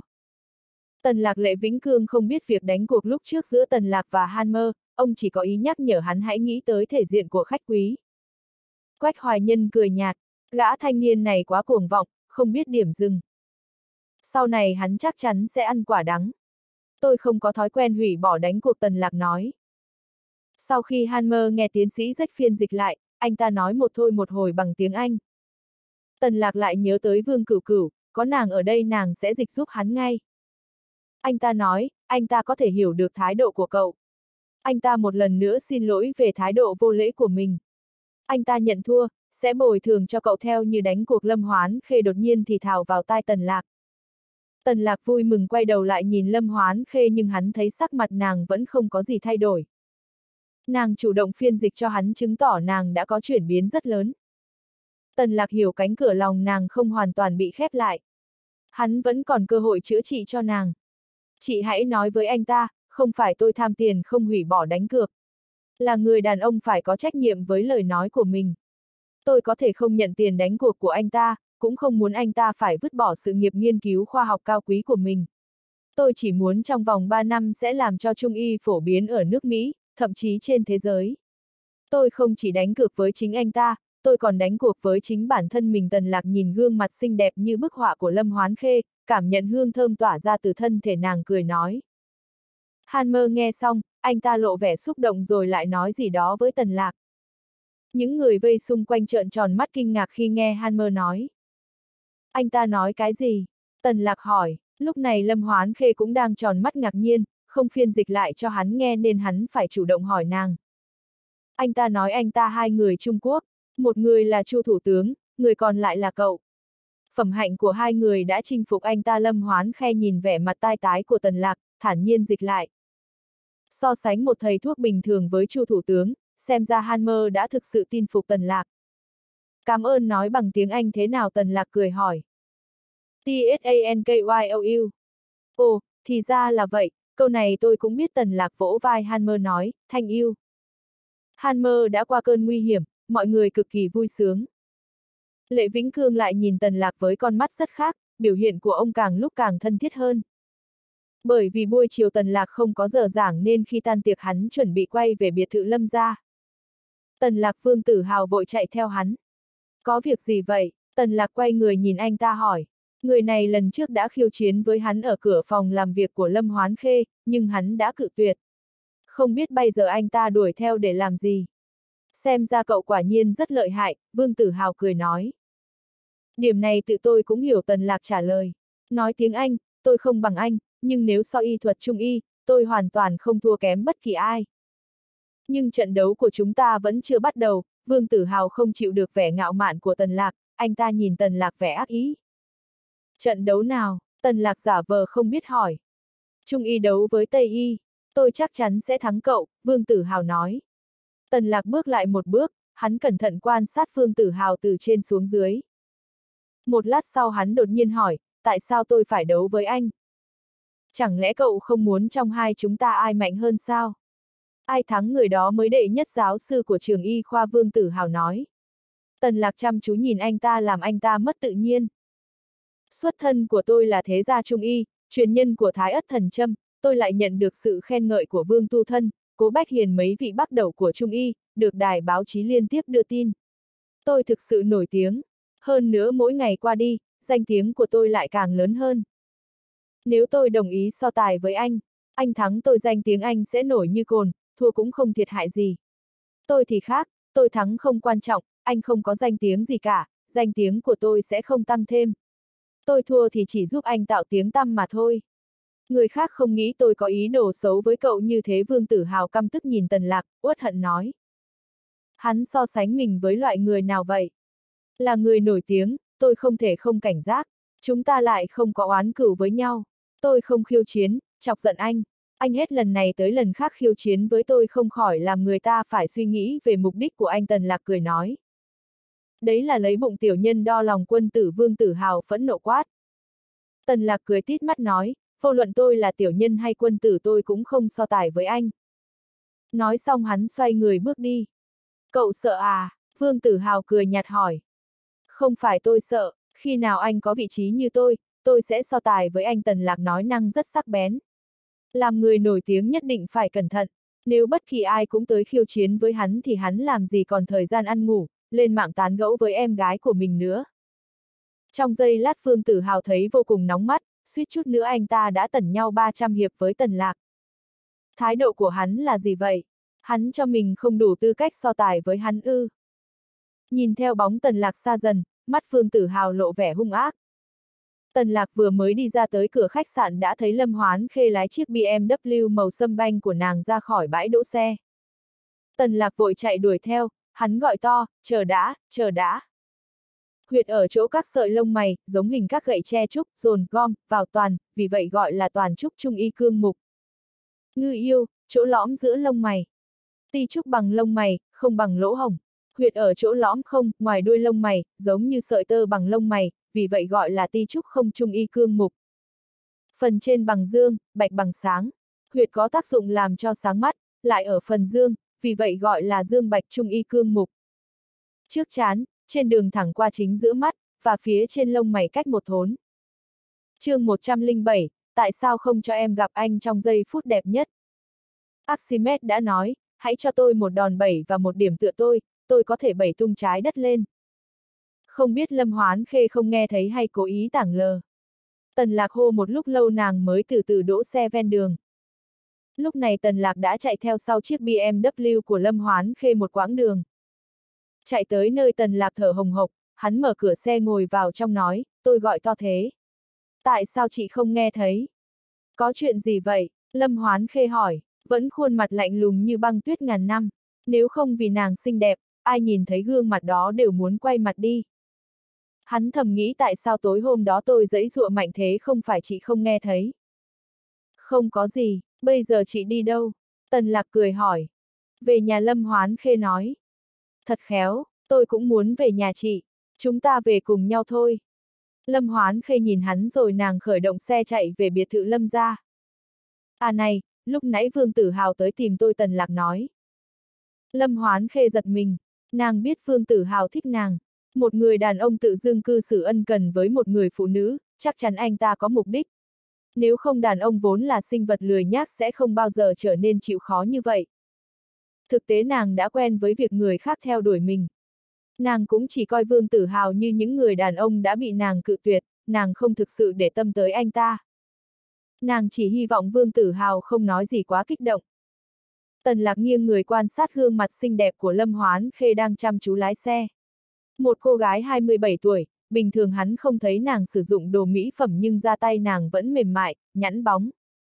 Anh ta dùng Tây Y khiêu chiến với Trung Y của tôi để xem ai mới là đệ nhất giảng viên ở trường. Tôi đã từ chối tần lạc ngả đầu dựa vào ghế nói, tranh giành cái hư danh đó để làm gì. Chả có liên quan gì tới tôi Lâm Hoán Khê nói. Tôi lo lắng vì hai người là bạn. Tôi không quen anh ta. Ồ, vậu tốt rồi tần lạc gật đầu nói. À, gần đây quản tự có liên lạc với chị không? Tần lạc vốn định nói cho Lâm Hoán Khê nghe hắn đã gặp quản tự ở danh viên. Hơn nữa hai người lại xảy ra xung đột, nhưng hắn cảm thấy nếu làm thế sẽ làm khó Lâm Hoán Khê nên hắn không nói nữa. Tôi không quen anh ta Lâm Hoán Khê lạnh lùng nói. Nhìn thấy bộ dạng tức giận của Lâm Hoán Khê, Tần Lạc cũng im lặng không nói tiếp nữa. Hắn vốn chỉ muốn nói ra để dò xét xem thái độ của Lâm Hoán Khê với quản tự như thế nào. Mặc dù hắn không muốn nhắc tới tên người này nhưng có một số chuyện không phải cứ trốn tránh là giải quyết được. Chỉ khi hắn hiểu rõ thái độ của Lâm Hoán Khê với quản tự hắn mới nghĩ ra phương pháp phù hợp chữa chứng phong bế tình cảm của nàng. Tần Lạc lại không biết rằng chứng phong bế tình cảm của Lâm Hoán Khê không liên quan gì tới quản tự mà do chính bản thân hắn gây ra. Hắn học trung y cứu người, dù ai mắc bệnh gì hắn cũng chữa dễ như trở bàn tay. Thế nhưng đối với phụ nữ, bất kỳ phụ nữ nào cũng bắt hắn dễ như trở bàn tay. Không biết cách theo đuổi người khác, không biết cách từ chối hắn chỉ còn biết làm một người đào hoa. Khi Tần Lạc và Lâm Hoán Khê quay trở về biệt thự Lâm gia, Lâm Thanh Nguyên đang ngồi ở phòng khách đọc báo. Nhìn thấy hai người cùng đi vào trong, Lâm Thanh Nguyên nhíu mày lại rồi sắc mặt trở lại bình thường, ông cười ha hả nói, cả hai đã về. Đã ăn cơm chưa? Nếu chưa ăn, ông sẽ hâm lại mấy món cho các cháu. Chúng cháu ăn rồi Tần Lạc cười đáp. Hắn biết Lâm Hoán Khê sẽ không trả lời, tâm tình của bà cô này không tốt, ngay cả câu hỏi của ông mình nàng cũng không trả lời. Nói chuyện với những người như nàng thà nói với đầu gối mình còn hơn. Ừ, Tần Lạc tới ngồi đi cháu, ông cho cháu xem tin này Lâm Thanh Nguyên vỗ xuống ghế nói với Tần Lạc. Tần Lạc hoài nghi ngồi xuống, hắn không biết Lâm Thanh Nguyên định nói cho hắn tin gì. Lâm Thanh Nguyên đang cầm tờ báo Trung y Trung Quốc, ông chỉ vào trang nhất nói, cháu đọc trang này đi. Tần Lạc nhìn theo ngón tay của Lâm Thanh Nguyên, lặng lẽ đọc trang báo. Bài báo có tiêu đề, Hoa Kiều hồi hương bỏ ra một khoản tiền lớn mở đại Trung Quốc danh y đường, muốn phát triển Trung y thành một ngành công nghiệp. Sau đó bài báo viết một cách chi tiết giới thiệu về mục đích ban đầu của Trung Quốc danh y đường và một ít tư liệu về các danh y. Trong đó có một số cái tên Tần Lạc nghe rất quen, chính là những người Tần Lạc đã nghe tham luận của họ. Sao thế ông, có chuyện gì vậy? Tần Lạc cầm tờ báo hỏi. Có Hoa Kiều hồi hương tự nguyện đầu tư vào Trung Y chính là một việc tốt vì dù sao năng lực của một người cũng có hạn. Nếu như toàn bộ người Trung Quốc ở trên thế giới đều làm như vậy, Trung Y sao thể suy sụp được chứ? Hơn nữa người có tâm với Trung Y không chỉ có một người. Tần Lạc đều hoan nghênh những ai nguyện ý trở thành bạn đồng hành của hắn. Ông vẫn cảm thấy chuyện này có gì không ổn. Mở Trung Quốc danh y đường, tập trung tất cả các danh y lại một chỗ, coi như đây cũng là biện pháp hay. Thế nhưng biến Trung y thành một ngành công nghiệp dễ vậy sao? Rất nhiều người đã thất bại, tại sao vẫn có người đầu tư tiền vào cái vòng luẩn quẩn đó chứ? Lâm Thanh Nguyên nghi ngờ nói. Thật ra Lâm Thanh Nguyên không quá quan tâm tới chuyện này, nhưng Tần Lạc đã nói hắn đang cố gắng đề nghị chính phủ cho phép thành lập một hiệp hội Trung y mang tính chất toàn thế giới. Vì thế bây giờ nhìn thấy tin tức về Trung Quốc danh y đường, ông mới đặc biệt chú ý. Bởi vì xét về bản chất mục đích của bọn họ giống nhau. Thế nhưng mục tiêu chính của Trung Quốc danh y đường là kiếm tiền, đặt lợi ích làm đầu. Hiệp hội Trung y của Tần Lạc lấy công làm chính, không vụ lợi, chủ trương phát triển Trung y, trợ giúp người hành nghề Trung y. Đương nhiên kế hoạch của Tần Lạc cũng có yếu tố lợi nhuận, bởi vì không có tài chính để duy trì sự phát triển, dù có xây dựng thành công một hiệp hội thì nó cũng nhanh chóng sụp đổ. Nếu như Hiệp hội Trung y toàn thế giới được thành lập, giá trị sáng tạo và ảnh hưởng của nó sẽ cực kỳ mạnh mẽ. Ha, ha, trên thế giới này vẫn còn những người ngu ngốc mang ảo tưởng như cháu Tần Lạc cười an ủi chính mình. Mặc dù bài báo có điểm qua một số thông tin sơ lược về nhà đầu tư nhưng hắn không quen biết cái tên đan hành thư. Nếu như bọn họ dùng cái tên quản tự thì chắc chắn Tần Lạc sẽ hoài nghi. Tần Lạc cực kỳ cảnh giác với quản tự, bất kỳ chuyện gì có liên quan tới quản tự hắn đều để ý. Nếu như bảo quản tự lập danh y đường để cứu vớt trung y, Tần Lạc sẽ không tin. Một con chó đột nhiên nói nó không muốn ăn thịt nữa, nó muốn ăn rau. Bạn có tin không? Ôi, chỉ hy vọng ông quá đa tâm. Trung y của chúng ta sẽ không gượng dậy nổi nếu cứ bị đẩy qua đẩy lại. Nếu muốn làm ăn đến nơi đến chốn thì phải bước từng bước một thì mới có cơ hội phát triển được Lâm Thanh Nguyên xúc động nói. Tần Lạc đang định trả lời thì chuông điện thoại di động trong túi áo hắn vang lên. Hắn móc điện thoại ra, vội vàng ngắt cuộc gọi khi thấy hiện lên số của Lệ Khuynh Thành. Cháu phải nghe điện thoại Tần Lạc ái náy nói. Hắn cố tình bịt loa điện thoại, nhưng làm như vậy không phải cố tình che giấu sao.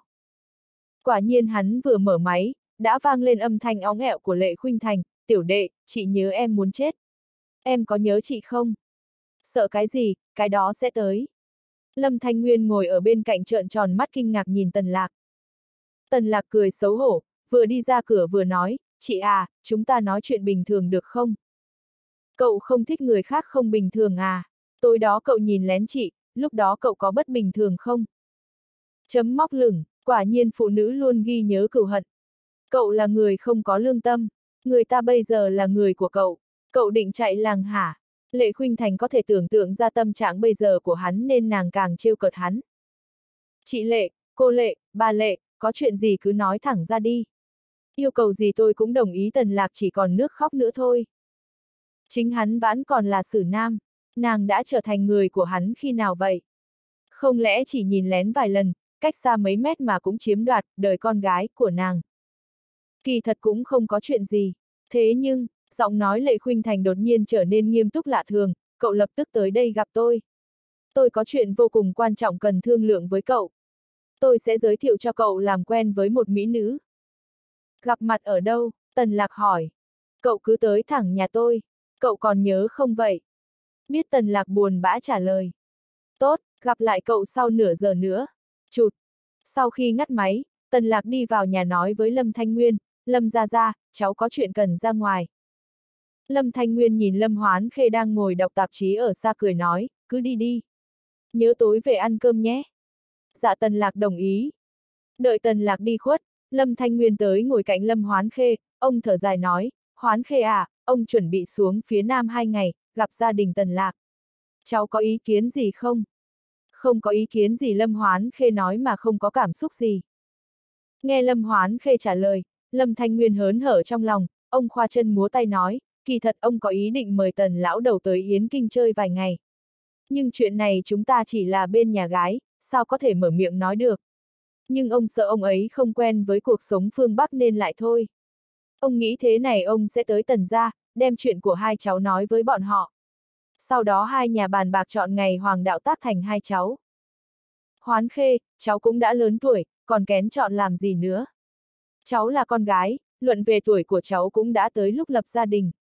Tần Lạc là một chàng trai tốt, ông đã chứng kiến nó lớn lên, ông thấy nó là người có đạo đức, y thuật cao mình.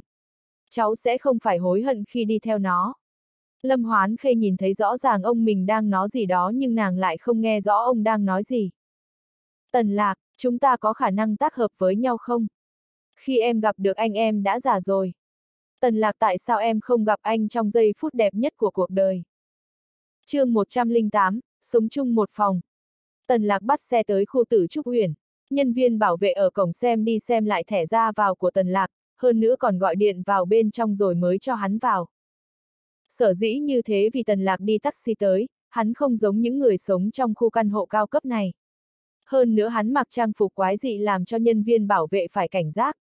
Nói cách khác lần sau tới đây hắn nên mặc đồ Tây. Nếu bọn họ biết chiếc trường bào của Tần Lạc trị giá 10 vạn, không biết bọn họ sẽ nghĩ gì. Tần lạc vừa ấn chuông căn hộ của Lệ Khuynh Thành, bên trong đã vang lên tiếng dép lẹt quẹt.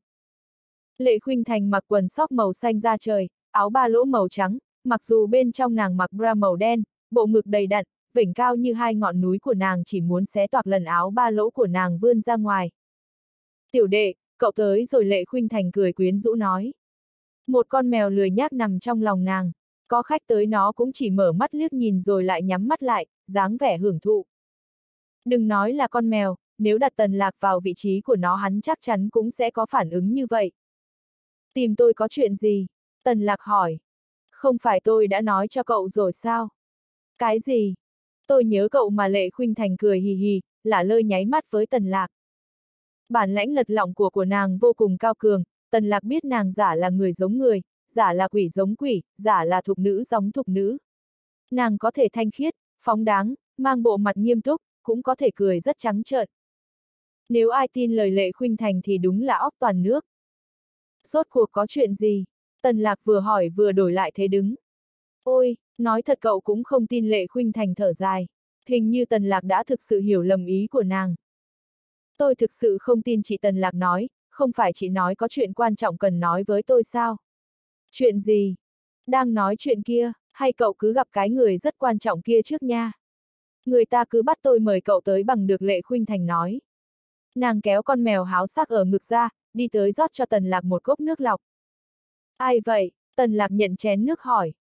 Lệ khuynh thành liếc mắt nhìn vào nhà vệ sinh, khẽ thì thào vào tai tần lạc, chờ lát nữa. Cậu sẽ được thưởng thức mỹ nữ. Tâm trạng tần lạc bấn loạn hắn hấp tấp hỏi, ai vậy? Lát nữa đi ra cậu sẽ biết. Tôi có quen không? Đương nhiên cậu biết, cậu đã từng được vuốt ve chân người ta.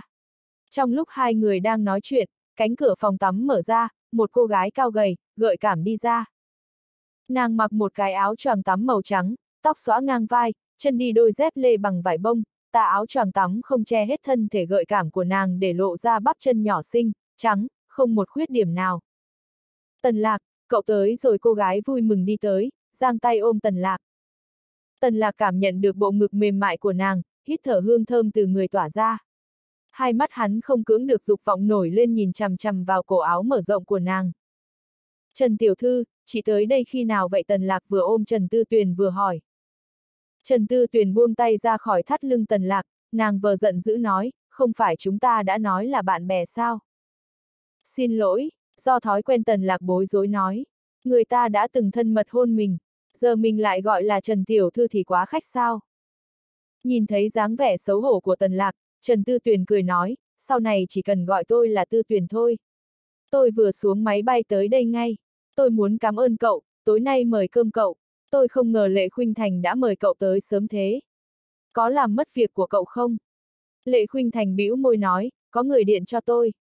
Câu đầu tiên nói đã xuống máy bay, câu thứ hai hỏi tình hình của gã sắc lang này. Chẳng lẽ tôi còn không biết tâm tư của cậu về gã sắc lang này ư? Mồm miệng nàng thật ác độc, nàng quay sang cười nói với Tần Lạc, cậu đừng gọi cô ấy là Tư Tuyền. Cậu cứ gọi là, em yêu là được, cô gái này lẳng lơ lắm. Cậu mới lẳng lơ ấy Trần Tư Tuyền cười mắng. Cậu còn không thừa nhận, vừa rồi cậu thấy tôi không ôm hôn Tần Lạc, thế mà cậu vừa nhìn thấy đã chủ động thể hiện nỗi nhớ nhung của mình. Còn dám nói cậu không lẳng lơ. Cậu đúng là miệng chó không mọc răng ngà. Miệng chó của cậu chẳng mọc ngà voi ấy. Trần Tư Tuyền lần này tới đây là vì Tần Lạc, nói chính xác là vì sự nghiệp mỹ phẩm của hắn. Do Tần Lạc cung cấp phương pháp điều chế, Lệ Khuynh Thành phụ trách việc sản xuất thử bột phấn kim dũng chỉ cần tiến hành quảng bá là có thể tung ra thị trường. Mà về phương diện quảng bá, đương nhiên phải cần tới ngôi sao. Người có đùi đẹp nhất Đài Loan chính là người phát ngôn tốt nhất. Bạn nghĩ xem bôi thuốc này lên đùi của ai? Bôi lên đùi người mẫu chân số một Đài Loan thì hiệu quả như thế nào? Nếu bôi lên mặt ai đó, chắc chắn phải bôi lên mặt đệ nhất Mỹ nữ Trung Quốc đúng không? Phụ nữ vĩnh viễn không bao giờ hài lòng với nhan sắc của mình. Xấu muốn trở nên đẹp, đẹp lại muốn đẹp hơn. Lần này Lệ Khuynh Thành kéo Trần Tư Tuyền tới đây chính là muốn nàng quay, chụp một đoạn quảng cáo. Sau đó truyền hình và báo chí sẽ tiến hành chiến dịch quảng cáo rầm rộ. Tần Lạc đã từng dùng bột phấn kim dũng chữa trị sẹo cho Trần Tư Tuyền nên khi nàng và Lệ Khuynh Thành bàn về thù lao, Trần Tư Tuyền đã từ chối, lần này nàng đóng quảng cáo hoàn toàn miễn phí. Tần Lạc, cậu nhất định phải tới Đài Loan một chuyến. Tôi đã kể chuyện của tôi với mấy người bạn thân, bọn họ cực kỳ ngưỡng mộ cậu. Tôi cũng có một người bạn trước cũng là người mẫu chân, nhưng cô ấy không cẩn thận bị thương để lại sẹo nên cô ấy phải bỏ nghề. Thực ra lần này cô ấy cũng muốn tới đây với tôi nhưng nhà cô ấy đột nhiên xảy ra chuyện nên không tới được. Cô ấy biết tôi tới làm quảng cáo cho sản phẩm của hai người nên năn nỉ tôi mang một ít sản phẩm về Trần Tư Tuyền nói với Tần Lạc. Đôi mắt sáng, trong suốt của nàng nhấp nháy nhìn hắn. Hai người đã lâu không gặp nhau, hắn vẫn hấp dẫn như vậy. Hắn thật sự là một chàng trai đáng yêu. Không sao, khi đó chỉ cứ bảo lệ tổng đưa cho cô ấy một ít sản phẩm là được Tần Lạc cười nói. Được rồi, khi nào thì sản phẩm của chúng ta được tung ra thị trường hả? Tần Lạc quay sang hỏi Lệ Khuynh Thành. Lệ Khuynh Thành liếc nhìn hắn nói, cậu hỏi mà không thấy xấu hổ à? Đây là sản phẩm của cậu. Phần lớn thu nhập từ sản phẩm đều chạy vào tài khoản của cậu. Thế mà ngay cả thời gian tung ra thị trường cậu cũng không biết. Không phải đã có chị rồi sao? Tần lạc bối rối nói. Úi mẹ ơi, tại sao cái gì cậu cũng ỉ lại tôi thế? Nói xong Lệ Khuynh Thành bật cười khì khì, Trần Tư Tuyền cũng bật cười, cả hai ôm nhau cười lăn lộn trên ghế xa. Nếu tôi mà có con như cậu ta thì tôi đã bị cậu ta làm tức chết rồi Lệ Khuynh Thành thở hổn hển nói. Tần lạc mà là con của cậu thì phải gọi mình là gì? Hi hi, rất hay Trần Tư Tuyền ôm bụng cười nói. Tần lạc bực tức nghĩ thầm nếu mình mà có người mẹ như thế chắc chắn mình sẽ đâm cổ tự tử. Nghĩ tới mẹ của Vương Cửu Cửu cũng là người cực phẩm như vậy, tâm lý hắn lại có chút cảm thông với nàng. Hắn chợt nghĩ nếu hắn cưới Vương Cửu Cửu thì mẹ nàng chính là mẹ vợ hắn thế thì ngày đó coi như là ngày báo tử của hắn. Suốt buổi chiều hôm đó Tần Lạc và hai mỹ nữ ngồi tán gẫu. Một chén hồng trà, hai cái bánh ngọt, hơn nữa hai mỹ nữ trước mặt hắn có kiểu ngồi cực kỳ gợi cảm làm cho Tần Lạc cảm thấy thời gian trôi đi quá nhanh. Trần Tư Tuyền thật lòng mời Tần Lạc ở lại ăn cơm. Nàng là khách từ xa tới, Tần Lạc không nỡ bỏ về, hắn đành phải gọi điện thoại cho Lâm Thanh Nguyên nói buổi tối hắn không về nhà ăn cơm. Hắn không ngờ kỹ thuật nấu ăn của Trần Tư Tuyền lại khá như vậy. Trên bàn có đủ loại món ăn đặc sắc của Đài Loan. Những món đó mùi rất thơm, dễ tiêu, ăn vào có vị ngọt không gây cảm giác khó ăn. Cực kỳ phù hợp với khẩu vị của Tần Lạc. Ăn cơm tối xong, sau khi ngồi nói chuyện với hai người một lúc Tần Lạc muốn cáo từ ra về nhưng hai nàng phản đối. Tần Lạc, tối nay cậu ở lại đây được không? Vẫn còn phòng cho cậu. Chúng ta có thể nói chuyện tiếp Trần Tư Tuyền lưu luyến nói. Lệ Khuynh Thành dứt khoát nói, cậu cứ yên tâm ở lại đây. Chúng tôi biết cậu sẽ không làm chuyện xấu. Sao chị lại tin tưởng tôi như thế? Tần lạc cười gượng hỏi. Kỳ thật lần trước hắn rất muốn làm chuyện xấu với nàng. Không phải là tin cậu mà chúng tôi tin vào chính bản thân mình. Dù cậu có muốn dở cho tiểu nhân bò lên trên giường cũng bị chúng tôi đạp văng xuống dưới lệ khuynh thành khinh khỉnh nói. Vậy nếu các chị động tâm thì sao? Tần lạc hỏi ngược lại. Lệ Khuynh Thành và Trần Tư Tuyền nhìn nhau rồi cả hai bật cười hì hì nói, thì cậu sẽ có khoái cảm chứ còn gì nữa. chương 109, cậu chắc chắn đồng ý với tôi. Khi ăn cơm mấy người uống rượu hồng, đương nhiên không làm thỏa mãn tử lượng của Lệ Khuynh Thành và Trần Tư Tuyền. Lệ Khuynh Thành lấy điện thoại ra gọi ngay lập tức nhân viên bảo vệ đầu nhím đã kiểm tra thẻ ra vào của Tần Lạc bê lên một thùng bia. Lệ tiểu thư, thật sự xin lỗi. Trong cửa hàng ở cổng không còn Park YN cao bét, chỉ còn Blue Ben nhân viên bảo vệ ấy náy nói, giống như việc trong cửa hàng không có Park YN cao bét là lỗi của hắn. Không sao, anh vất vả quá lệ khuynh thành cười quyến rũ. Nàng lấy từ trong ví 500 đưa cho hắn. Hai mắt gã đầu nhím không dám nhìn thẳng vào khuôn mặt kiều diễm, thoát tục của lệ khuynh thành. Hắn vội khoát tay nói, không cần, cứ xem như hôm nay tôi mời lệ tiểu thư uống rượu. Lần sau đi, đợi lần sau anh mời tôi uống rượu lúc đó anh sẽ trả tiền lệ khuynh thành cười nói, nàng nhét tiền vào tay hắn. Được, vậy tôi đi đây, không quấy dày mọi người nữa gã đầu nhím lắp bắp nói. Trước khi đi hắn còn cố tình ngẩng đầu, tham lam nhìn vưu vật nhân gian trước mặt vài lần. Sau đó gã lấy hết can đảm quay đầu, ba chân bốn cẳng bỏ chạy giống như thỏ bị thương vậy. Một câu nói có thể quyết định sinh tử, có giá trị địch quốc. Dung nhan của Lệ Khuynh Thành cũng có thể làm cho người ta không dám nhìn thẳng. Trang phục đơn giản, tùy tiện, cử chỉ gợi cảm, xinh đẹp là ba đặc điểm của Lệ Khuynh Thành. Sự xinh đẹp của nàng mang tới áp lực cho người bình thường. Chỉ có người quen nhìn mỹ nữ như tần lạc hành động mới không bị ảnh hưởng. Nào, chúng ta tiếp tục uống rượu Lệ Khuynh Thành khom lưng ôm thùng Blue Ribbon mang ra ban công. Nàng không ra vẻ gì là con gái chân yếu tay mềm vì có rất nhiều chuyện trong nhà đều do tự tay nàng xử lý thực ra nàng có thể nhờ một người đàn ông như tần lạc bê giúp nhưng nàng không nói câu nào cứ tự mình bê đi. Có lẽ trong mắt nàng tần lạc còn không có sức khỏe bằng nàng. Lệ khuynh thành xé rách nắp hộp, nàng cầm một đưa cho Trần Tư Tuyền đang ngồi ở ghế nằm, một cho tần lạc. Nàng nói, theo tôi, mỗi người uống một, được không? Không được, tôi không uống rượu tần lạc cuống quýt khoát tay nói.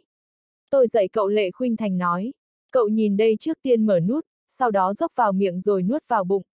Cậu làm được không? Rất đơn giản mà.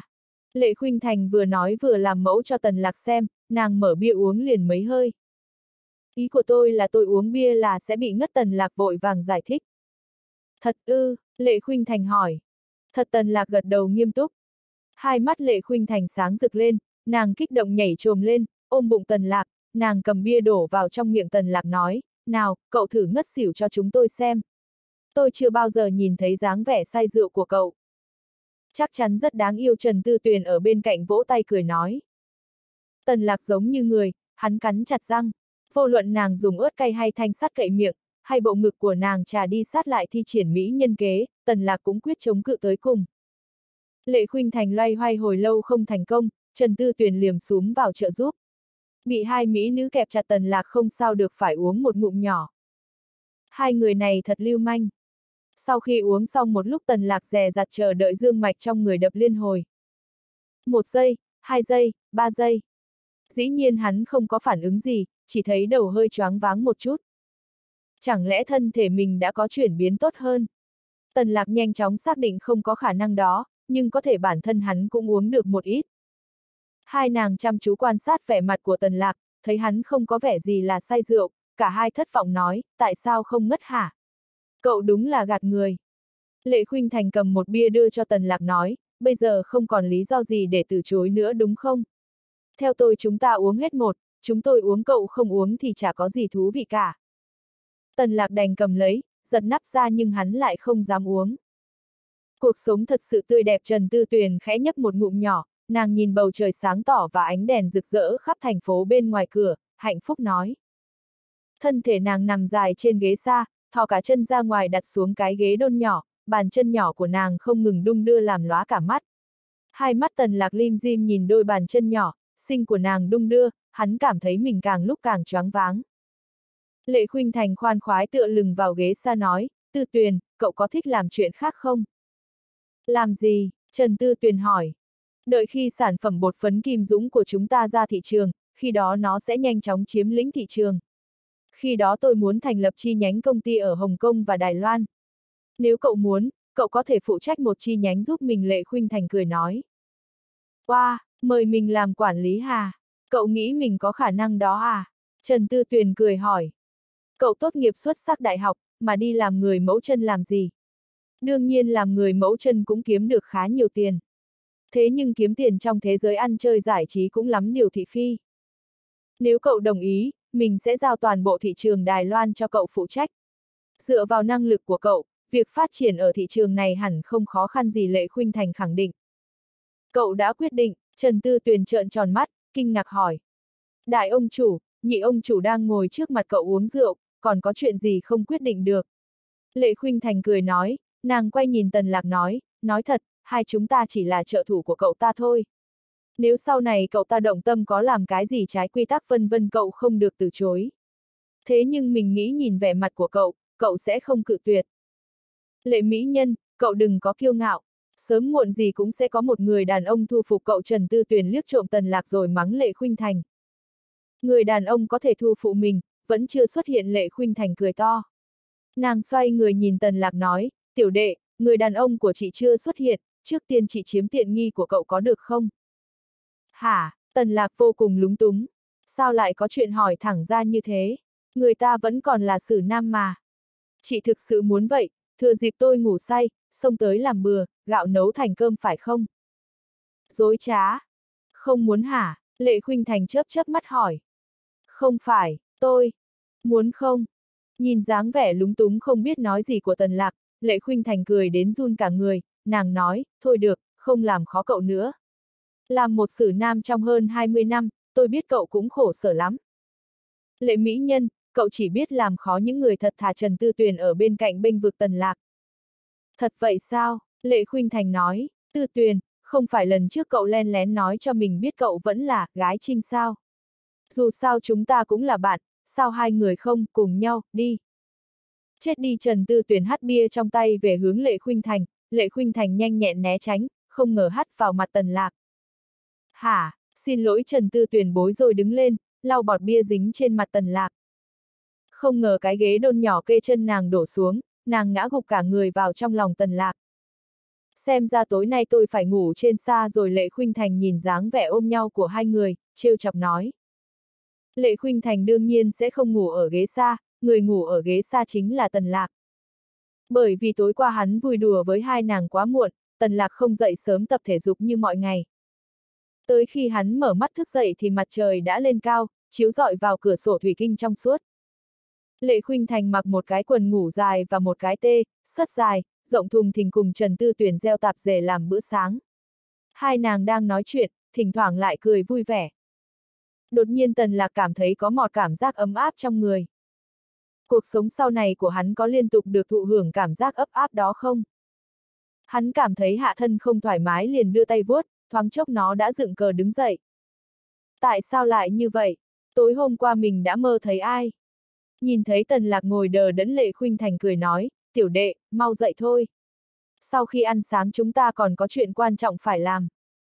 Chuyện gì? Tần Lạc suy nghĩ một lát. Hôm nay đúng lúc là chủ nhật nên hắn được nghỉ. Cậu quên rồi à? Hôm qua lúc gọi điện cho cậu tôi đã nói rồi mà, có một người rất quan trọng muốn gặp cậu, có một việc rất quan trọng muốn thương lượng cùng với cậu Lệ Khuynh Thành cười nói. Cái tê, sất cộc, bó của nàng làm lộ một cái rốn mịn màng đẹp như châu ngọc. Nàng đứng nói chuyện với tần lạc, cái rốn cũng nhẹ nhàng rung động, cực kỳ gợi cảm. Nàng ăn mặc rất tùy tiện, cơ thể nàng lại cực kỳ quyến rũ. Đúng vậy, tôi nhớ. Không phải người tôi đã gặp rồi sao? Tần lạc nói. Nhưng có một chuyện rất quan trọng phải thương lượng với cậu Lệ Khuynh Thành nói. Chuyện gì? Cậu còn nhớ cô gái xinh đẹp lần trước đi xe Rolls Royce tới cùng với các vệ sĩ không?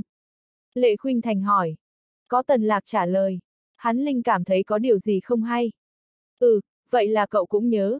Cô gái như vậy nhìn qua một lần thì cả đời không thể nào quên được. Hai chúng tôi có một cuộc hẹn 10 giờ hôm nay ở Khuynh Thành Quốc tế Lệ Khuynh Thành nói. Đó là chuyện của chị, liên quan gì tới tôi? Cô ấy bảo muốn gặp cậu. Chị đồng ý. Đúng vậy, tôi không thể không đồng ý. Bây giờ cô ấy là khách hàng lớn nhất của công ty chúng ta. Chị muốn tôi cùng đi thương lượng với chị ư. Tần lạc cười gượng chị đã đồng ý rồi còn muốn tôi thương lượng cái gì nữa. Đúng vậy Lệ Khuynh Thành gật đầu. Tôi biết cậu chắc chắn sẽ đồng ý với tôi. chương 110, thực sự có một chân.